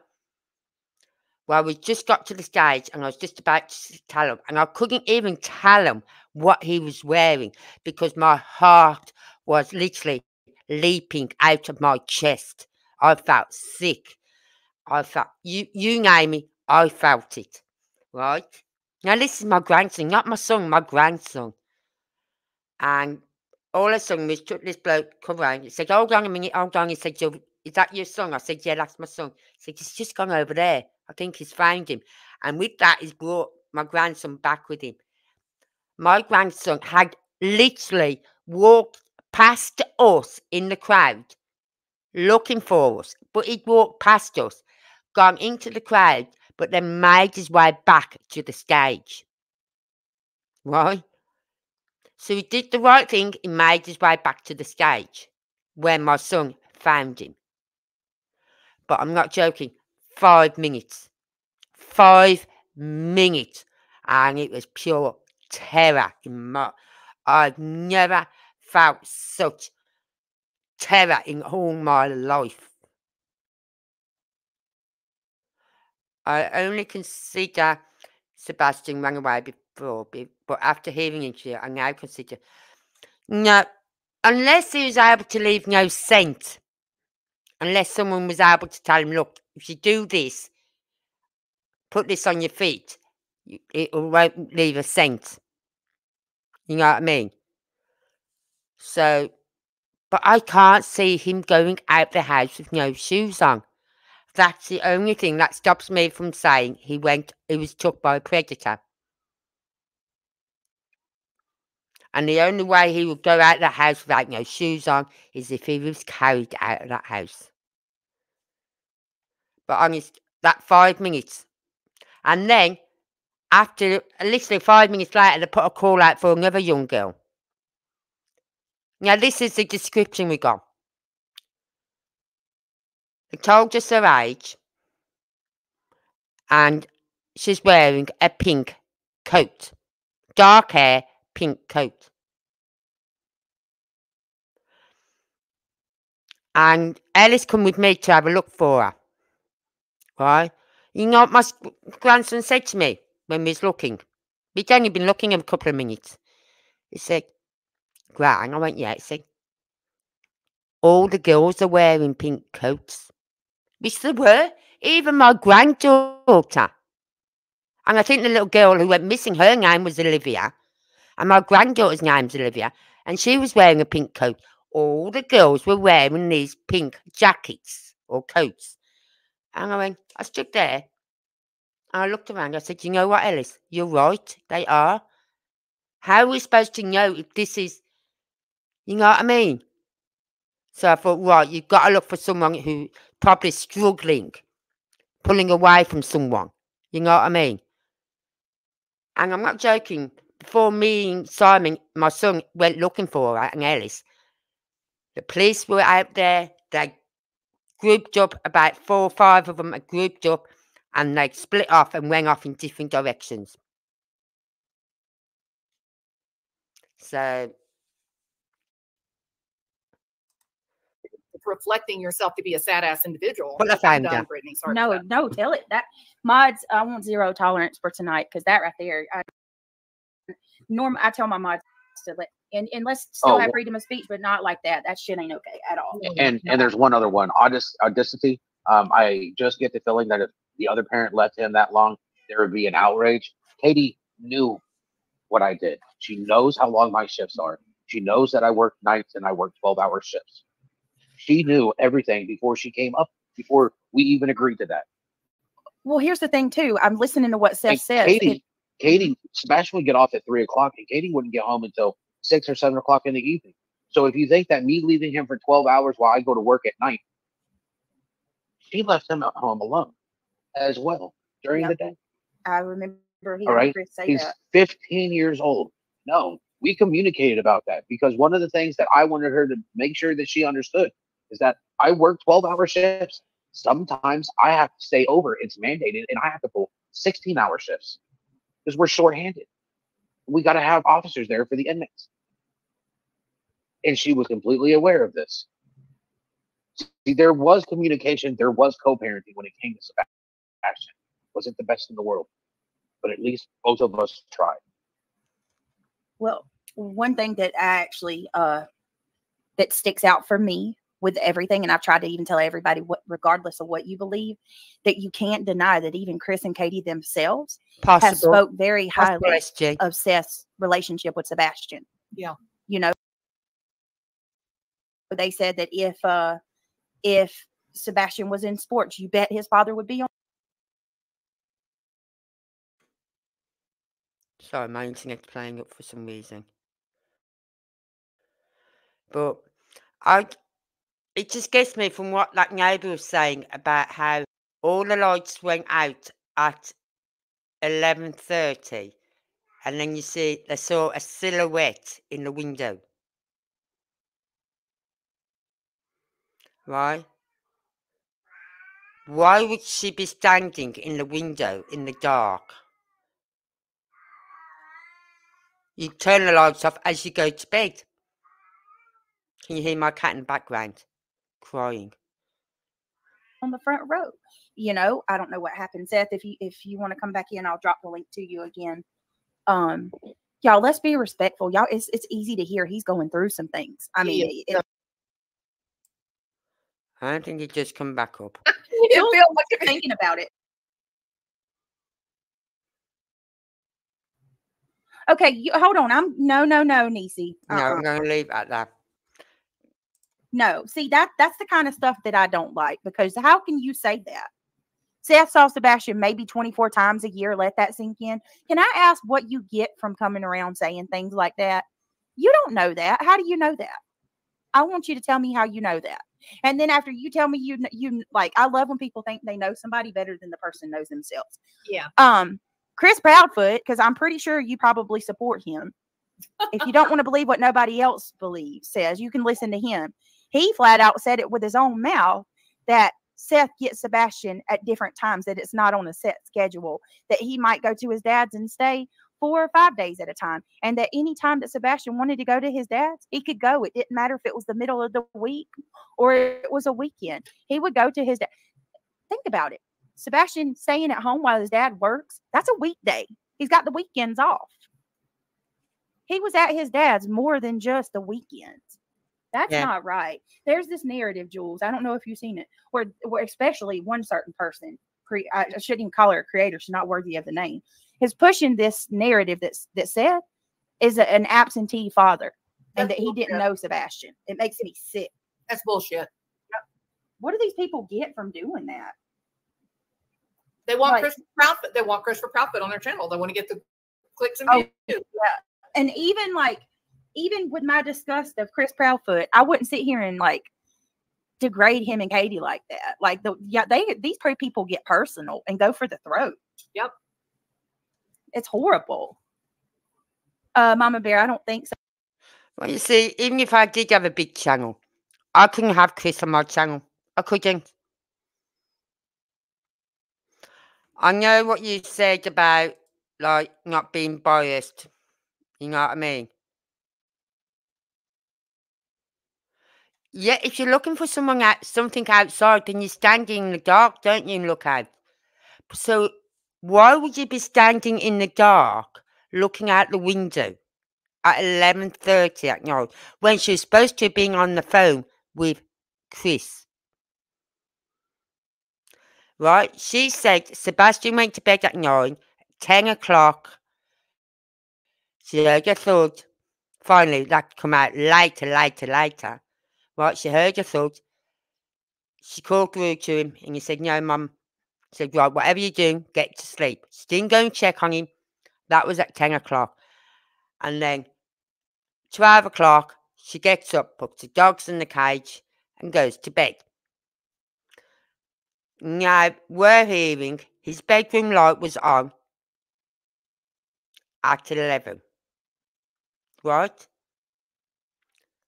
She'd gone into the kitchen to get a drink or whatever. She heard a noise, and that's when she shouted through what did, whatever. Right?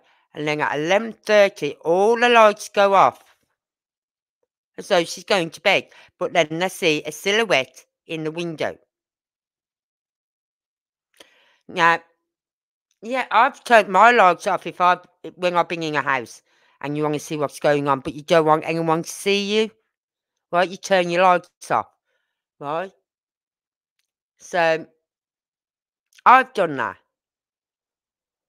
So why would she be doing that? Why would she be standing in front of a window at eleven thirty at night after all the lights have gone off? Hmm.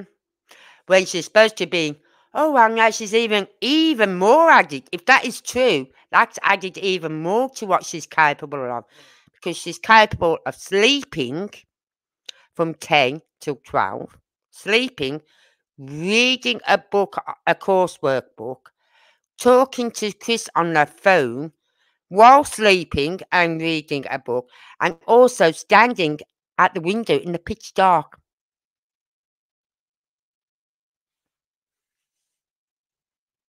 Yeah. That's what I've done. You know what I mean? I've turned off when I was in a house. I've turned off all my lights if I've a noise outside. But I'll tell you something else that really freaked me out. Right? When I lived in Birmingham, we had this house, right? And my husband was working nights. And I get I was going to bed about ten-ish at the time then because I knew I got to get up early in the morning to see to, to my kids. And so I've gone out into the kitchen, opened the back door, let my dog out. Right? Just shut the back door, not locked it, just shut it. Right? Uh, went to the bathroom, sorted myself out, come back, stood at my back door, and I was calling the dog. Now, I, I hadn't got a big back, a big back garden. I hadn't. But it was big enough for what we needed. And I was calling my dog, and I was going, come on. I couldn't see nothing. I couldn't see where the dog was. Then all of a sudden, I seen my dog walking out, backing away from the because we had a shed to the where the kitchen door was. It was on the left hand side. The shed was on the left hand side of the kitchen door, and all of a sudden, I've just seen my dog backing away. Like you know when you say to a dog, "Shush, shush, go, go," and the dog backs off. Yeah, something like that. He was backing away from the shed door. I thought nothing of it. Dog come in. I've locked the door up, turned my lights off, gone to bed. Got up the next morning, and I've gone in the kitchen and I stood at my sink and I went, and my husband had not long come in from work. And I went, Babe, have you been out in the back garden at all this morning since you come home? He went, No. I said, So you not been to the shed? He went, No. I said, Well, the shed door's all open. Now, I know we used to padlock that shed. Padlock it because we had bikes in there, you name it, it was padlocked. Right? We've gone out and there's an old trolley. You know them trolleys, shopping trolleys you had? There's one of them that was in my shed. That was by the shed door. I went, oh my God. So someone broke into the shed. Luckily, the insurance we had, our contents insurance, covered our shed, believe it or not. It covered our shed contents. But nothing got took. Because I think when my dog went out, it disturbed them. Right? So like so I so like say, shh, go away, go away. Now it must have been something someone he knew, because if it was someone he didn't know, he would have barked. He didn't bark. So straight away, when I realised my shed had been broken into, I knew it was someone who knew us, the family, the dog, right? But luckily nothing had been stolen. Right? The bikes were still there, everything. And I think what they was planning on doing was using the trolley to put little things in there. I don't know. Anything they could get in that trolley. But because the dog come, they had to go. Right? They just left it. And that freaked me out. Every night then when I put the dog out, I'd be going, we need to get lights out here, Vince. Why? because of what happened like with the shed, he went, okay. So we did get lights put out in the garden, right? Uh, but not like security lights. It's like um lights. Oh God, how do explain them? Um, there was lights, but not like security. Like gave out big. They didn't go off automatically. They only went off if we hit the switch or something like that right? And um, so every night, then when I put the dog out, I'd hit the switch on, so the light would come up in the garden. But it used to terrify me. Right. What you say? Many reasons. What if she was on phone and just paused for some reason? I've walked around house and stopped in a spot while on phone. So, but don't forget she's also sleeping and reading a book, some coursework book. She's sleeping and reading a book as well. we don't know what is true. Well, the one thing we do know is true the phone call, because that's being checked by the police. Right? I've never stood outside my house to see if any silhouettes will show in my window with lights off. She may have never checked outside the house to see what can be seen from exactly. You don't think about it, do you? Even when I had my lights turned up, I'd be hiding up the corner of my window, sort of thing, So they couldn't. So I wouldn't be standing right in front of the window. I'd be what we call in England, the UK, a curtain twitcher. You just pull your curtains back a little bit to see what's going on, right? But without the lights on. We call them curtain twitchers. Anyway, so um, but no, it, it scared me. That did.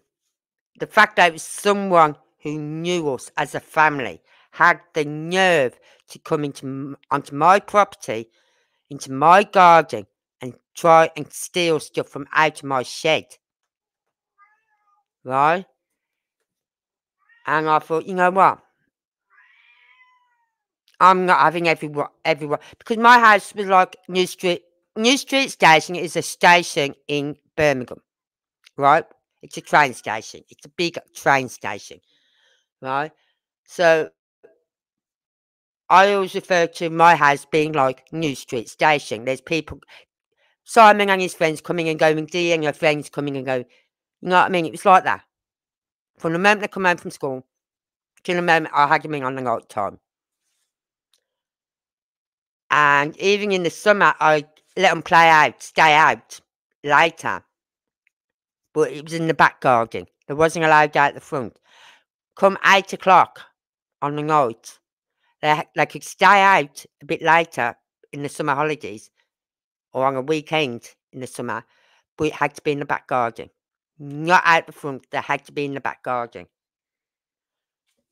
So it just upset me that someone we know who knew the dog had come into our onto our property to try and steal stuff off us. But they didn't get away with anything because they got disturbed. But why did they come running out at me, you know what I mean, from beyond that shed? Because the door was hidden. You couldn't see the front of the shed unless the door was swung open. And that's why I knew the shed was open because the shed door was swung open in the morning. But you couldn't see the front of my shed from the kitchen door. You could see the side of the shed, you could see the back of the shed, but you couldn't see the front. And it just scared the life out of me, thinking, what if they come running out at me? What if they had a knife on them coming running out at me? I've got two kids upstairs, you know what I mean? And a dog that obviously isn't going to go for them because he knows them, because he's not barked. He only barked at strangers. So it's just scary. So, but that silhouette, if it's true what is being said that she, if what she said in that first interview is true that she was asleep, know, don't forget she even told a neighbour that she was sleeping, and she woke up at half eleven or eleven or something like that, and Sebastian was still awake.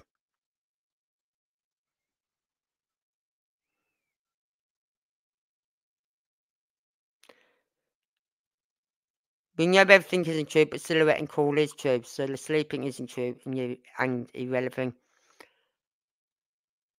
Yeah, we know. I don't think she was sleeping.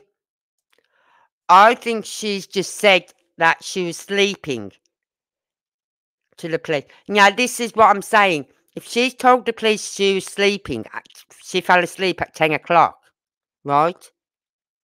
Yeah. And then they've seen that interview. No, and then they've got their phone records, sorry, and saying, hold on, three hour phone call from 9 till 9.30 or whatever, two and a half hour phone call from 9.30 till 12. Hold on.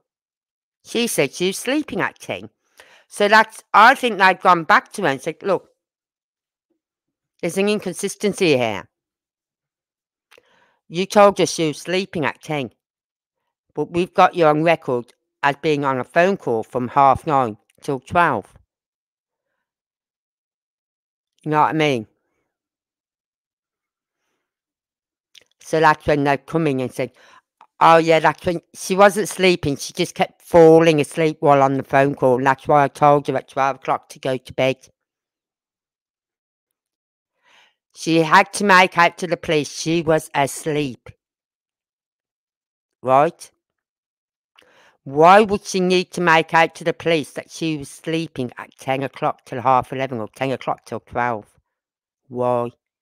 And why does she have to make out, make it very clear that she went to bed at 12 o'clock and she, and yet I fell asleep? You know what I mean? Of course I fell asleep. She had to make it very clear that she went to bed at 12 o'clock. Why? You know what I mean? So because of that sleep thing fell through at 10 o'clock, that's when she's thinking, hold on, I, they need proof of life. I'll just tell them I heard a thud. And that is, I shouted out to him and he spoke back to me. That's pro- proof of life. You know what I mean? I think he did come back to the house with them. right? Whether he put the trash out is another thing. Possibly, we don't know because it's just a, a silhouette. It's just, it's just so dark you can't tell who it is, right? So I think he did come home because if if they something had happened in the car, say on the way home from the Texas Roadhouse, or they they met up with someone and they they passed him out onto someone else. Why would they take his shoes off?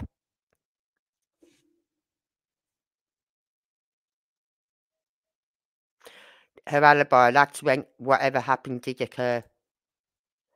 Yeah. So her alibi is from what? Half nine till 12. And then at 12 o'clock, she's in bed till six. That's her alibi. Her alibi is that three hour phone call. And then she went to bed at 12. And of course, I went to sleep. Well, I should hope so if she went to bed. Well, but saying that, I can go to bed and I don't always go to sleep. So, anyway, I'm going to leave it at that because this is going on for way too long. Way too long. Four hours. Oh my lord. I need to get off here and go to bed. Right. As I said, I'm back tomorrow. I'm doing a live in the afternoon about. Oh, who is it? I can't think of the names. I did write it down, but you I won't be able to find it now so much is going on since I said that. Ugh. Mm.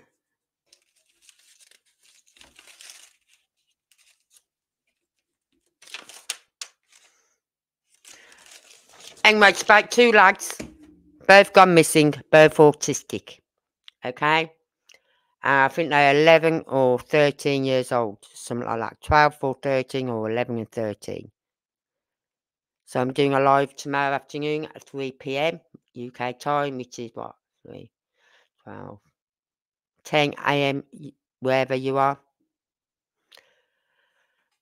Uh, I don't know if I'm doing a live tomorrow night. I might not. I might. I don't know yet. See what happens. Um. I don't know. Uh, Tuesday night, Tuesday night. No, I don't think I'll be doing live. If I will, you'll know because you'll get a notification. Plus, I'll I'll set it up in the morning if I'm doing a live. Anyway, so I'd just like to say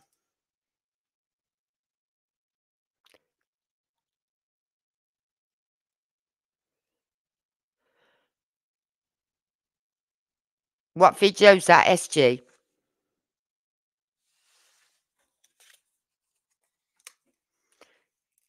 The video of the neighbours. I don't know. They've got all the special technical stuff, haven't they, to work to clean up videos and whatever. But if it's pitch black, I don't see how they can clean it up much more. You know what I mean? I really don't. But we really need to know proof of life. And that's why I said that thud didn't happen. Right? I don't believe that thud. I don't. Because I don't believe a mother could be so heartless, knowing her son has got that fluid on his brain or wherever, and if he hits that, could kill him. Hearing a thud and thinking he's fell out of bed. Well, I'm sorry, but if I've got a child with that condition, yeah. If I've got a child with that condition, I would be up straight away. In that, you okay? Did you just bump your head? You know what I mean? My grandson, when he sleeps in my bed, he didn't do it this weekend. Didn't fall out. But nine times out of ten, he'll fall out of my bed, and my bed's quite high. Right? And I, I go, oh my, and I feel him going. I feel him falling out of the bed. That's how light a sleeper I am. Because I actually feel him going out, but I can't grab him quick enough to stop him from falling. But I feel it. Right? And I go, You okay? I'm okay. I'm fine. I'm okay. And he jumps back up, gets into bed. And goes, I said, but before he gets asleep, I say, Did you hit your head? No. Did you hurt your arm? Or your leg? Or your side? Well, I hurt my arm. Or I hurt my leg. Okay. Do you want me to rub it? No, it's okay. You know what I mean? I can't believe she did anything intentionally, no. I can't believe that. That's why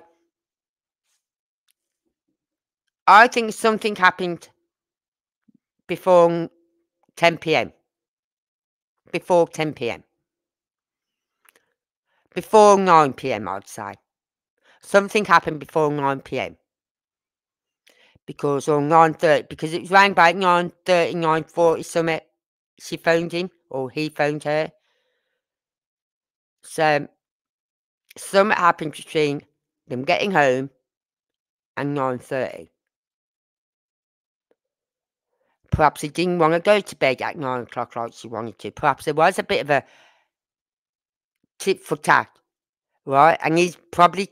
You heard him say, Seth say, he went for him once and he put his hand out to stop him because he fell over a toy, tripped over some toy, and he was going towards the door and he put his hand in the way stop him from hitting his head on the door.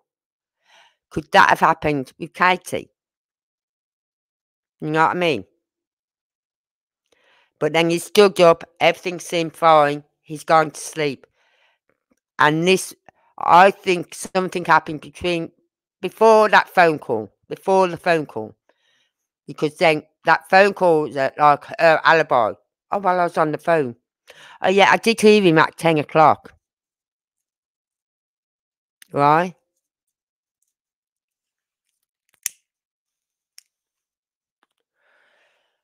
But um, I'd like to see the phone records to know if it was a regular occurrence. This three hour phone call. Just a bit of coincidence, it's three hours, 37 minutes from door to door to where he works, from home to where he works. Or stays, I should say. Where he stays. So Hang on, like timing out, you could probably get home a bit quicker than three hours. Right? Probably push the speed limit a little bit more. But I do believe that neighbour on the corner with the camera. Saying there's two instances. One with the lights and a car on the corner. Right? And then the garbage truck come and then Katie leaves, then the school bus goes up the road. Yeah. So I do believe that neighbour. I don't think we're seeing the whole video at all. I don't think where we just I know that video they put out wasn't the whole video. I wouldn't even say it's the corner of that video. I'd say it was like the middle of that video where the lights was. Because the corner would be the corner of her camera, her screen, would be where the road ends. Being as she caught a car sitting there. Now, why would a car be sitting there at half three, four o'clock ish, or four, four thirty ish? It wasn't an Uber.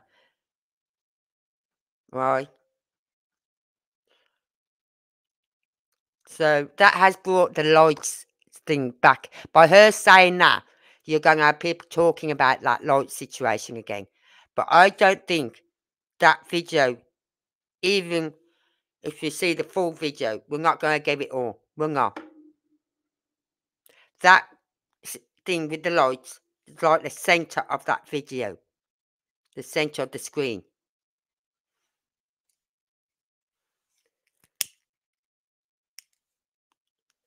But we can talk about that another night. But I, I'm not going to trash uh, on here. Because he's the only one out of the three parents that has been out there looking. Right? Even when, like, the first day he didn't probably go out looking. Right? Because he's wanting to know what was happening, what had happened, what was being said.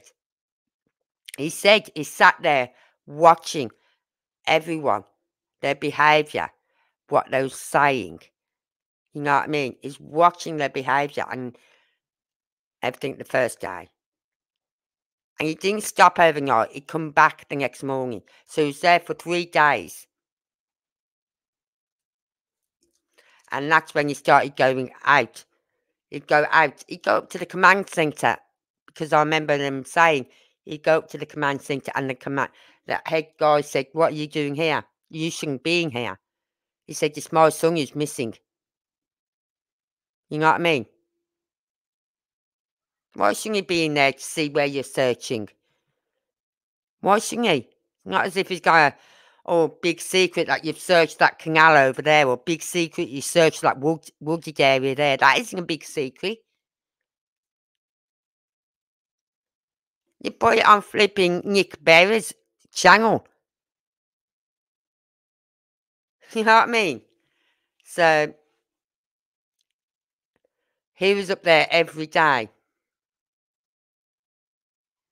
So that's where he was going the Monday and the Tuesday. And then he said he was getting in his car and driving around shouting Sebastian's name because he couldn't get out and search.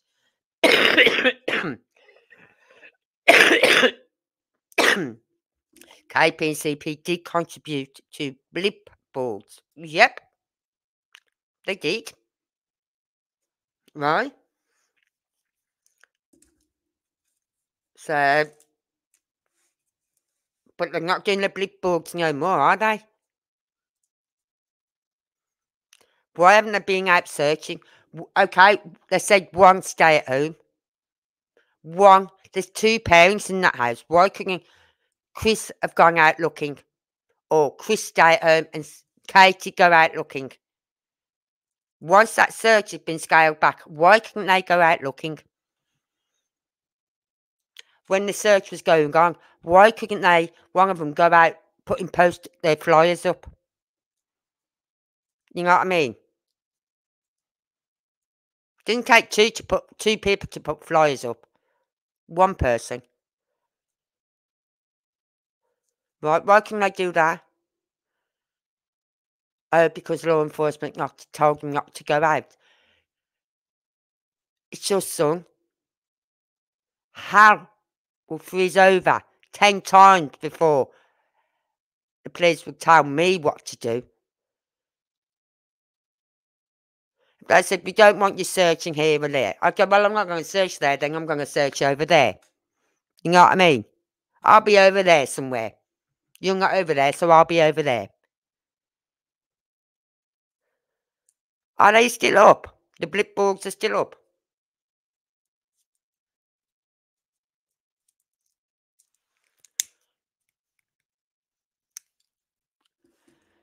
Because uh, Duchess was doing that, wasn't she? She was sorting all that out. So, um, but I couldn't have I couldn't have Chris on if I had a big pack if I had a one of the largest channels going, I couldn't have that guy on my show. I couldn't. I could have Katie up here. Because I do feel for her. Because at the end of the day, he's her son. And I, I don't want to think that she could hurt her son. I really don't. But she's holding back on something. And why? Why is she holding back? If there was an accident, why didn't she just say so at the beginning? Yeah, he don't want. Right? She was staying at that caravan park, right? The first time they left, yeah? She went down there because they did the Nancy Grace interview down there. And Nancy Grace said, Will you be going home? She said, I will be, but I don't know when. Right? Well, it just so happened, like, literally about two days later, she came home. What happened when she come home? TBI called her and Seth into the office, into the headquarters. And that's when Seth saw the video of Katie walking out the state road, Texas Roadhouse with Sebastian. Right? And then all of a sudden, whoop, Katie's back down to the caravan park.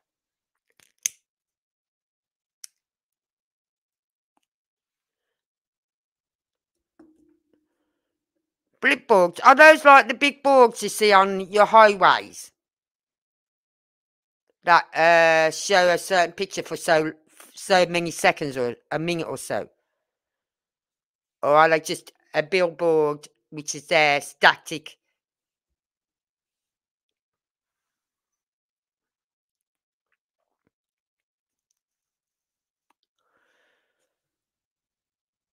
Well, I've been going over the interviews and I can't take no more of his voice. I couldn't. I had to. I didn't do. I didn't listen to Young yesterday, and I haven't listened to Young today. I couldn't listen to his voice because literally from last week, the beginning of last week, the week, the weekend before, and that all last week, I've been going through their interviews and I've been typing it up what they've been saying, and so that I can see who said what and everything. You know what I mean? I've got the names where, like, Katie said blah, Chris said, you know what I mean? And it got this. I thought, no, I can't do it no more. I can't do it. I managed to get through two videos, two lives. I'm on my third one, which was Smiley's one. But I know there's another Duchess one. Duchess is going too with them. And there's the um there's another one before Smiley, I believe. Right. I've got Chronicles of Olivia and Duchess one. The first one with Duchess and the one with Chronicles of Olivia. But that's good then. I'm glad they're still up. I'm glad they're still up. So And I can believe what the woman said about people saying, so why don't you have one of them billboards, them little board things in your garden to let people know? We don't need to know. They live there. They know what happened. You know what I mean? It's only strangers that are coming into the area to be nosy. That don't know what what's actually happened. So why do they need to have them bugs up in their gardens? They don't. They could probably have one by the entrance of that, where they live of that main road, like on the main road part. Probably put one there, but they don't need one in all the gardens. You know what I mean? They need to keep the flies being put up though so, because people are saying the flyers are disappearing again. Flyers are disappearing again. So, I'm glad about that though, about the blips.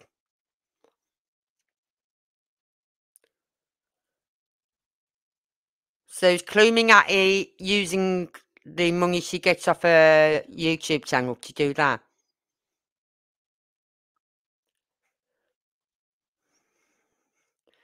Because she must be getting some money in as well from doing her channels with having Chris up there and everything. So, anyway, I've now been on here nearly five hours. I'm tired and I need to get my medication and go to bed. So, with that, thank you everyone for being here. Please like the video, share it. If you're on Twitter, leave me a heart, show me some love. Leave me a comment. I haven't been on there for a few days, but I will be getting onto Twitter tomorrow to check all that out. So leave me a comment. I do reply to all comments. I really do. so until then, good night.